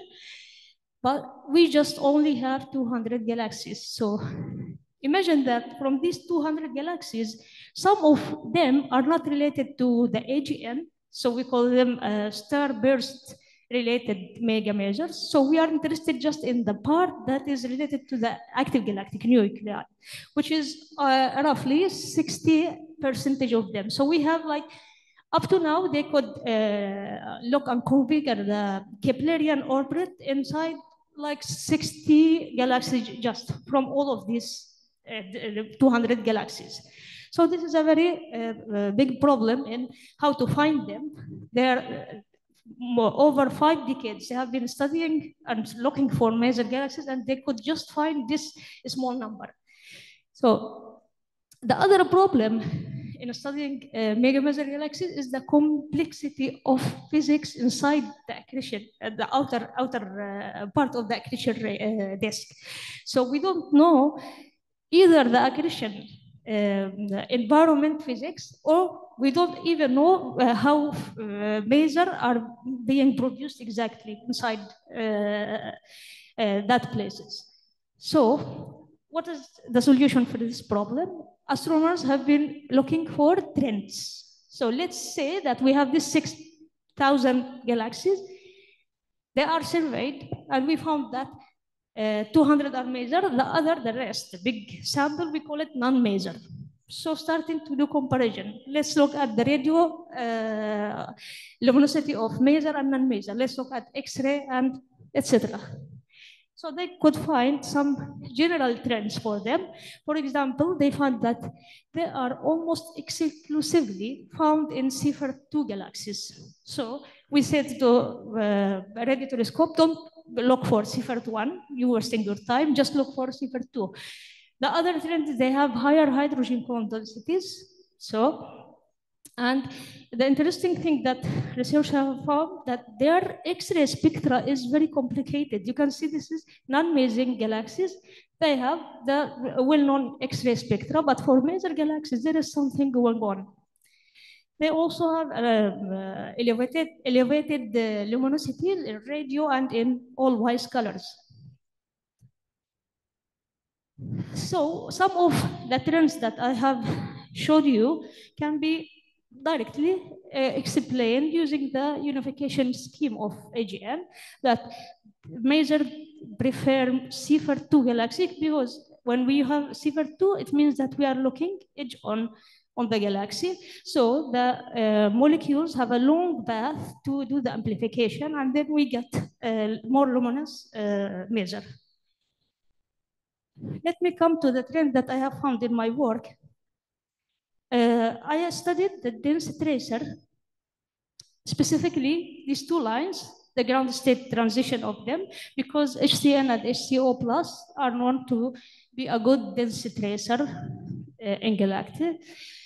I uh, managed to have a um, sample of like 30 galaxies with uh, these two lines. And then I started to study the relation between maser and these lines.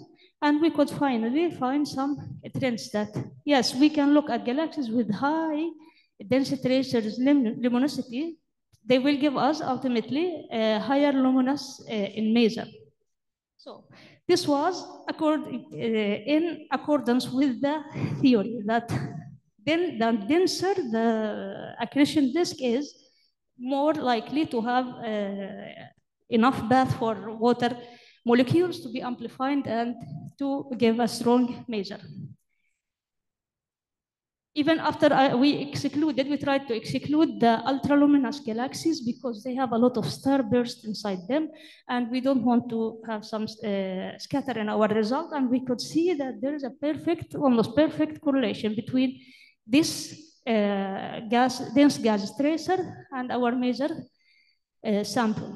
So we said that maybe we can use in the future survey HCO plus to uh, look for uh, luminous maser galaxies.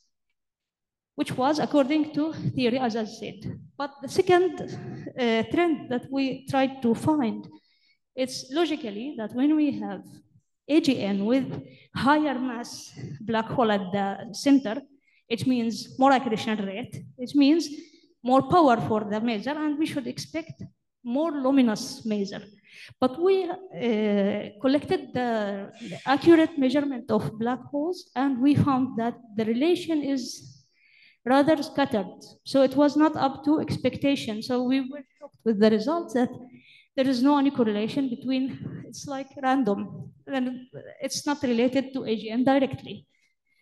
And the last that I will show you is uh, the interesting anti-correlation that we have found.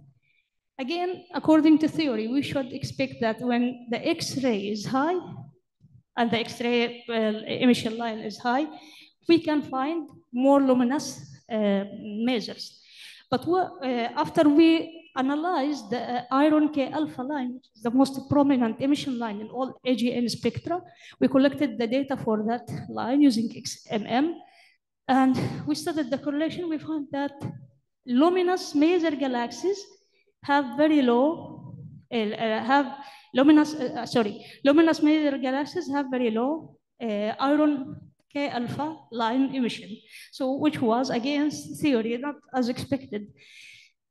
Uh, as I said, physics of maser and uh, the very, special kind of uh, that torus is not well understood.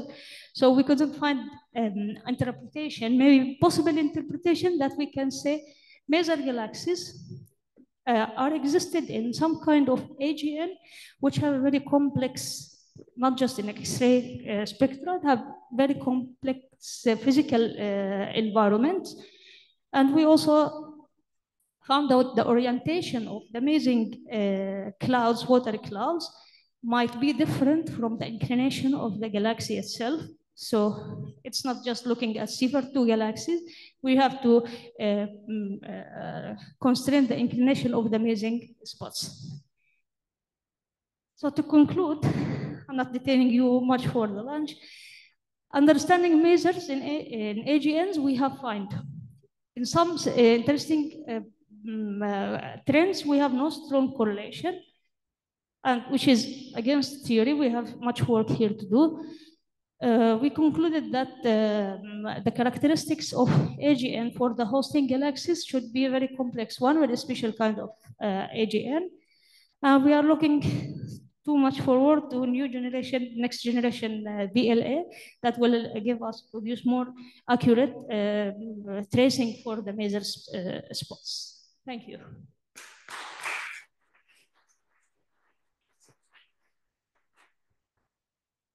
Thank you very much for this interesting talk. Does anybody want to ask something? As far as I understand, there is uh, nothing to be proposed now for the origin of uh, this uh, uh, mega maser uh, stuff that you find. You cannot correlate it with uh, the mass of the black hole or something. It's, if one would like to say, okay, this is the physics behind, what would you propose right now based on what we already know? we there is something in the specific kind of AGN that uh, maybe the scatter in uh, the black hole uh, calculation or the bias in the data might be the reason for that. But we still don't know. We, it's, it's, like primitive uh, work. Uh, even the theoretical work in maser is really weak. We don't see a lot of uh, papers. I don't know the reason for that. a lot to be done. Daniel.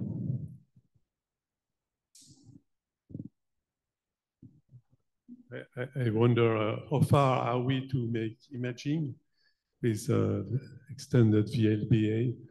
Uh, and the prospects are more for mega masers or Milky Way lasers? No, we don't. We don't care much about galactic maser. We expected to discover new ones just the primitive. Tell us Yeah. that there is uh, more than three sigma of uh, observation or detection in that galaxy, and it would be a good uh, win for us because there are 200. Just when you I discover mean- new of them, I mean, if it's we, we could make images of, of this object. Ah, there is a, a proposal for that because uh, the ability of next generation VLBA is uh, higher to detect them. Maybe there is maser in some galaxies, but because they are very faint, Yeah. and we cannot detect them.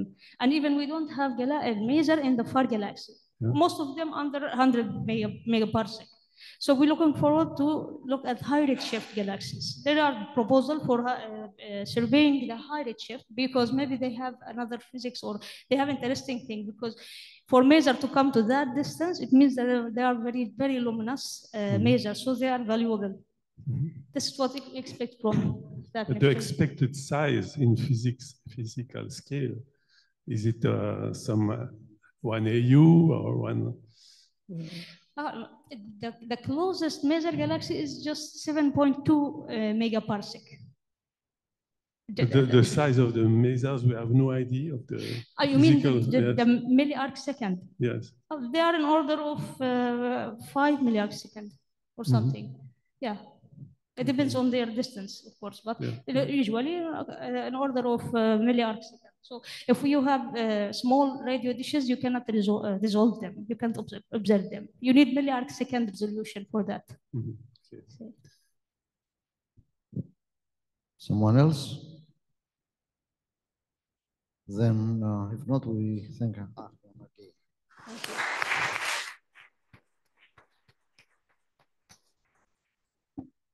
We convene back at three o'clock uh, for the afternoon session.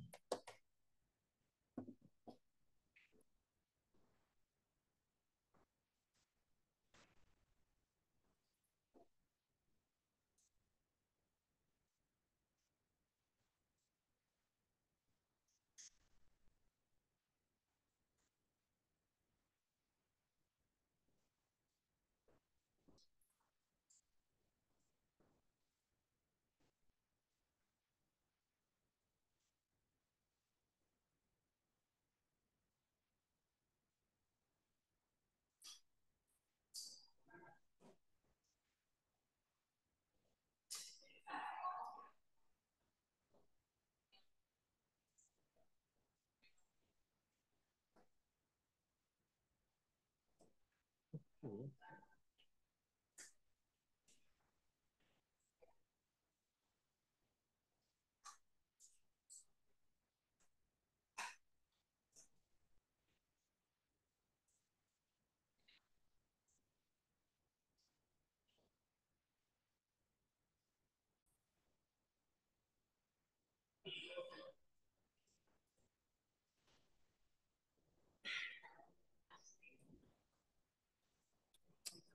dice eso, dice ese. Vamos.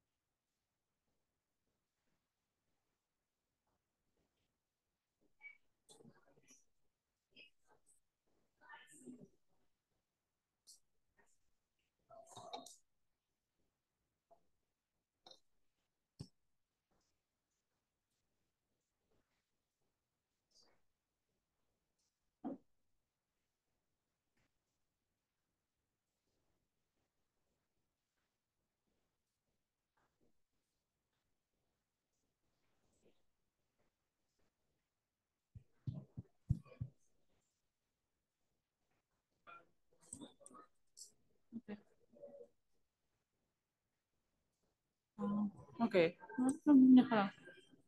No, no, no. No, no, no. Okay.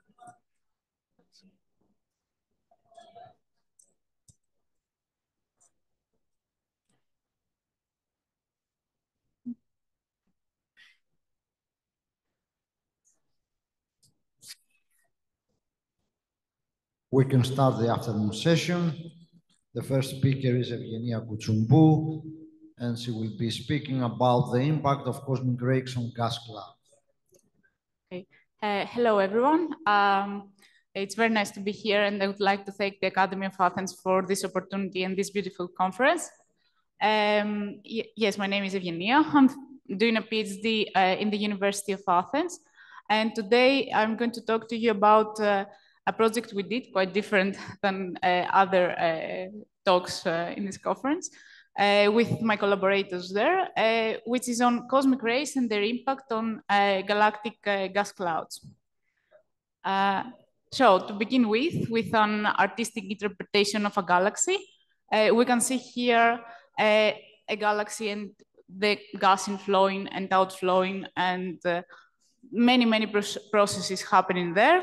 But what is uh, our main focus? Uh, our main focus lies on the excitation mechanisms of uh, gas clouds within uh, starburst and AGN galaxies. And uh, of course, there is photoionization coming from AGN, uh, the, the accreting disk. Also, there are shocks. there are collisions hitting, hitting and X-ray hitting. And there is also cosmic rays, which will be our main focus in this project. Uh, you heard a lot about AGN feedback also by uh, Dr. Anelise Audibert uh, this morning. Uh, so going on, uh, when talking about cosmic rays, what do we mean? We mean the highly energetic particles that come from a jet, possibly if there is a jet in an AGN, if we have a jet at, at, least.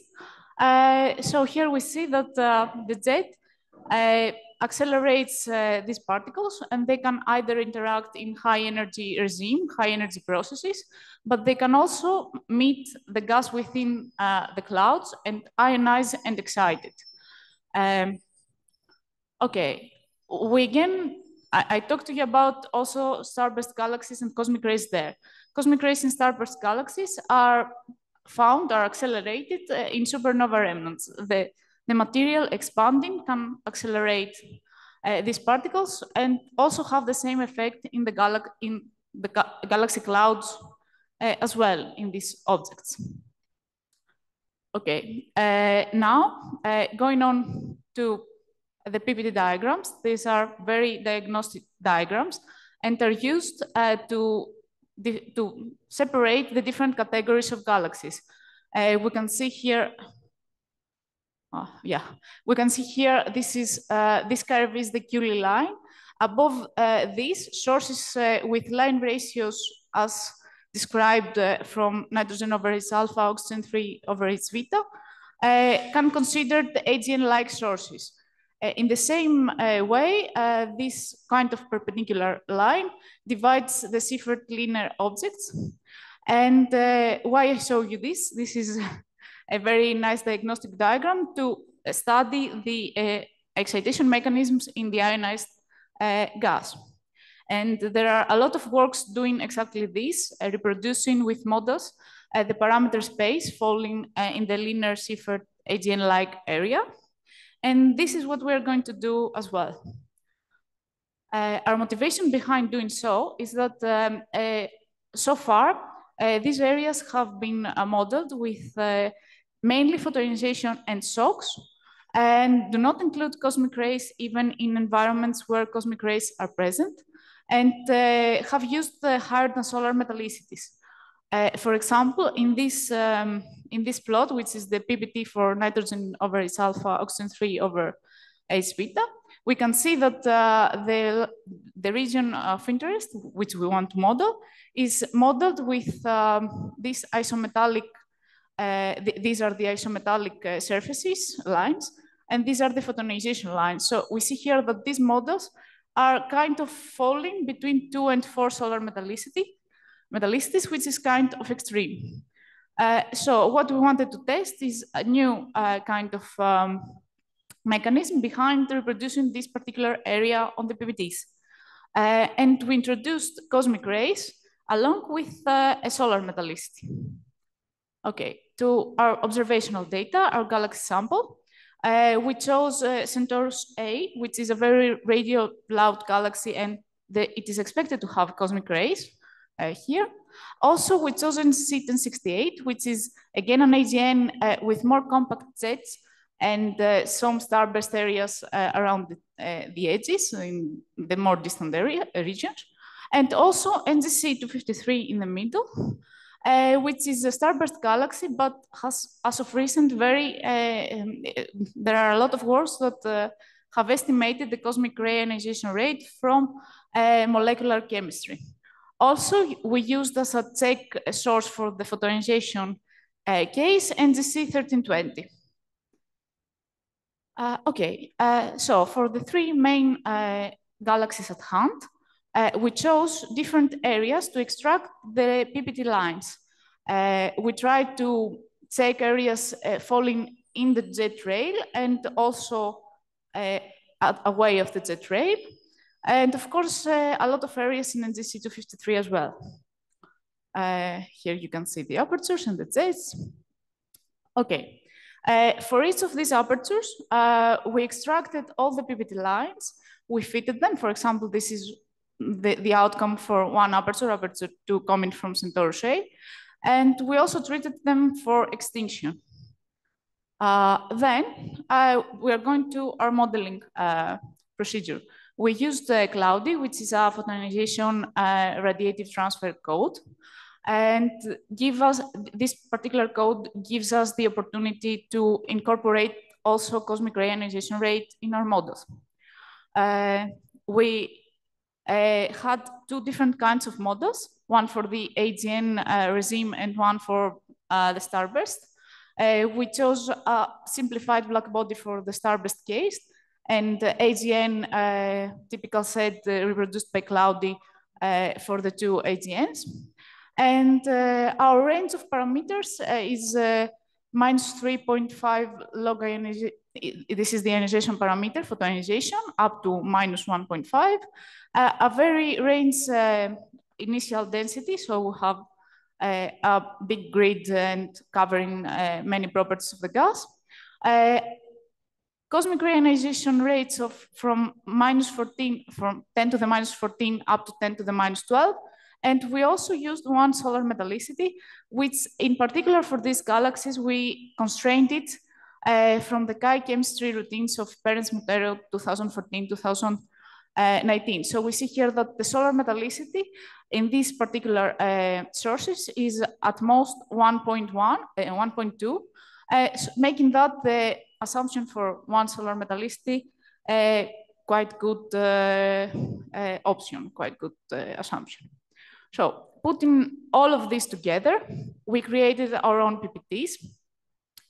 at the top row, we can see the PPTs for nitrogen over H alpha, sulfur over H alpha, same, the column the same.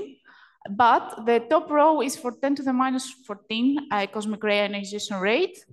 And uh, the models going from white to red, uh, deep red represents the highest photoionization case.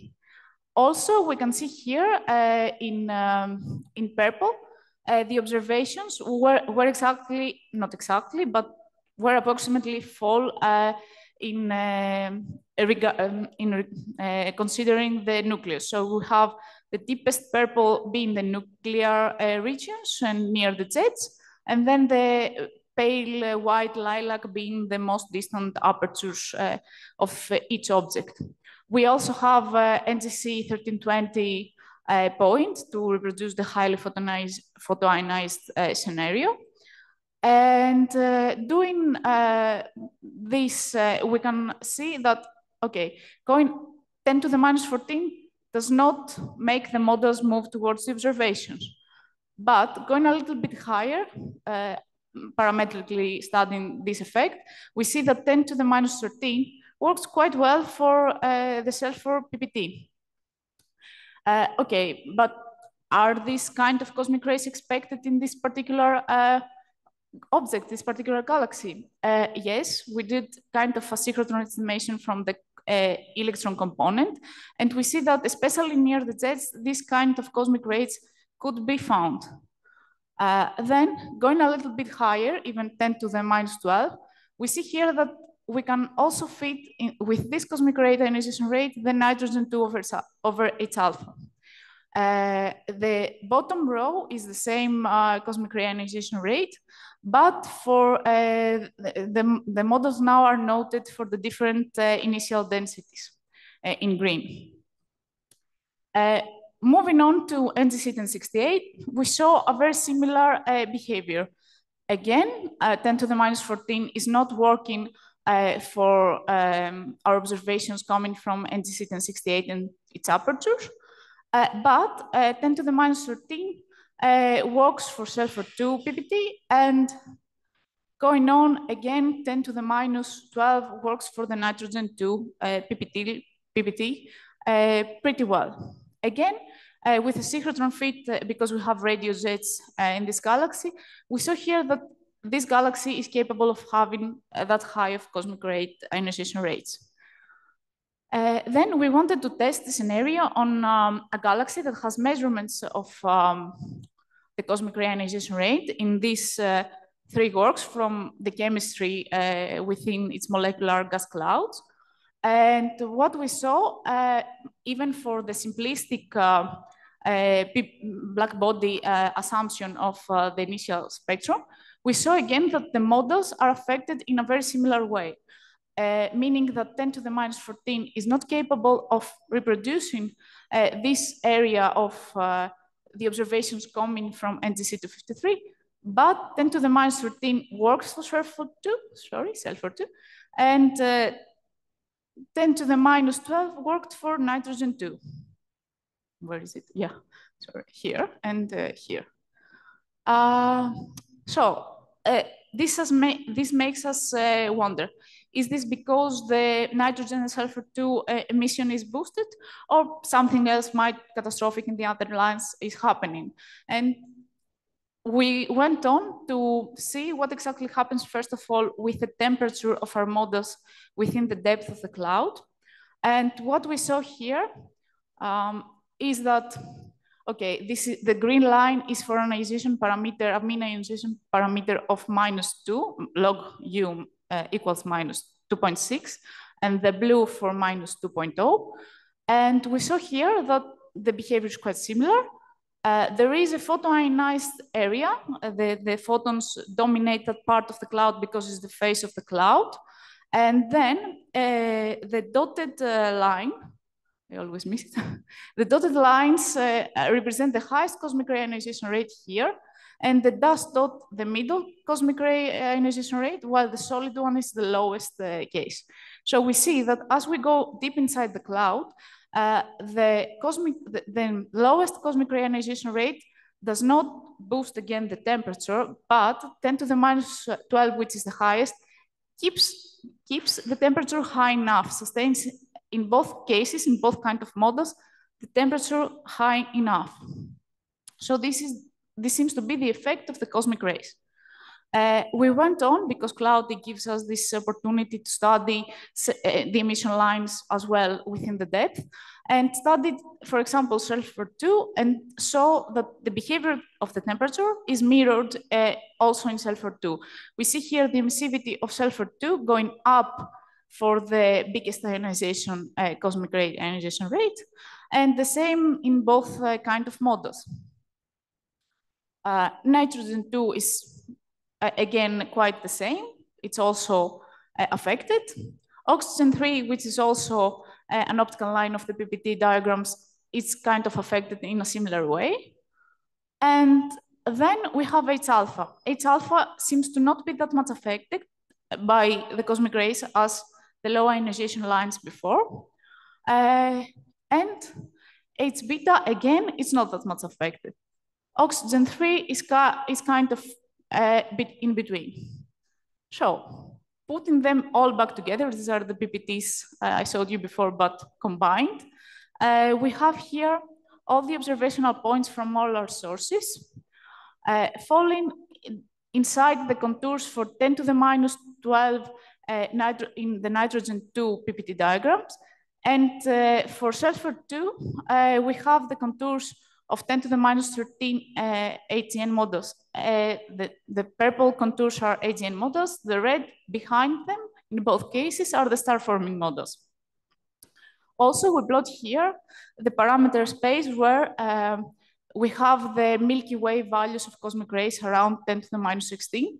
And we see that this kind of uh, cosmic ray ionization rate is not, uh, it's not that capable of re reproducing the LINER Seyfert uh, part of the PPT, the, emission there. Um, okay, going a little bit further, we wanted to check what exactly happens uh, between the temperature and the photonization parameter U. Uh, we produced these uh, stability plots, uh, which uh, show us uh, this. Xi is a different way to express the ionization parameter. Log U is the photoionization parameter I talked to you about before. And we see here that for very extreme photoionization, we have gas very, very hot, uh, coronal gas in the uh, case. Of course, in the star forming models, we do not reach that high temperature. And um, as we follow the three lines, the three lines are for the three different cosmic ray ionization rates. We see that they go together up to a point uh, where the photonization fall, falls. There's not that much of a log U parameter. Uh, this could happen, of course, deep within a cloud where the photons cannot reach uh, these areas. This happens again also for the star forming models. And we see here that the green line being uh, produced by models of 10 to the minus 12 is capable of uh, keeping uh, the temperature within the cloud uh, regardless the photonization parameter, even if it gets very low, to 10 to the fourth, 10,000 Kelvin which means uh, that there is uh, the, the, the heat, the, the, the, mechanism to create ionization in that part of the cloud, which could be, uh, as I said before, deep within where the photons cannot reach. And uh, yeah, uh, cosmic rays, we support cosmic rays can sustain that temperature. And uh, going on to my conclusions, um, we support that uh, cosmic rays are an important feedback mechanism, especially in environments where they are expected to be present. Uh, they can penetrate and produce secondary UV ionization and boost, uh, especially the low ionization emission lines, which uh, combined with the fact that they do not affect H alpha, H beta, and uh, somehow in between oxygen free, uh, is the reason behind the movement of the PPT model of the models in the PPT towards the LINER Seyfert AGN area. And uh, we did that uh, by sustaining a solar metallicity, not a supersolar metallicity. So we made a more realistic uh, assumption to our models. So thank you so much.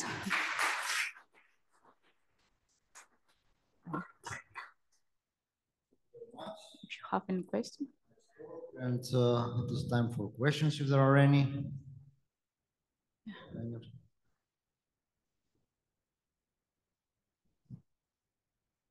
Uh, thank you. I was impressed by the so the, the full range of uh, ionization rates yes. that are reasonable to think about. Yes. Uh, now, if we regard the Milky Way, Mm -hmm. uh, you want you you could 10 to minus 16. Yes, so 16, 17. I, I had uh, in mind 10 to minus 17. Perhaps okay. it's the central part. Or?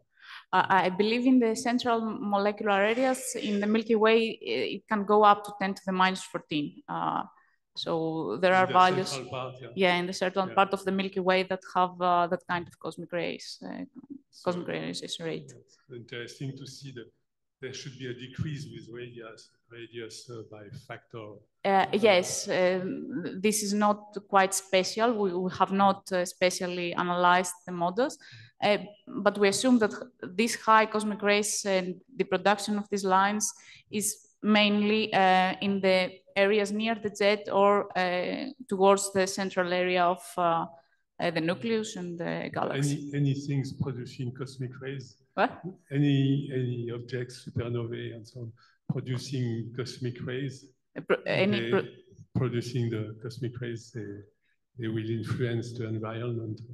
So it's, it's Uh, Yes, uh, um, correct me if I answer in a different way. Uh, If it was molecular, for example, gas, the- the- their behavior would be different. They, they wouldn't uh, just heat and excite, there would be also chemistry involved. So there it would be more complicated. But for the ionized gas, uh, the effect is uh, mostly that, if I'm getting. And do, do we now understand the relationship with the star formation models well, or it's still uh, Uh, uh, what we wanted mainly to do is that we wanted to see if a spectrum uh, that does not contain that much of high uh, energy photons has the same uh, influence in the PPT uh, diagrams, has the same behavior. And we wanted to have a galaxy that does not have such an energetic photons to, to compare. And uh, luckily enough, NGC 253 also has cosmic ionization rate measurements. So this makes it more uh, constrained uh, for us. It's, a, it's a uh, very important physics for many other aspects. Let, let's hope. I don't know. So, are there any other question? If not, we thank Vini again. Okay. And uh, oh. we proceed to the talk of Katerina Triantafilaki.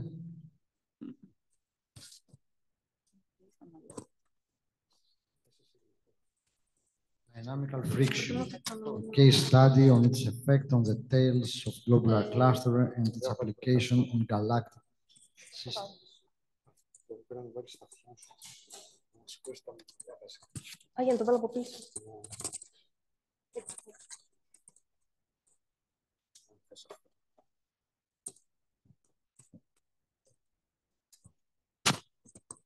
Έτσι. Ένα, δύο.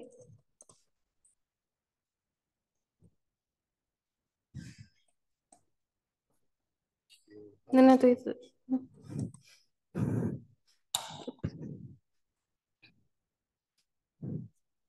Όχι.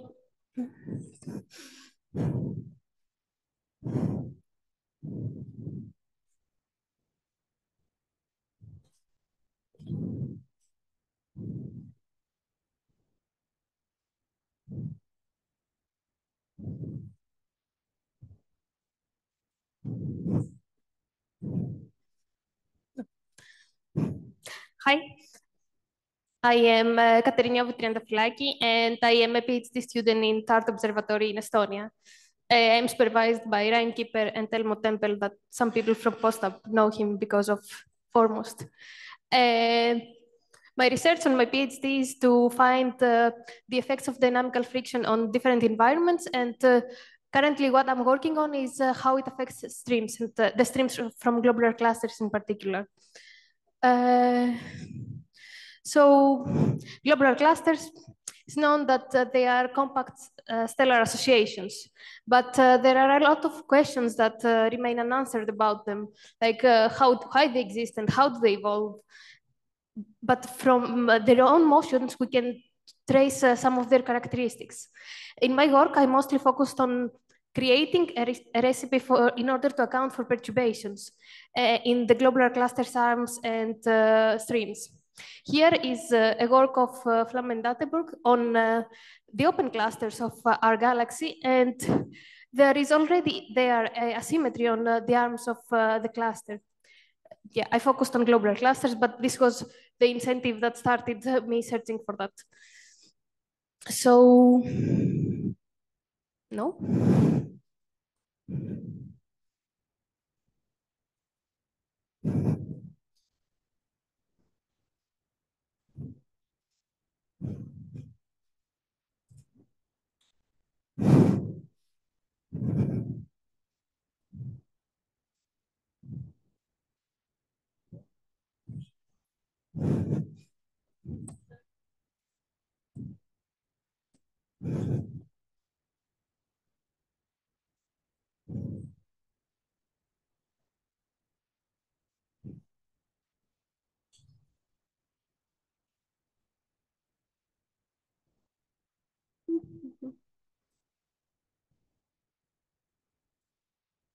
Yeah, no, it moved. I moved. I moved from here. Uh, so in the, the tails and the, the arms of the globular clusters, we are able, in order to trace some of their past, the, in, their orb, in the orbit of the globular clusters, in order to, there there will be the imprints of uh, their encounter history, uh, like uh, the different potentials they encounter or evidence of uh, disturbances that uh, they walked, they walked through.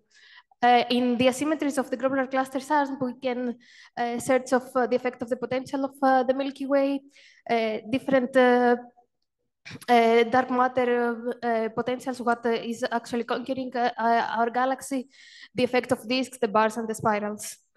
And the research mostly on the gaps on the streams is focusing on dark matter subhalos, but uh, we aim to take it a, step further on uh, gas inhomogeneities, and especially the ones that are created by superbubbles, which are the explosion of many supernovae in an area of a galaxy. So how do we do this? Uh, my, my PhD is focusing on dynamical friction and how it uh, affects different environments. So this is, as also Francesca Fragkoudi said in the first days, it is when a bigger body, is falling into a pool of smaller uh, particles, and this creates um, uh, a gathering of this particle behind the body, creating a, drag, a drag force. This drag force is a dynamical friction. Uh, this drag force creates this of density of small particles be behind the main body, uh, which results to the bigger body being uh, uh deaccelerated. In the second image, we can see uh, the, the acceleration field that uh, a bigger body created on a smaller field. And this is something that was firstly studied by Chandrasekhar in a homogeneous environment. Uh, that he connected the velocity dispersion of the system and, uh, and the velocity of the body. So the method that I'm using is called back to the present. It is it was firstly uh, introduced in the paper by my supervisor in 2023, and it's a method uh, based on orbit integration. We have uh, two scenarios, one that we call the unperturbed scenario that only has uh, the host. We use this scenario, we uh, integrate the stars or particles of the system, then we go back, uh, we, go, we, integrate them back to the past. Then we add uh, an extra potential, that of the perturber, and then we accelerate them back to the present. Uh, the first potential, the perturber, is only the one of the Milky Way. Then uh, it is the Milky Way, in my case, and the globular cluster. For the globular cluster, I use the Plummer potential. Uh, the, two, the two different uh, acceleration fields that I get from this will give us the dynamical friction. And uh, yeah, in this plot, the smaller uh, dots, we can see the, different, the difference of the positions uh, that is uh, happening in a bigger system and how much it is affecting them. So as I focused on uh, uh, the globular clusters, I needed the globular clusters orbit. So I used the catalog from Baumgardt that had many globular clusters. And in order to set my, re my recipe, I needed the orbit of the globular cluster. I needed some points where I should, can measure the acceleration, where uh, the ones that uh, would measure it better would be the ones that are near the globular cluster, either on the stream or on nearby regions around the stream. And the environment where I would uh, uh accelerate this body, which was a Milky Way-like environment that I describe it through its density of uh, the disk and the hull of the Milky Way, which is uh, uh their gang potentials. So yes, I used the Milky Way potential as the density environment. The globular cluster, as I said, was a Plummer potential, and the integration was done with Runge-Kutta with very small steps. And there were many things that I had to take into account in order to make this recipe work, like how far to the past should I uh, integrate the stars? Like uh, if I took it back to 50 giga years, it wouldn't make sense because the universe wouldn't exist.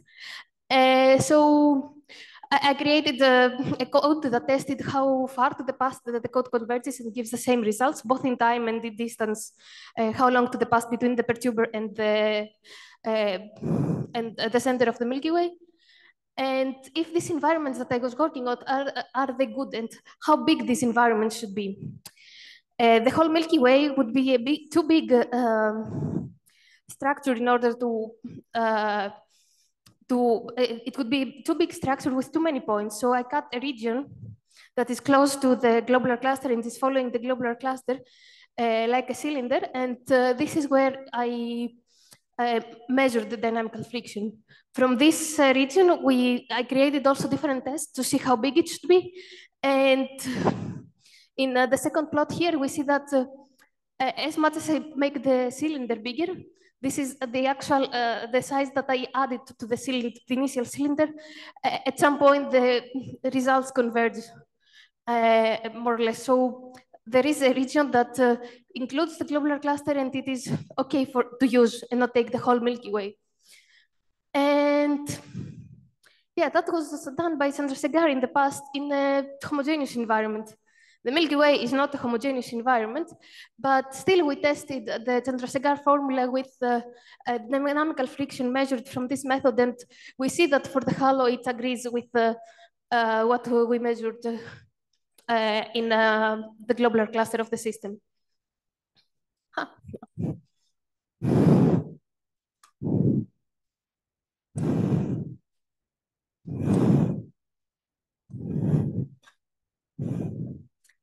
And yes.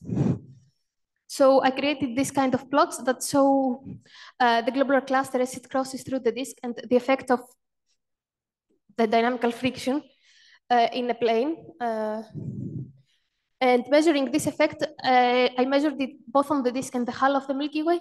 And uh, we, the, the measurement showed that uh, the disk has two times more effect than the halo, which is kind of obvious because it's a more it's a more dense region. Then, then no. Oh. Then I also measured the difference in uh, the angular momentum of the stars that are on the uh, on the stream or a bit up and down, and uh, we see that. in this plane, that the difference is less than 10%, but this change of the of angular momentum can result into depending on how how many times the globular cluster passes through the disk, into around the velocity change of uh, 0.1 kilometers per second in uh, one gigayear. This still depends on which globular cluster it is, uh, how far away it is from the center, and uh, and how many times it passes the disk. The more times it passes, the more effect it will be. Yeah, and here, yes, and here again we can see. Can we? Again, it's a very similar plot that we see uh, the, uh, the, the, the, where the acceleration is pointing while the globular cluster is crossing the, uh, the disk, which is the point that we see.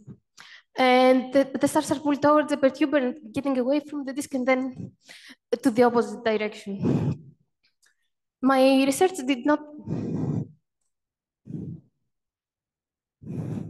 yeah, this research does not stop there. While this will be the focus of uh, my paper, there is also other dynamical friction-like effects, like uh, the ones in the super bubbles uh, in a paper that is will be published, uh, will be officially published, uh, and it's already in our archive. We saw that super bubbles, while they expand, they can accelerate or deaccelerate the stars uh, that they pass through them. The effect from a super bubble will always be towards the outside, and uh, and uh, this will create different inhomogeneities on the gas disk. The first approach we saw that the, the secular evolution of the galaxy gas will be very low, like 10%. But then uh, we, we got a, a referee reply and uh, this uh, very spherical uh, bubble was not uh, the realistic environment and uh, searching the bubbles in the galaxy, they were more elongated and sheared. So a very preliminary work shows that when the bubble is here, the effect is much stronger. There are a lot of things that need to be taken into account. For, for example, a super bubble lasts uh, around 30 mega years. So it's a short effect, it's a short effect for one bubble, but if there are many of them in the galaxy, it can have a much stronger effect uh, on the orbits of the stars and mostly in the kinematics of the gas. And um, yeah, later, uh, what we have also seen is if uh, um, the if uh, the dynamical friction can be a reason for seeing gaps. Also in other galaxies, this uh, is a mock uh, stream from uh, Aganze et al. that uh, they're preparing the research from the Roman telescope, and they are simulating a stream like a Palomar of 5 uh, um, globular cluster and its stream, and there is a subhalo that is passing it, and it's creating this effect. Uh, their paper is focusing on how well the, detec the detections from the Roman telescope will be, but uh, uh, we, we are repeating this kind of same research to see if uh, dynamical friction can be also an added effect on this or not, and if uh, this uh, can be compared with their data, or if it will even be something that will be detected. And there is more work to be done, but we have done very little steps and it's kind of preliminary. In the paper of Anne et al. Uh, in 2024, uh, there is uh, a work, uh, there is uh, a measurement that uh, the center of, of the Sagittarius dwarf galaxy that has fallen into the Milky Way and its possibly nuclear stellar cluster have a difference in the centers. Uh, using this dynamical friction scenario, we measured that uh, uh, up to 10% of uh, uh, this offset could be a reason, uh, could be a result of the dynamical friction. and later, where my research will focus, focus on from November, will be on the lopsidedness of the galaxies. And we have talked with Arianna Dolfi.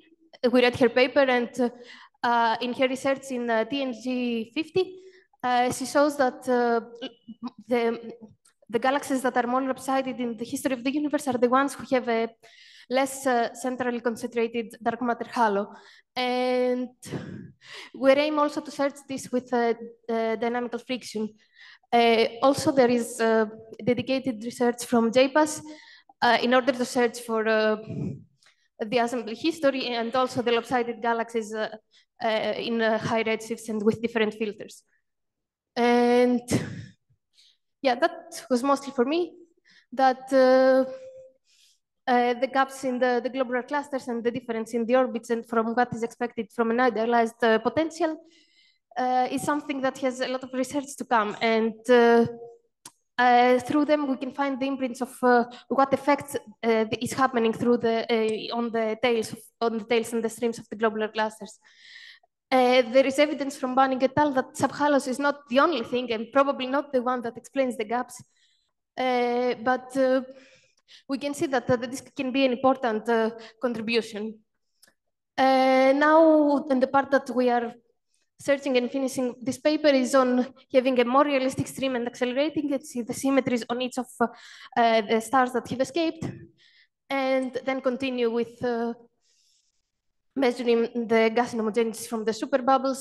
It, it has already been done, but using a more realistic stream, not yet. So it's in the upcoming two weeks. And also use this uh, method for uh, the other environments. Thank you.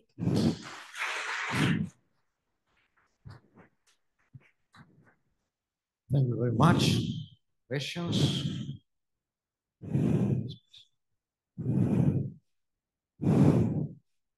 Thank you interesting talk. I wonder, we don't know that there are like that many global clusters in general. There are like 200, I think that's about right. 200 global clusters. I clusters. think they are 88 in the catalog.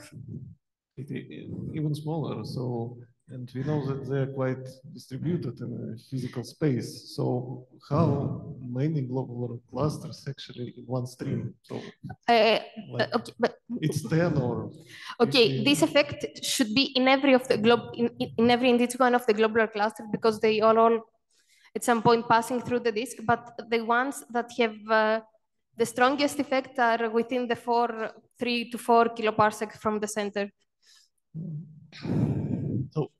Maybe I missed the general thing, so sorry for probably a very naive question. So it's globular cluster passing through the potential of the galaxy, and then part of that is just like leave the globular cluster, or, or what do you mean by the Ah, stream uh, actually?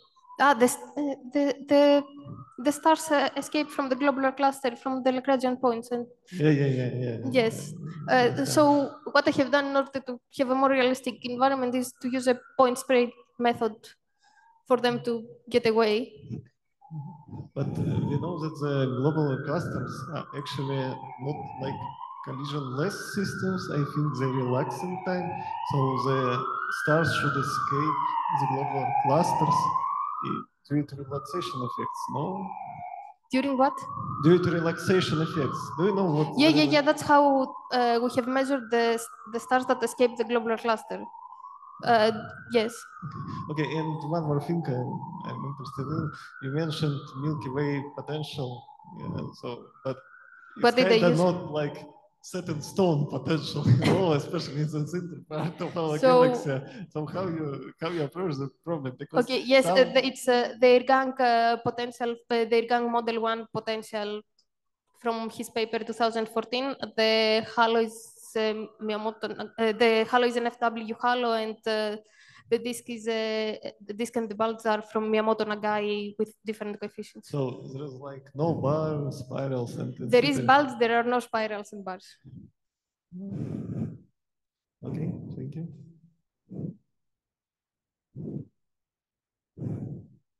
If you look at the distribution of the inner globular clusters, you from the top, you see they are aligned with the bar.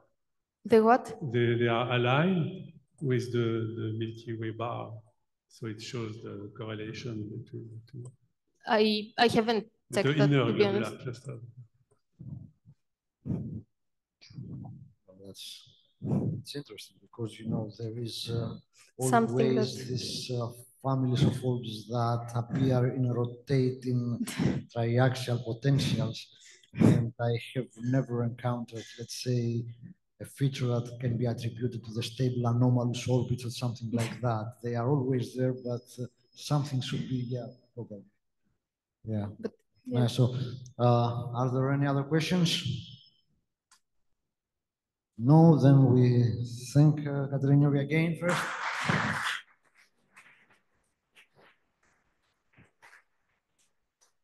So we came to an end with uh, all our presentations.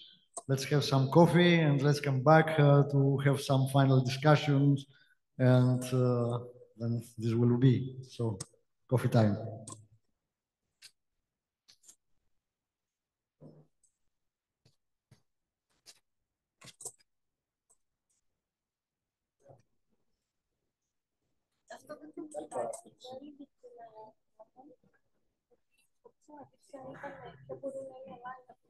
untuk semua semua sholat untuk untuk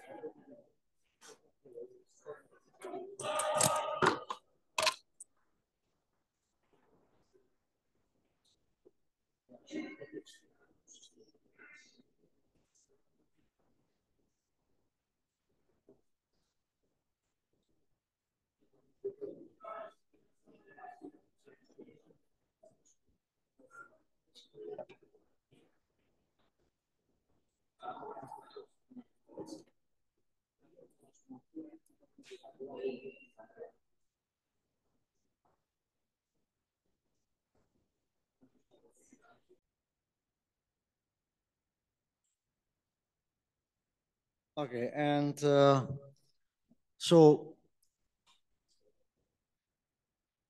I wanted to to hear from you if you have if you think that some uh, of the hot topics on the subject should be discussed, or things that uh, we may share opinions uh, about.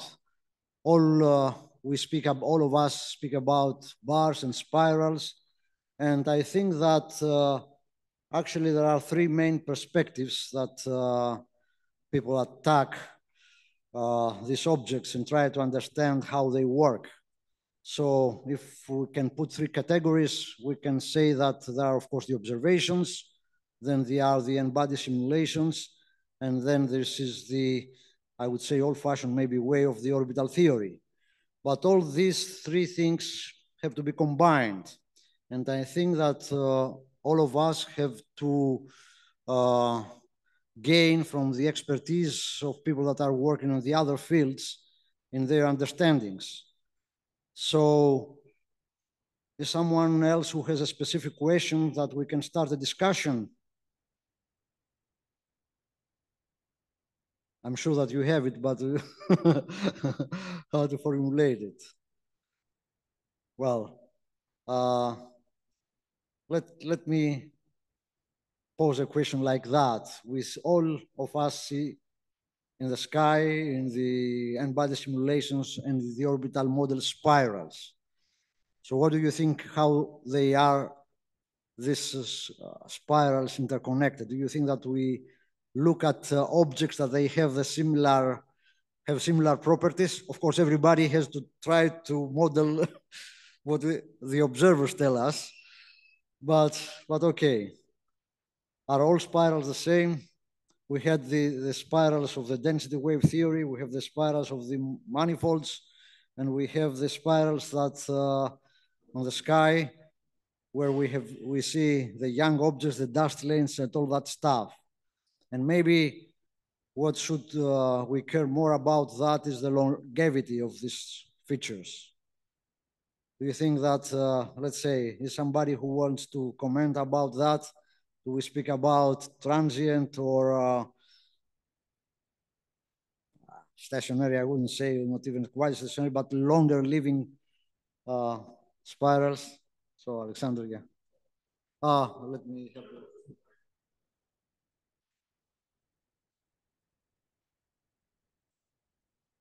Uh, well, uh, yeah, so I work with observations. I also really appreciate all this uh, mathemat mathematical background behind uh, n-body simulations and uh, what we observe. But like uh, the more I see in the sky, like real spiral arms, they look that doesn't uh, doesn't look symmetric. Most of all, they are not grand design. Most of them. I slightly shifted from the like density wave perspective and like uh, I don't know global modes or something like that to the dynamic.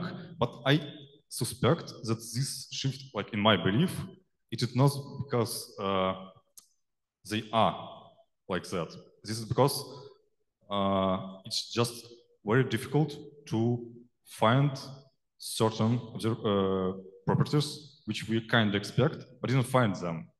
So probably like some, uh, well, yeah.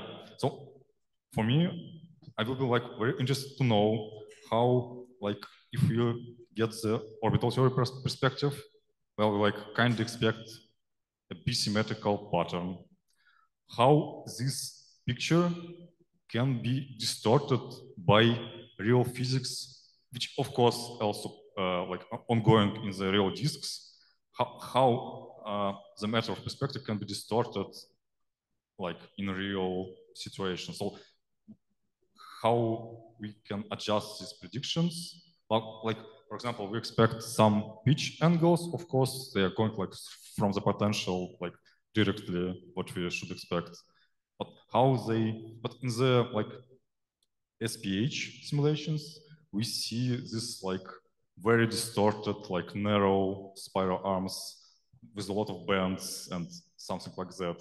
So it will be nice to know how like yeah because like this orbital perspective it can be i assume that's my assumption.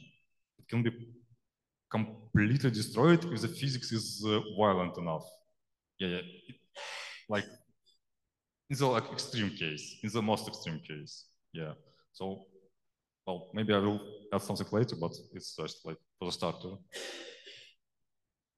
Okay, so uh, is anyone who wants to comment on that uh, more?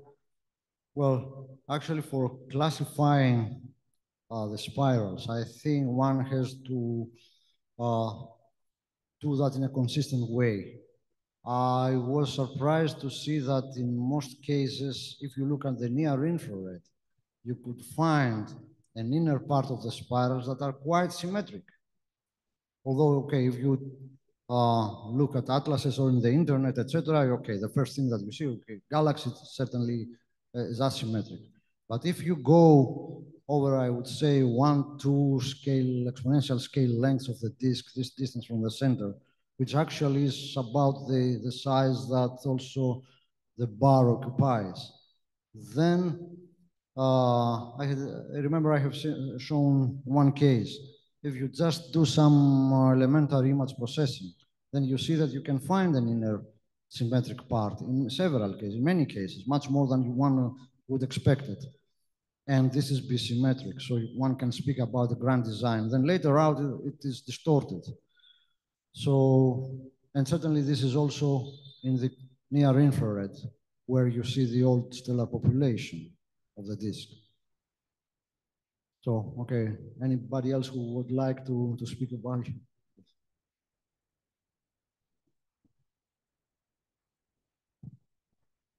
Yes, uh, just um, a word about uh, what we do. In fact, uh, we have reality, which can be messy, and the models, which are idealized. So remember, I remember the, yesterday the, the visit to the, the, Parthenon, where there is an ideal of nice woman they should be as, as, that, but in reality, it's all different. And we have this uh, wish, it's a human nature, to have a perfect symmetry and so on. And so we make model, model, and the utility of having this simple model is that we can understand. We can have a rational uh, uh, construction, mental construction. So we do that, but we shouldn't uh, believe these models are reality. There's just a simplification of reality. And then if we add perturbations, we destroy the symmetries and so on. But behind this, there is some uh, fundamental, the, the most basic physics is expressed by the simple model. So that's why we do uh, orbit, orbit models. It's very simple, but it captures the essential of the gravitational field just alone. and then we can add uh, perhaps gas, and then we perturb that. And if it's not too far from this model, then we have a, uh, we can uh, reproduce better reality. In fact, for example, in bar, we have these dust lanes. It can be seen when we introduce some dissipation. And otherwise, it's very important for theorists to, to look at nature because uh, it reminds that uh, reality is always more complex. And I have appreciated, for example, this picture of the, um, the inner bar. I don't remember the NGC number. We have, you have the inner disk and the dust lane in the bar with uh, HST resolution. It's an excellent example of uh, inspired for, for the physics going on in this. Uh, you see this dust lane, uh, they, they are what uh, not just dust, it's molecular clouds that contain dust and they are cold and they don't form stars. You don't see much stars. But when they arrive in the ring, you see a lot of blue stars and so on. It's, it's teach a lot on the star formation process. What, what are the conditions to make stars? It's still a, a big mystery, this star formation process. So it's um, very useful for theorists to understand the limits of what we understand, what we don't, what, where we can make a simple model to understand something, but not to think these models are, are real. I fully agree with that. Uh, we have, we know that nature is complex. That's why we go try even to implement the chaos theory to understand this complexity in nature. And remember that uh, it was not only the wrong impression that the Earth was the center of the solar system that uh, delayed the evolution, but also that people thought about idealized orbits which were circular. It was uh, a, a, a, leap in, in, uh, in thinking that uh, we have to destroy this perfection of the circles so that we understand how nature works. Nature is complex. Okay, so yeah, please.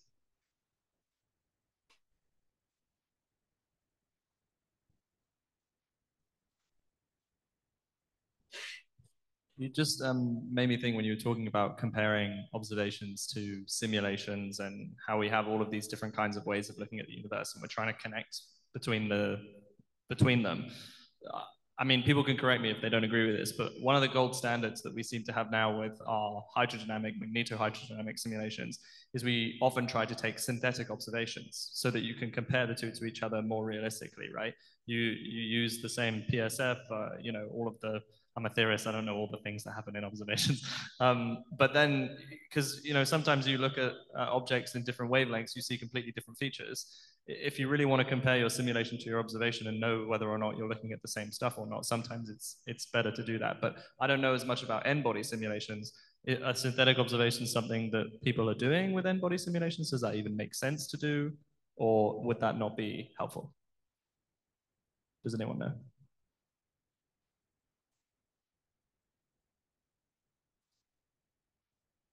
There, there is there's synthetic observations from n-body stuff.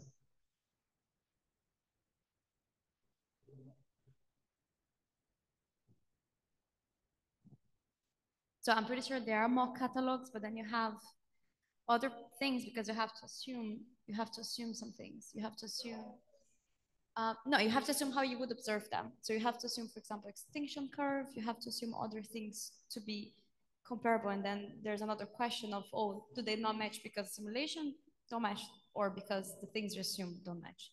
So it gets a, a layer of, of complexity. Yeah.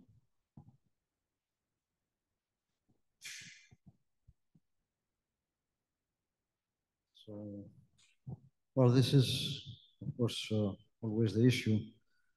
Uh, a point that uh, could also discuss is we have all these nice n-body simulations. How close do you think that uh, we are to the real galaxies, Leah? Do you, okay, for the bars, I think it is a big progress because there you see even details. But in general, are the snapshots we have on our computers close to what we see in the sky?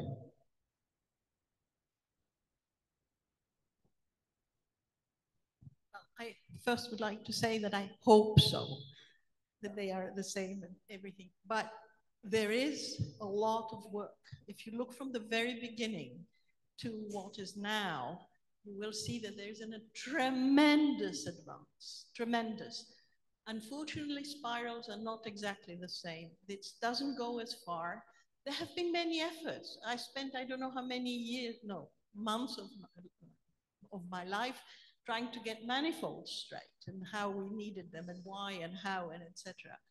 Um, there, there, there has been effort, but it's not proportional to what we achieved.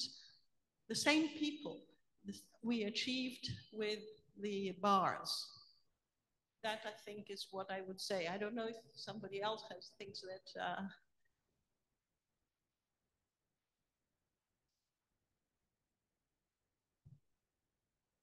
So that means that people are not sure about.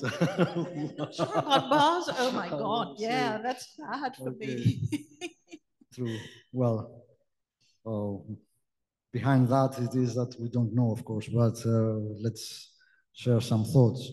For instance, I find uh, very intriguing that uh, if uh, uh, in some uh, let's say not strongly barred galaxies, or if we can speak about non-barred galaxies in the spirals, you see the expected succession for a wave that is inside co-rotation. So you have the dust lanes, you have the young uh, stars, etc. So you say, okay, look, uh, I can understand that. And then I have star formation happening when uh, this point of view expects but then we go to the other kind of spirals, the manifolds, and there we have also star formation. Then how can we find the right succession or how can we describe star formation there? If we could have some prediction, then would be a very good observational test for saying here we have a manifold spiral. It is difficult, for instance, to go there and try to uh, measure dispersion of velocities uh, in the stellar component and all that stuff. But we can, one has tried to establish some observational criteria that can distinguish the two kind of flows, because we have two different kind of flows. Well, with the manifolds, it is a very nice picture. It's a lovely picture. And it, it, it can do well with a lot of the parts, then not all of it. There are parts with the manifolds which are not really what we want. Uh, I think Mirella should be talking now. Uh, sorry? Yes, Mirella. Mirella, we were talking about manifolds. So, you know, you're, everybody says expert there. And would you like to? I, I, I thought that I spent a lot of time, got somewhere, but not as far as proportional I got with the bars. So would you like to comment on something like that?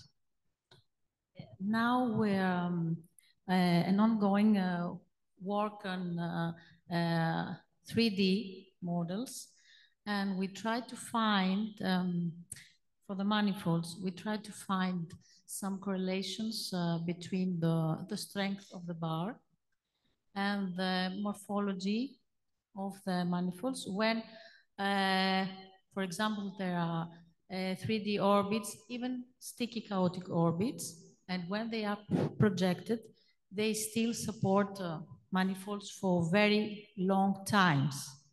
So we try to find something like, for example, we can see in observations, if the strength of the bar uh, is not uh, big, uh, then um, we see that we uh, have uh, more or less rings, rather rings, rather than manifolds. This is something new that we, it's an ongoing work now.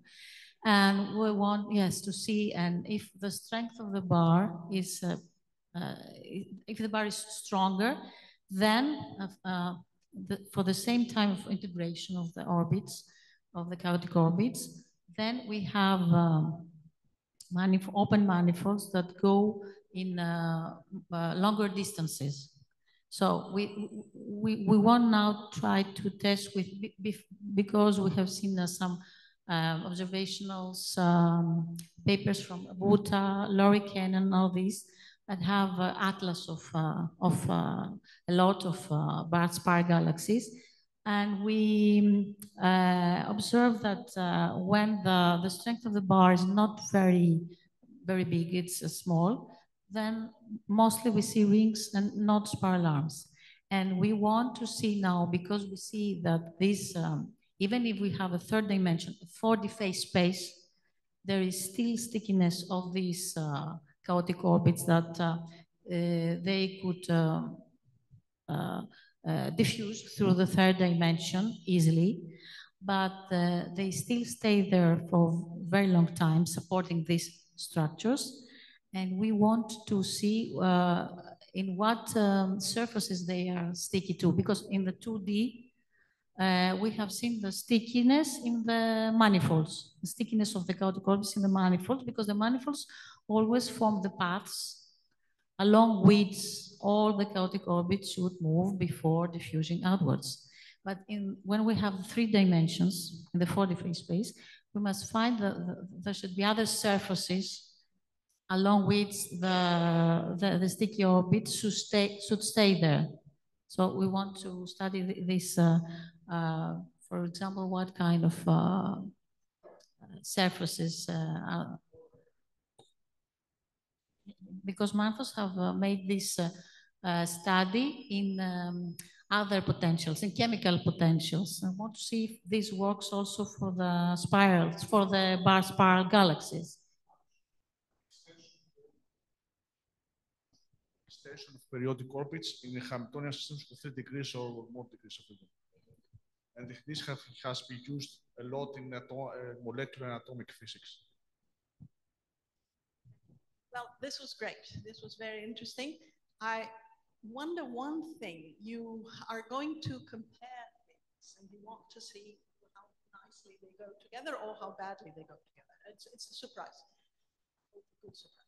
Um, but have you put a lot of effort into finding what I will call parameter, what I will call a particular thing which I want to compare. It's not the same as if I, I compare with him and he compares, she compares with the other one over there.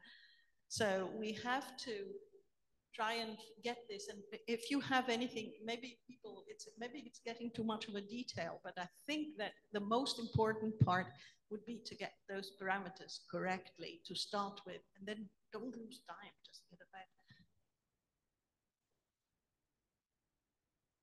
There are, it's true that there are a lot of parameters. I mean, you have to try first to have a bar only potential, then you have to try to change the pattern speed, then you have to put a spiral potential, and all these things uh, change, for example, but we, you have to start from some, some, something and um, uh, make a study there and try to see if there are some correlations, and then put uh, another parameters and uh, and go so go on.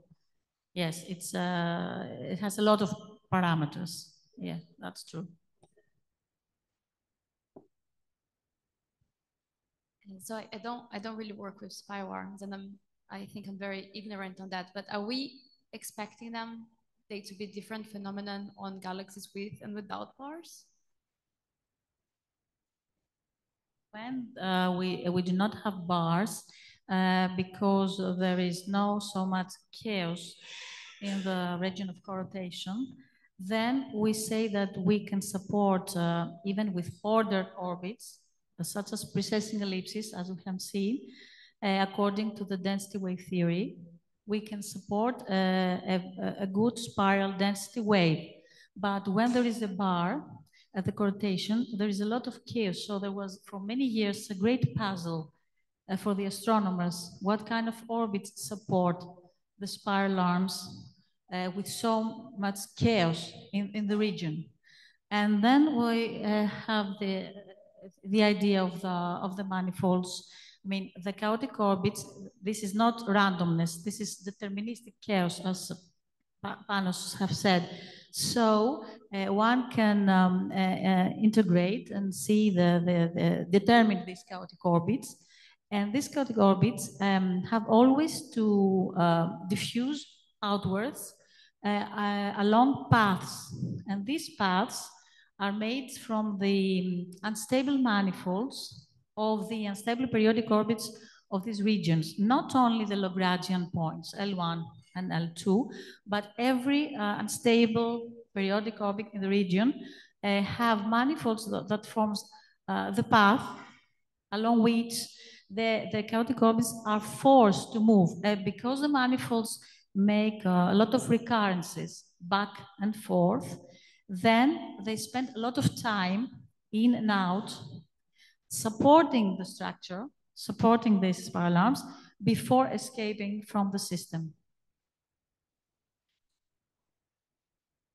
Spirals with bars when we talk about manifolds, and we have the density wave theory, which is another theory with ordered orbits when we talk about normal galaxies without a bar. Bar introduces a lot of chaos.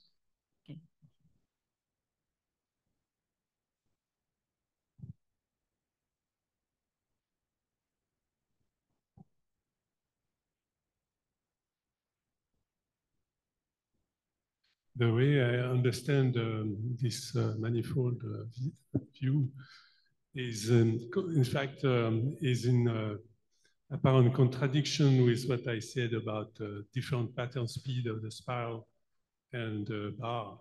So the way to reconcile this is to make, um, say, the, you take the bar as a reference, you take a constant pattern speed, and then you make an average theory in time of the spiral arms.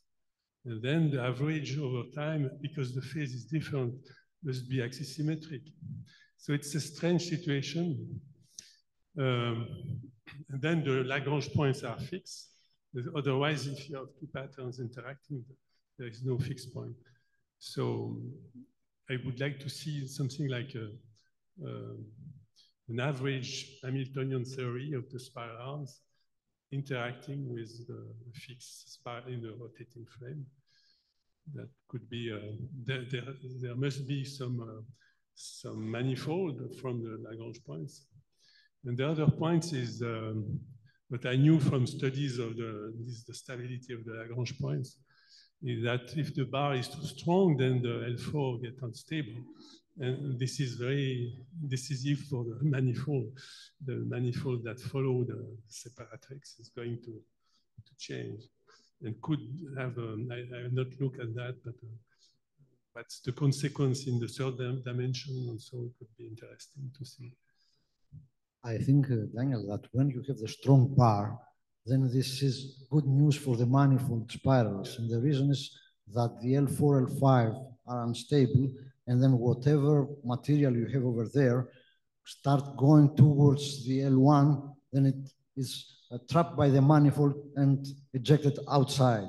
And that's why in strong bars, you see the sides of the bar to be empty. Yes, yes, yes. Yeah.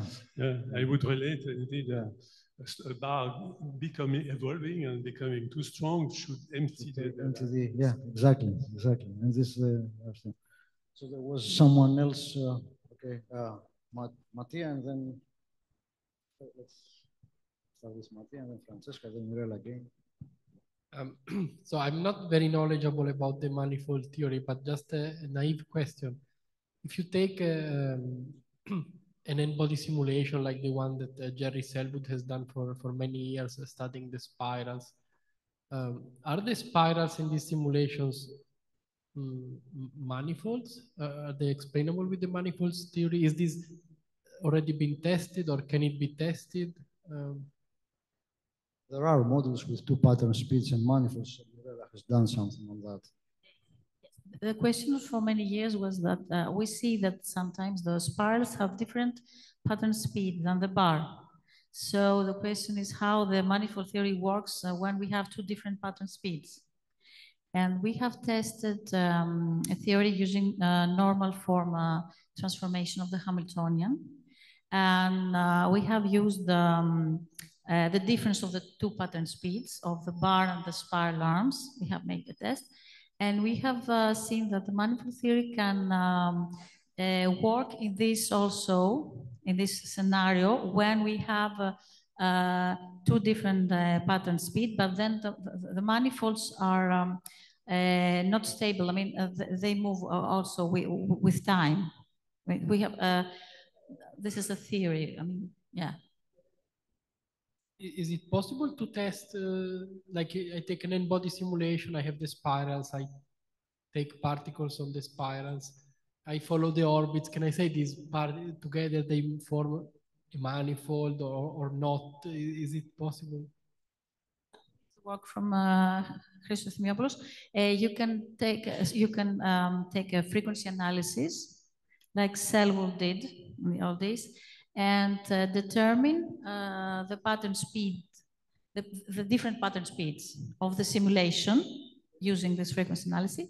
And then you can take, um, for example, you may find one pattern speed, or you may find two different, or even three different pattern speeds. And then you can construct your uh, model according to manifold theory using the, the, the, the pattern speed that you have found out of the, the simulation. And well, this is an approximation because sometimes uh, the pattern speed even changes with the radius. It's not constant uh, all over. The, but you can make an assumption that um, for when uh, it's uh, the system is relaxed, you can um, clearly found that there are two different pattern speed out of the simulation. And then you can, uh, and then you, you uh, froze the, you can, um, you take a frozen potential when it's relaxed, and you can do all this orbital analysis, and then you can test with the real um, densities, with the real, uh, with the real simulation, uh, with the equipotentials, or the equidensities of the real simulations, what you find with the manifolds. You can test if they fit well, for example. So this is an approximation, okay. I think a, critical quantity is this pattern speed. If you have a pattern speed, and so already Mirela said that she finds that uh, this is not that constant with radius, but let's say that you have, you believe that you have in the snapshot, you want to analyze a pattern speed. Then I believe a first uh, test would be to see just uh, the, the velocity vectors. If they go, if the particles, the stars, whatever, they go through the arms or along the arms. So this, this would be a good indication if you deal with a, a regular or with a chaotic spiral. Okay, but this seems sounds like a simple test to me. So is it Yeah, done? yeah. And what's the result? It's been done. Yes, it's been done, but what's the result? so it's always the manifold theory. Not always, some cases.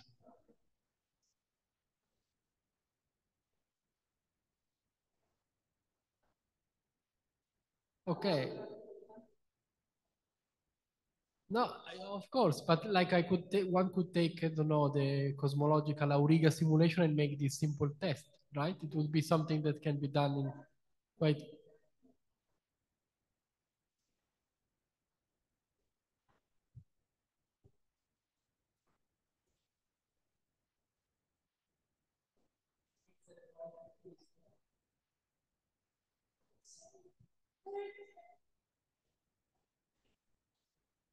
Obviously, in some cases, yes, in some cases, not. No- Nobody can say, uh, I'm sure hundred percent this is the correct theory and nothing else. I mean, we, we test, we test and we uh, compare with simulations, uh, with observations. There are very, some interesting cases where there is a spiral inside a spiral, a, spa, a Panos, uh, so um, where uh, the two theories can coexist. I mean, you can have the density wave theory that um, um, give the inner the inner spiral arm, and you can have the manifold theory that gives the outer spiral arm. Okay. uh, uh, Another, another, I- I immediately will come to Francesca. She wants to say something. Oh, Another is a very simple test. Just take, a, if you see a bar and then a spiral, well, uh, you can bet, you cannot, well, this is of course not a scientific uh, procedure, but if Lagrangian points are far away, then you have less chances to have a manifold spiral. You need close to the end of the bar to have material that will be transferred. So if these are these uh, slow bars that we have seen there about something like the curly air to be three or something, then you have to find to try to find for uh, material from the end of the bar, bring them up there, and then continue to uh, a, a chaotic spiral. It can be done, but it's much more difficult than having it at the end of the bar. who You have forcing and material to bring them directly uh, along the manifold. What do you There think? is such problems. There are problems. I don't, I don't try to hide them, but they are not the same problems. Jerry Sellwood's thing also is full of problems, but doesn't mean that we throw it away.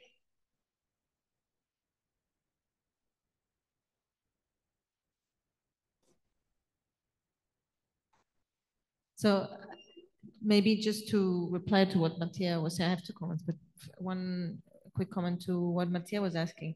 I think there are studies like what Lia was saying, where you see in n-body simulations the orbits that look very much like manifolds. They're coming out of the ends of the bar, etc. I think to me, one key question that still I'm not sure if we know the answer to, maybe maybe Lia or Mirela know the answer, is whether this is a dominant mechanism in terms of the mass that's in the spirals, because you can definitely see the orbits doing these motions coming out into the spiral arm from the Lagrange points, but then is that most of the mass that's in the spiral? I think that's an interesting question.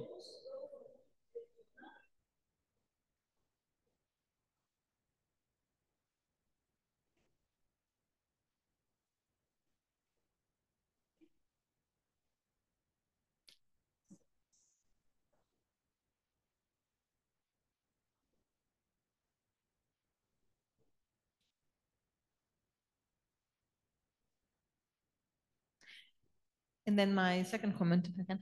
So I was wondering what, um, because Mirela was mentioning the spiral density wave theory for for non-barred galaxies. Um, but it was my understanding that in a lot of n-body simulations nowadays, they find actually that if they don't have a bar and they just have spiral arms, that these spiral arms are often um, transient features and that they have a pattern speed that actually uh, co-rotates with the disk. And so they're kind of transient shearing features. I wonder if we have any understanding for how to explain those kinds of spiral arms that we see in n-body simulations without a bar. Well, if I may say something on that. Uh, yeah, yeah, okay, but here's a question. Yeah, then I'll, I'll put another question after that comment. so if we do not have a bar, and then you have a spiral, and okay, if you look in galaxies, you see this nice succession of dust lanes and young objects, etc. Then I believe these are this kind of flow I usually describe as precessing ellipsis flow. So something that it is an extrapolation of the density wave theory to open spirals. There, are, there is nonlinear phenomena taking place there, but there are this kind of spirals. I don't believe that they are uh, manifold spirals. It's the other thing. So both may coexist. But okay, uh, should we maybe, there are other issues that one has to introduce or Daniel.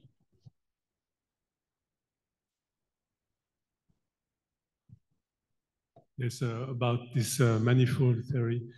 Um, I think you, we should um, compare it with uh, what we do with the periodic orbits. So one-dimensional invariant set in phase space, which is useful when the set is stable. And so it attracts around uh, some, some, some particles. In the case of manifold, it's two-dimensional invariant set, as the name indicates. So it's as useful as the periodic orbit as long as this manifold has some stability in, in it. So in two dimension, you can have uh, one unstable, one stable. Uh, when it's half stable or half unstable, uh, it has some usefulness for, for a while, and after that, it dilutes away. And when it is doubly unstable, it has no, no use as unstable periodic orbits, are not useful. But the fact that periodic orbits are useful for explaining barred galaxies, I think these invariant sets are useful. They must be there. If, if provide, to some extent, they must structure the, the motion around them. So I'm not astonished that if you look in the body simulation, you will find some some resemblance because phase space is structured in this way. So that's not a wonder. So I, I wouldn't question the, is this theory uh, real or not or true. it's just the face. if you adopt a phase space, you have a structure. So that, that's belong to. Uh, and depending on the properties of this invariant set, it can be useful or not.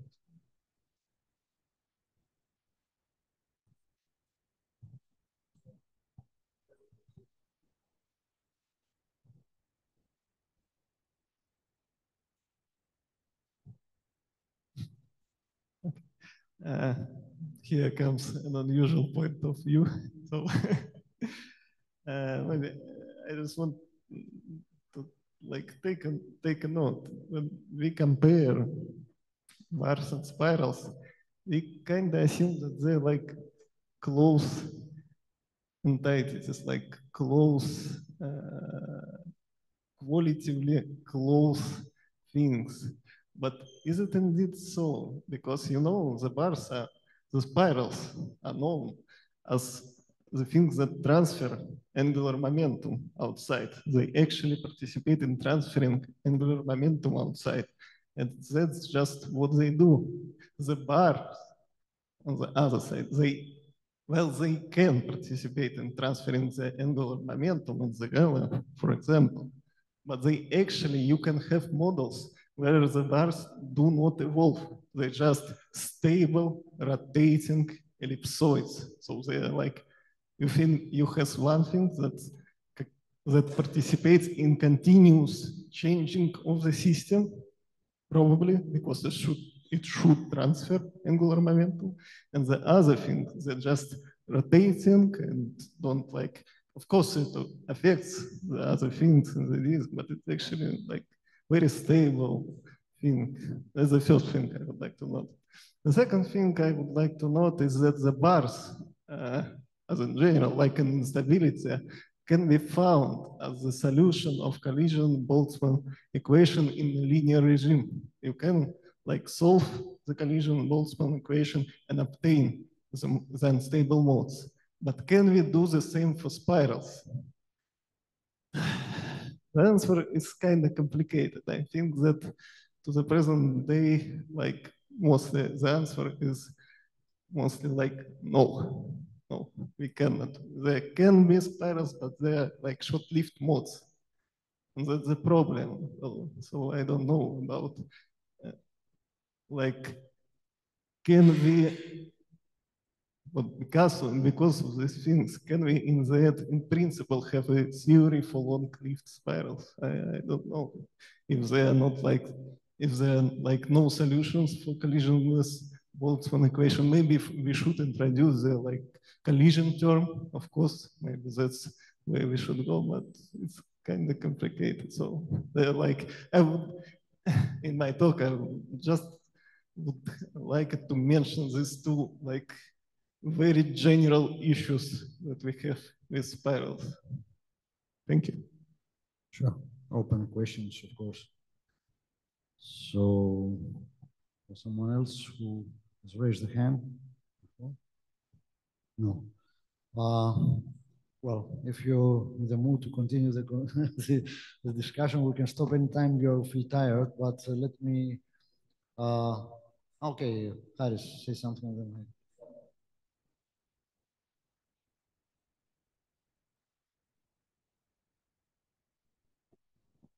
Okay, uh, it's not about the manifold theory or anything like this. Okay. Uh, so there are a lot of galaxies out there, and some of them, I mean, a certain percentage of them, they have spirals. So you, one could extrapolate the duration. I mean, these features are transient or not. So how many gigayears should they be around? And how many gigayears do we see spirals in simulations? And then if they're if they're too transient, how do we explain that we see a lot of spirals? And what's the theory? I mean, how many gigayears do we need them to exist in simulations, which would be consistent with observations? And what would be the theory to explain them?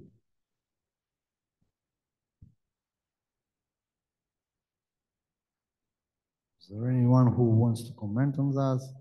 Well, he, this is the open question. Of course, I think that uh, most people in the room will agree that uh, you easily get transient spirals in the n-body simulations. You don't have, let's say, at least as long as long as the the uh, the bars, long-lived features, they are transient. On the other hand, if you look at this uh, near-infrared observation of the galaxies, and you see that you have a very strong uh, m equal 2 spiral b symmetric there, and this is out of made out of K and M giants, the first thing that uh, you think is that the stars had the time to revolve several times around the center of the galaxy, feel the potential well, and go down to the bottom. That's why you see them. Else, how can you do that?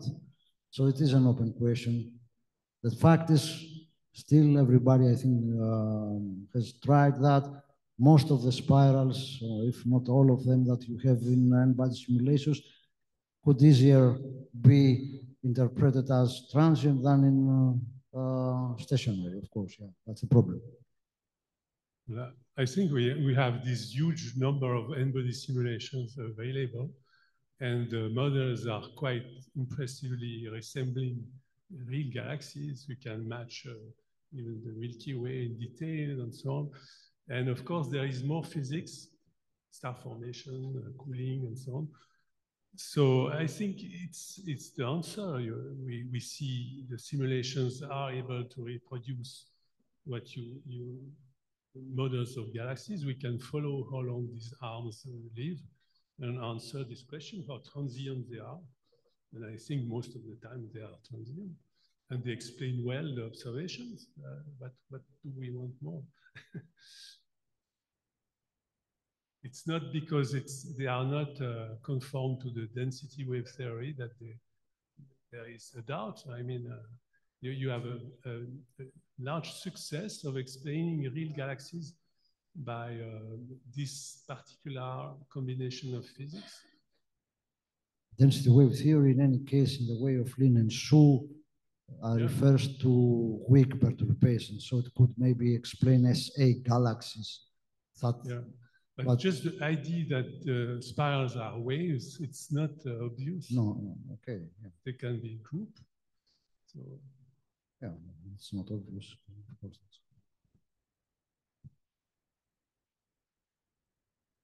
Uh, let me put another question.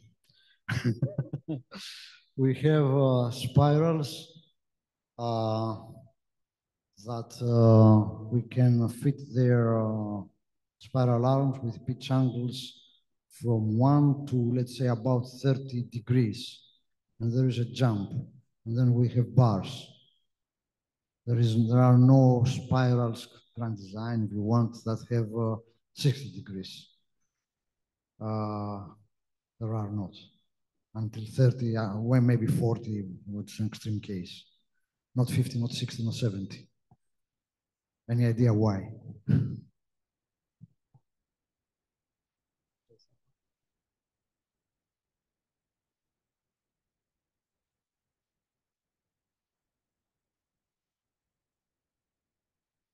don't have the answer, of course. I just hope that.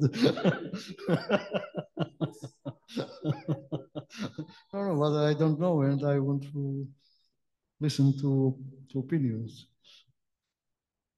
But okay, I don't see anyone who wants to comment on that. Uh, okay, the uh, well, the other interesting. Uh, thing that has been discussed was what uh, Mattia has uh, shown us about uh, the streaming motion of the gas towards the centers of the galaxies. So there, I think we had enough over lunch. So you think that we should share some thoughts with the rest of the people? I don't know. It's uh, I, I for me it is also another very interesting, uh, let's say, subject. Uh, trying to see how okay one can easily bring the gas to the ring, to the inner, to the nuclear ring, but then uh, how it can drop to the center of the galaxy and feed black holes, etc., without putting at, ad hoc a priori black hole there, then you can make things easy to let things go in. But how to switch off the black hole, that's what I'm saying. That is another issue that I find very interesting. If one wants to say a few things, maybe Mattia, do you want to just to share your thoughts on that? No.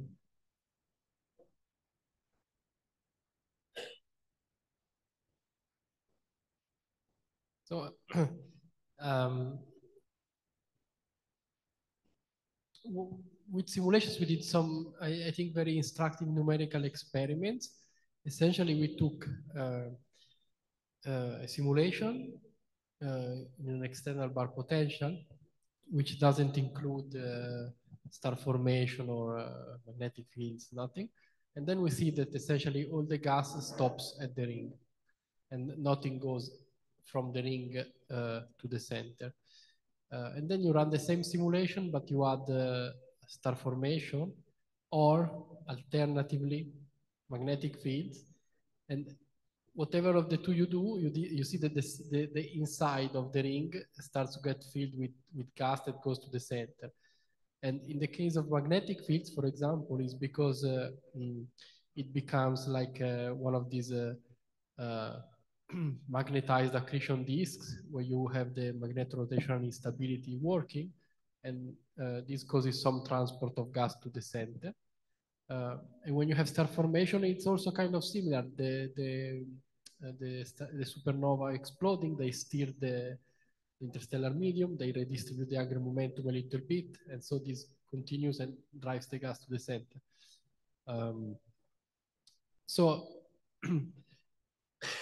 I, I think one once you look inside the, the ring, you should uh, kind of switch uh, framework. Uh, you should think more in the context of, a, of an accretion disk uh, than in the context of, uh, uh, of orbits and galaxy dynamics, maybe.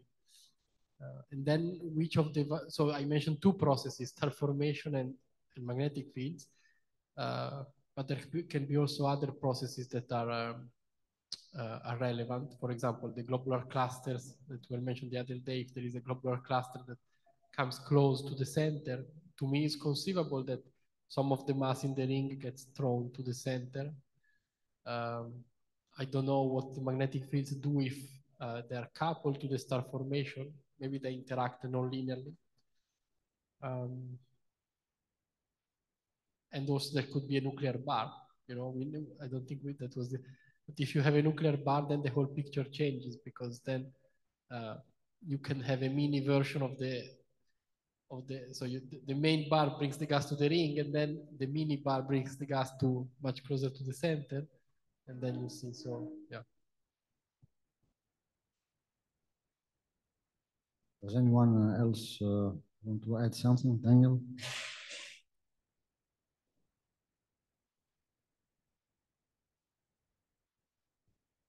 Um, just a remark about uh, rings. if they are, if you let these rings be self-gravitating, inside the ring, the, the force is outwards.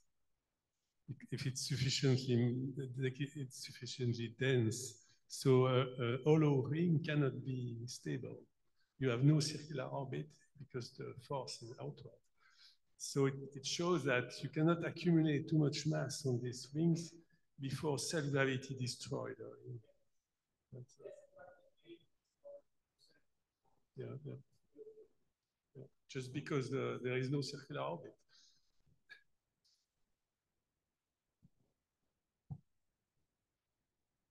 Great. Uh, does anyone else want to add something? Not, I think then uh, we could stop our discussion here. It was a pleasure to have all of you here for all these uh, days and uh, exchange our views like we did here and the very nice talks that we had. We, everybody enjoyed that. So I wish you all best uh, success in your research and uh, I hope that we meet soon again in another meeting. So.